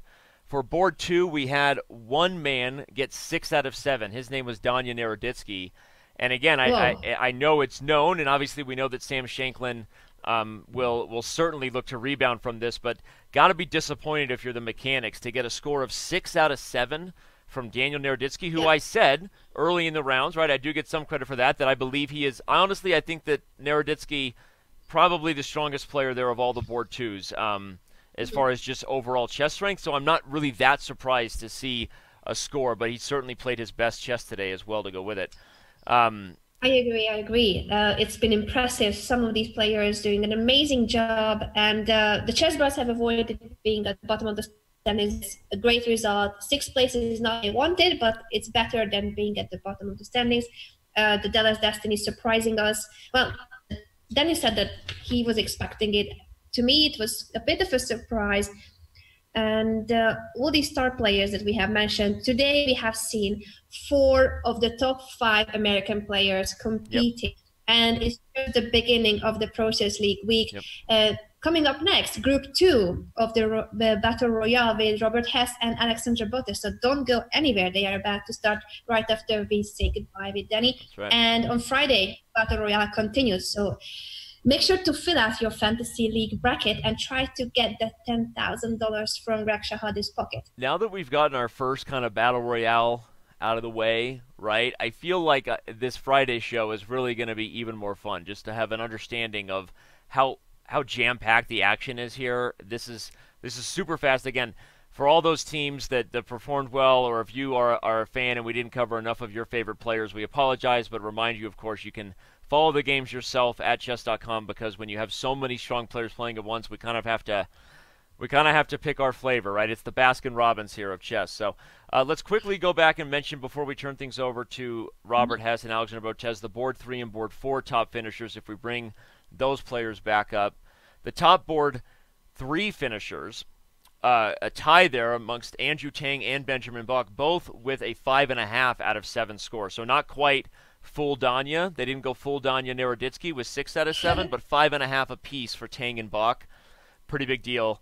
And then I think the most surprising result of all in the board four category was that uh, Zhu Jiner, not necessarily not not one of the lowest rated, but but I just didn't consider her. It hasn't been a household name, I guess, but uh, she definitely gets a huge amount of credit as to why, as to why the Dallas Destiny ended up uh, tying for first place um, with with their performance today. So Zhu Jiner with five and a half points. John Bartholomew finished with four and a half, and we do have final confirmation on it that indeed it was a tie atop the standing. So apologies for misspeaking at all. Oh. I think that the points were still coming in, but indeed it was a tie at first place for between the Destiny and the Blizzard. Oh, congratulations then to the Blizzards once again. It is then 24 plus 20, uh, 40, 44. Am I good at this? 44 points split between the two teams. I'm terrible at maths. I, I stream with John John Urschel every Friday, and yep. I still can't add up numbers. It's a shame. Well, I think we're I think we're gonna hand things over here. The uh, the next set of games do not actually start for some time, but we're gonna have what we what we've done here for the first time really this year, kind of a bit of a halftime show here, brought to you by a number of things. Alexander Botez and Robert Hess will certainly have the call, but we also wanted to draw some attention to uh, one of the biggest news stories of the day. Uh, probably going to end up being one of the biggest news stories of the year, and that, of course, was the announcement of the retirement of Vladimir Kramnik. Uh, if you uh, didn't know that, uh, I don't know. It's okay, but now you know. Uh, sorry, spoiler alert. But um, a yeah. lot of people expressing their their their love, appreciation, their regards for Vladimir Kramnik today on social media, especially Twitter. Um, and uh, we have a few of those that we want to bring up here. Vladimir Kramnik announcing his retirement, of course.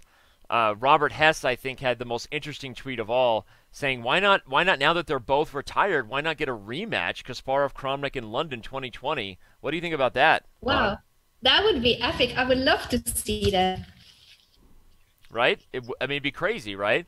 Obviously, Peter Svidler, yeah. the one, the only, Polborcha does amazing work for chess. Obviously, my my personal favorite chess commentator for Chess 24. He's just an incredibly, incredibly talented dude. Uh, very humble, saying that uh, Kramnik was miles better than him and everything. I'm not sure that's exactly true, but Kramnik was certainly a stronger player in their prime. But uh, Peter Svidler expressing his uh, his love and appreciation for his fellow comrade there, um, and uh, my my tweet there was really just allowing us to kind of segue out here. Anna and I are going to take a break and turn things over to uh, a really really interesting interview and an opportunity. I want to thank everybody uh, if they do stick around and check out this video if you haven't seen it on YouTube or Twitch. But Kramnik actually joined me at the Isle of Man International and spent what was probably close to two hours with me, kind of just hanging out. But we had about 30 minutes of that on camera. Uh, he analyzed the game in depth and actually provided his opinions and insights into the upcoming what was at the at the time the upcoming World Chess Championship match uh, between Caruana and Carlsen. And so just an awesome an awesome amount of chess you're about to watch. So if you uh, please will stick around, don't go anywhere. Enjoy the next half an hour as you wait for the set of games to begin in about 45 minutes. Botez and Hess will be here in just a few moments. Uh, sorry, they'll be here right after the interview and video with Kramnik. Anna, uh, thank you so much. I, I, think this is where we say goodbye and hand things over. Thanks, but thank you for everything, and uh, we're going to hand things over to the Kramnik video. Indeed, enjoy the video, and then group two of the Battle Royale with Robert Hess and Alexandra Botez. Thank you so much for tuning in. So Vladimir, we're here in the famous Negresco Hotel in, uh, in Nice. First of all, I assume it uh, brings back nice memories of the Amber tournaments. Yes, yes, that's true. Yeah, I mean it's a pity. I've been playing here for 18 years in Amber tournament in Monaco, in Nice, a couple of times, and yes, exactly more or less this period of time. And it's yes, it bringing me all these memories are coming back. You are participating in a, a charity event for uh, Red Cross uh, in France here. Um, you're doing a masterclass. Uh, somewhere you're playing some chess yourself, right? Yeah, I think I'm going to play even a bit of chess today, mm-hmm. uh, as far as I understand. But uh, yeah, I, got this invitation, and uh, I know people who are organizing it. They're very nice people, and uh, it's purely charity from me from my side, and it's a charity event. So I decided to take part in it, uh, and I see that kids are happy. Everything's great. Is it like of an, a, a nice? Trip uh, also right after the candidates maybe to get a bit of sun and everything? Well, I would say, you know, I would, I wouldn't mind to, to go home also, yeah, uh, which I'm going to do right after. But uh, no, it's nice event, and uh, it's. Uh, uh, I try to to participate in such events as much as I can. So here I had an opportunity, so so I did. You just did a master class. Uh, you probably got some different questions than you, you usually get. Which question did you like the most? Well, you know, I, I, actually I like very much to answer questions of kids because they're very sometimes naive, very sometimes funny, and, and very sincere. You know, and they really they're really uh, interested in what they're asking. So that's why I, I ask the organizers that instead of master class that I'm telling something about chess or whatever, that I would just answer questions because I know for sure that for kids it's the best possible uh, uh, scenario of masterclass because everybody wants to know something a little bit. And uh, well, probably the best question was uh, how how did it happen that you that, that you you know managed to win so many games, something like that. Yeah, I said that it's just sometimes you're lucky. You know, that's it. Uh, that modest. Yes. so, of course, I also want to ask you, uh, how do you look back at your uh, candidates tournament? With mixed feelings. Uh, from one side, well, I'm happy the way I played. I mean, I think it was interesting for me and for the public, but also for me. But of course, uh, I'm not sure that the strategy of being very aggressive and very uncompromising was good for the from the practical point of view. That's hard to say.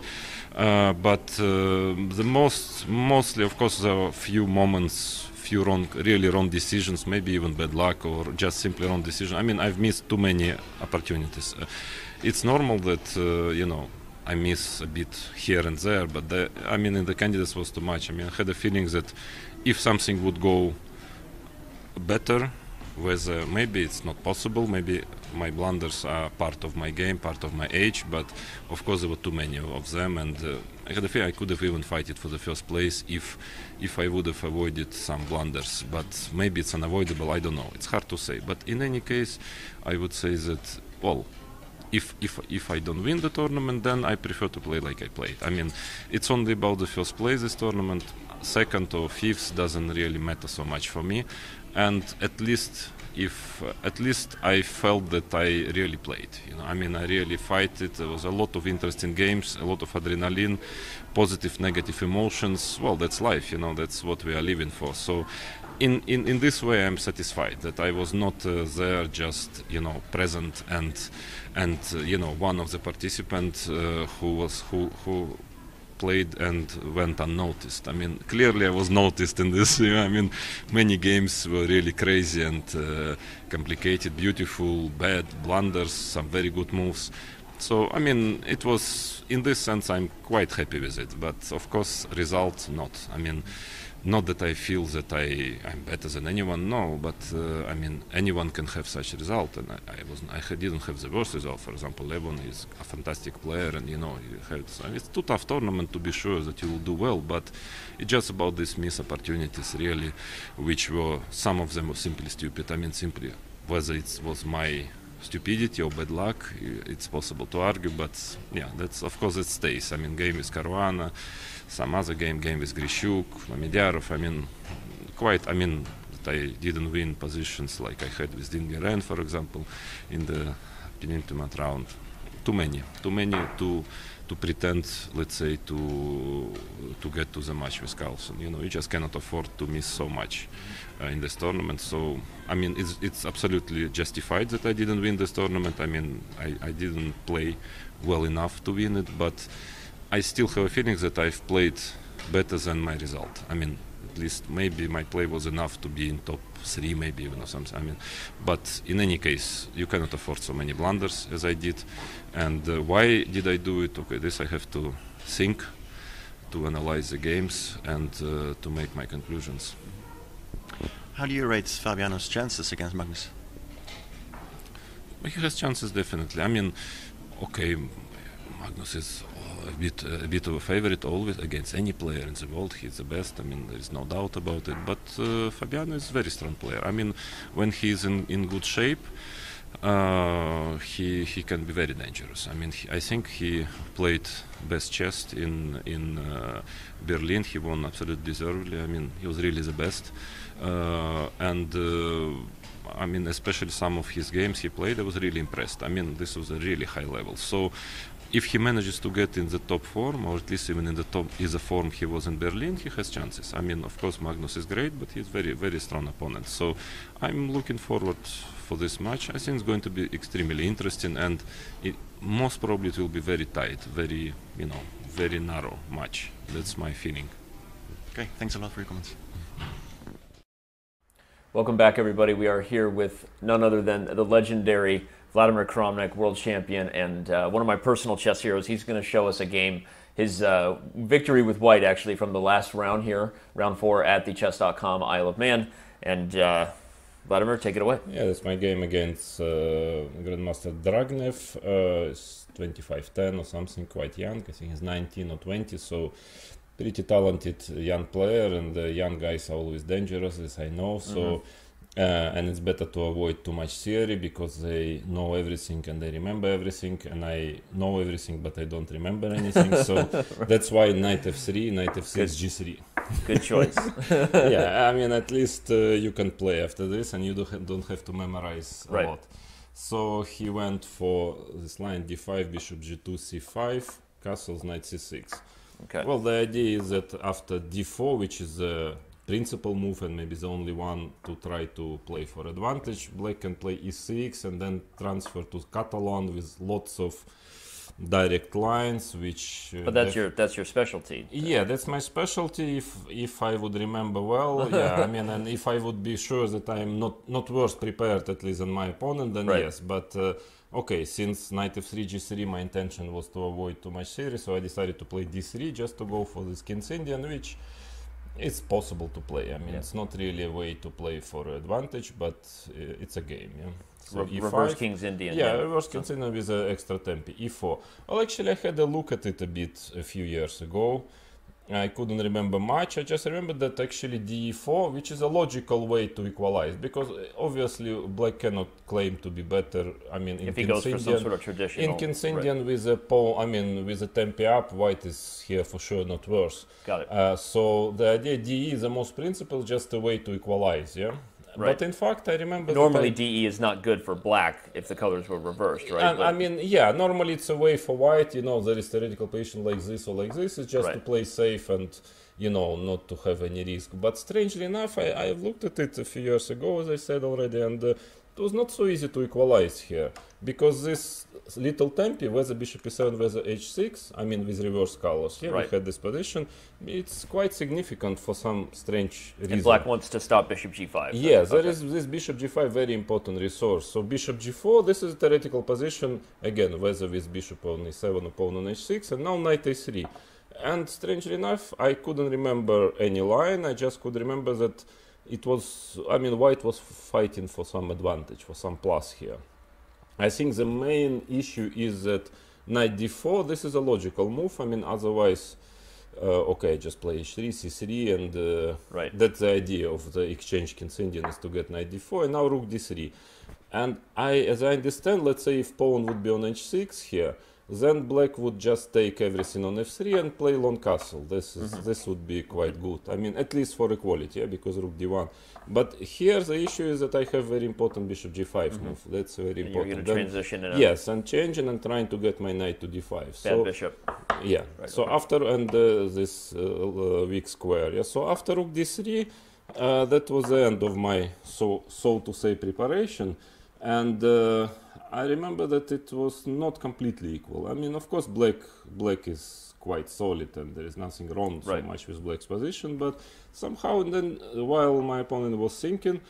I was calculating some lines, for instance, if black is trying to equalize like this, I thought bishop e7, Okay, now uh, if knight c4, probably it's not such a big deal. Maybe even knight takes e4, knight d7, but I thought that maybe knight b5 here. And bishop g5, knight d7. I thought that was more or less okay for black.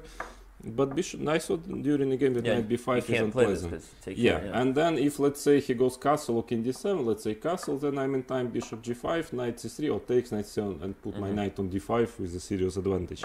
So actually, I don't know what is the best way to play for black, but he had gone for bishop d6. It's a principal move, but scary one. Yeah, I mean.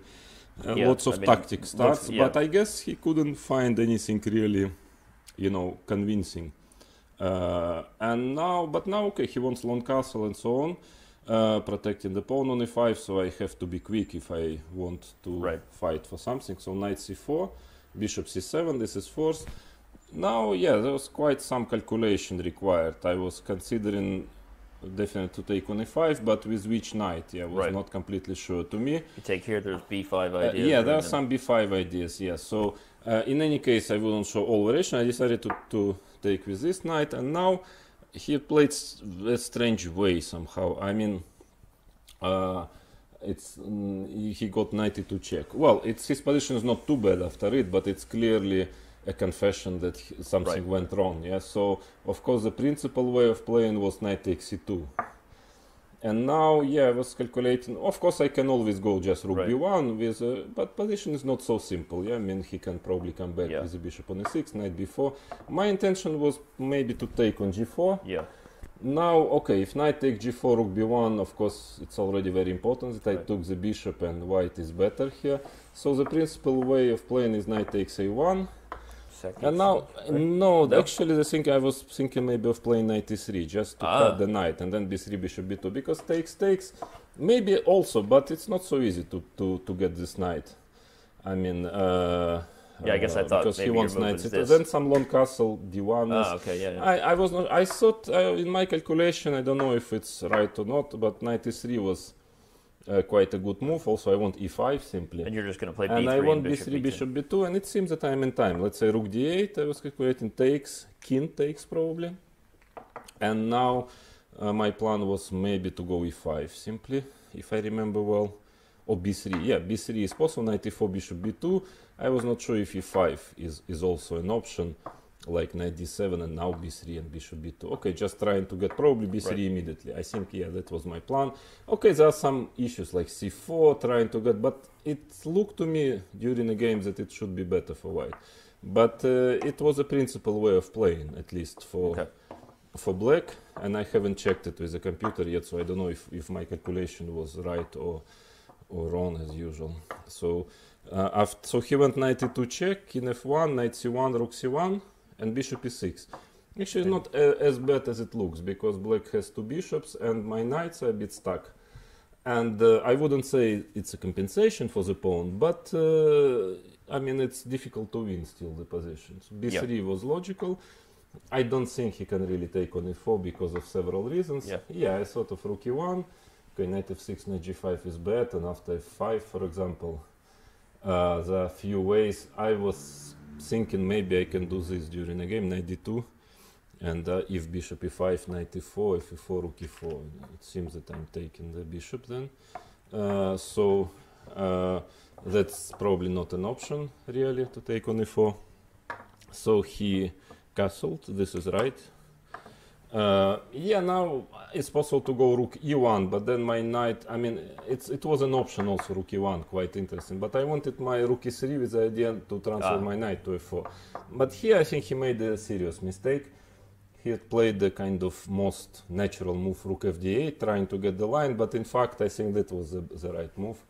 I was thinking about it during the game because now if I go knight d3, the same variation he gets bishop d7 now my pawn is attacked and for instance after e5 you know it's under attack. So here after rook e8 i was thinking in fact i can play almost any move. I mean he doesn't have a threat. Right. but at least he stopped my kind of stopped my knight d3 Right. so i was not hard sure whether to play rook e1 rook d1 maybe uh, all sorts of moves. Uh, but okay that was probably the way to stay in the game really. Yeah. Because after rook d8 position becomes quite difficult. Knight d3, I think he probably underestimated this c4, knight f4, this And the same idea, but he has no pressure. Yeah, So, he has no pressure, and that's actually be- becomes very important as the game will show. I, I thought here maybe the best, if not only chance to stay really in the game was to take and play rook c8. Uh, and okay, white is black is not threatening really anything. White is definitely better, but uh, it's not so easy to find Right. a clear clear way for white because, for instance, very tempting during the game. I saw that 95 looks very tempting, uh, trying to get a five. Uh, but uh, then he has some strange thing like this f5 f6 Hmm. and Wow. uh, is fighting somehow still here so i was not sure if maybe f5 is good here bishop d7 and knight d4 it's a little tricky to put knight on d4 but of course if i just manage to blockade and then my pawns will go i mean it's over but it's not that simple because he's, he has bishop e8 Just Now Knight g4 I- coming, maybe? yeah, knight g4, rook g3. Yeah, I mean, he has some tricks. Of, of course, I just need to stabilize my position. I'll be purely pawn up and, and better. But c3 then knight is hanging. So I have maybe to go rook d1. Cb, I probably have to take with this pawn because ab rook c2. But maybe it works. I mean, I was...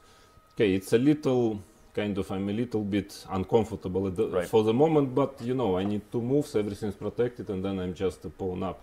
So I, I, I'm in the position. I don't know if I have many moves. Even I was considering some useful move like king Right, g1, just trying to get bishop f1. Prophylaxis. Of course, white is yeah. better, but that was the way to keep the fight because he uh, he had played bishop d7, which looks good, in fact, but he underestimated that simply after e5, knight g4, rook e2. I guess he thought, okay, so all kind of pins, but it Right. simply doesn't work because the the issue is that after bishop b5, I have h3 simply, and, and if he takes, I have c4. Ah, That's actually the that's probably the, what the he point. missed too Yeah in, his, in his line. Yeah. and uh, uh, so and in fact i'm just threatening h3 and now all my pieces are in great shape i don't know rook e8 maybe was an option but i thought i have even 95 after rook e8 so Mm.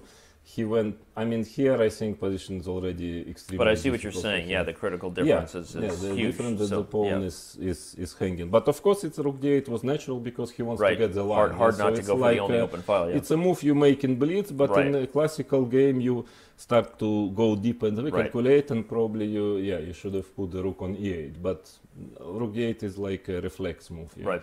But in fact, it, it practically lost the game because here also the issue is that after bishop b5 very often in other lines I also have a4 and b4 this idea as Ah. well.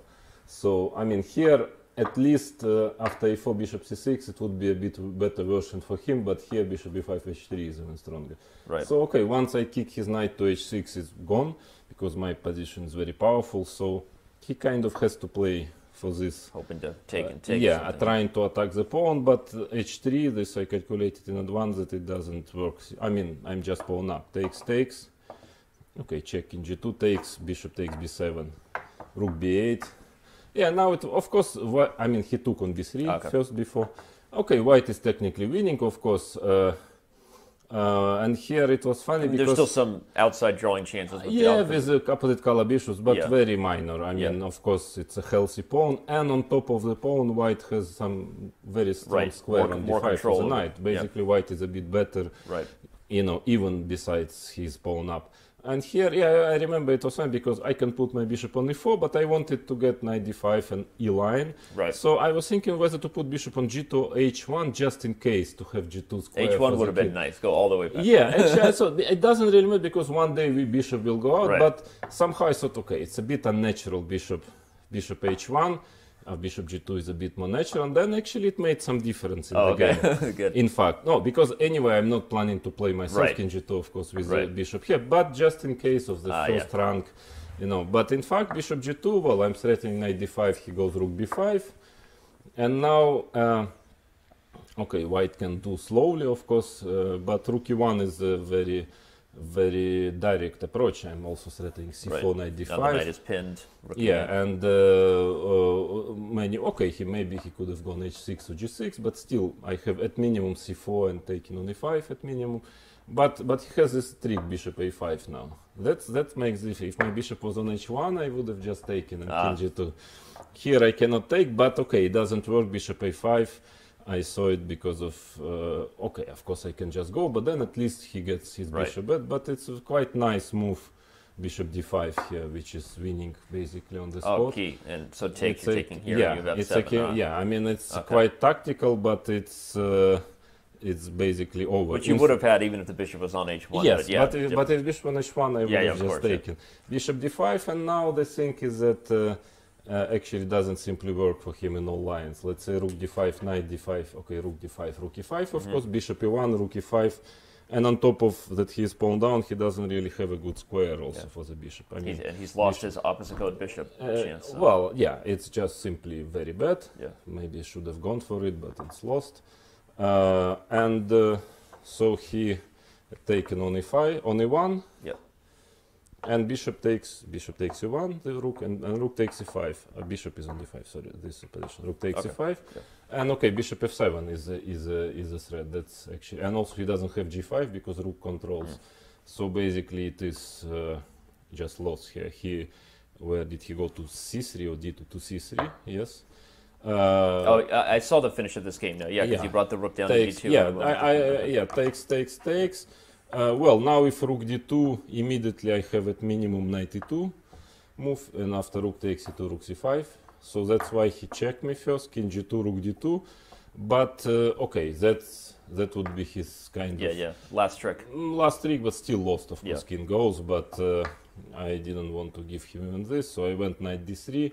It's a kind of very accurate move. And you already saw that this would be very tricky. I mean, very hard to get out if he risks taking the. Impossible, even not not Yeah. hard, but Not hard, right? Yeah.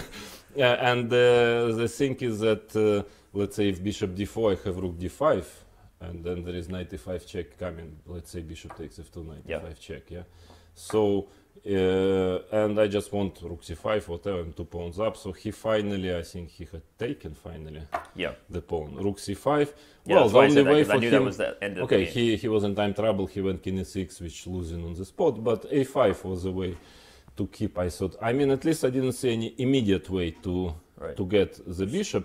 Knight but in fact, knight f4, rook f2. Yes, Ah, the again. same trick. okay, yeah, yeah. But in fact, the thing is that I can put my rook on c4 and then just push my pawn. I mean, he absolutely can. He's stuck, Right. so I can just slowly promote maybe my pawn. You may you may have knight I, I c5, don't knight- even say yeah. That I, I mean the idea is that okay, like Rook this, C1, he's trying to do this Okay. somehow, but I mean anyway, he cannot. Once he goes immediately, he gets But under check. this would be a fun so finish, he has to start. Yeah, yeah. That was actually I, I liked it. I just go Right. there. H4, G4, King G3, H5, G5, I you know, that, and then yeah. just promote the pawn. If I want, Mm, probably there is a way. I, no, I, in fact, this is a way to, to take the bishop because here, here. Aha, okay. But okay, this is at least because he went king e6 and that now he gets under all sorts of this check is very Yeah. rook was on c5, yeah? Yeah. This check because king d5 there is b4. knight b4 check. Right. So he went here and now rook c4. and now actually my threat is just this. Right. And then So he king played here, and then you, he resolved. Well, actually, yeah, I, I this at least he can t- get an exchange, which is of course totally lost. But after this, I couldn't see. It's a bit more precise. I couldn't see even how he. I'm, I think I'm taking the full piece now, because knight c5. The idea is that after, uh, let's say, if he goes uh, king d5, I just have knight a4 and just picking up the. and now he no longer has rook c1. You're just taking even. Yeah, and rook c1. yeah, I have check, yeah. So he resigned after this. I mean, not a not a great deal uh, from my side the game, but it was quite clean. Then I thought, I mean, I think I played pretty well this Yeah. game, uh, uh, even if. I would say it was not extremely difficult because I got better position quite soon, but still some precision was needed.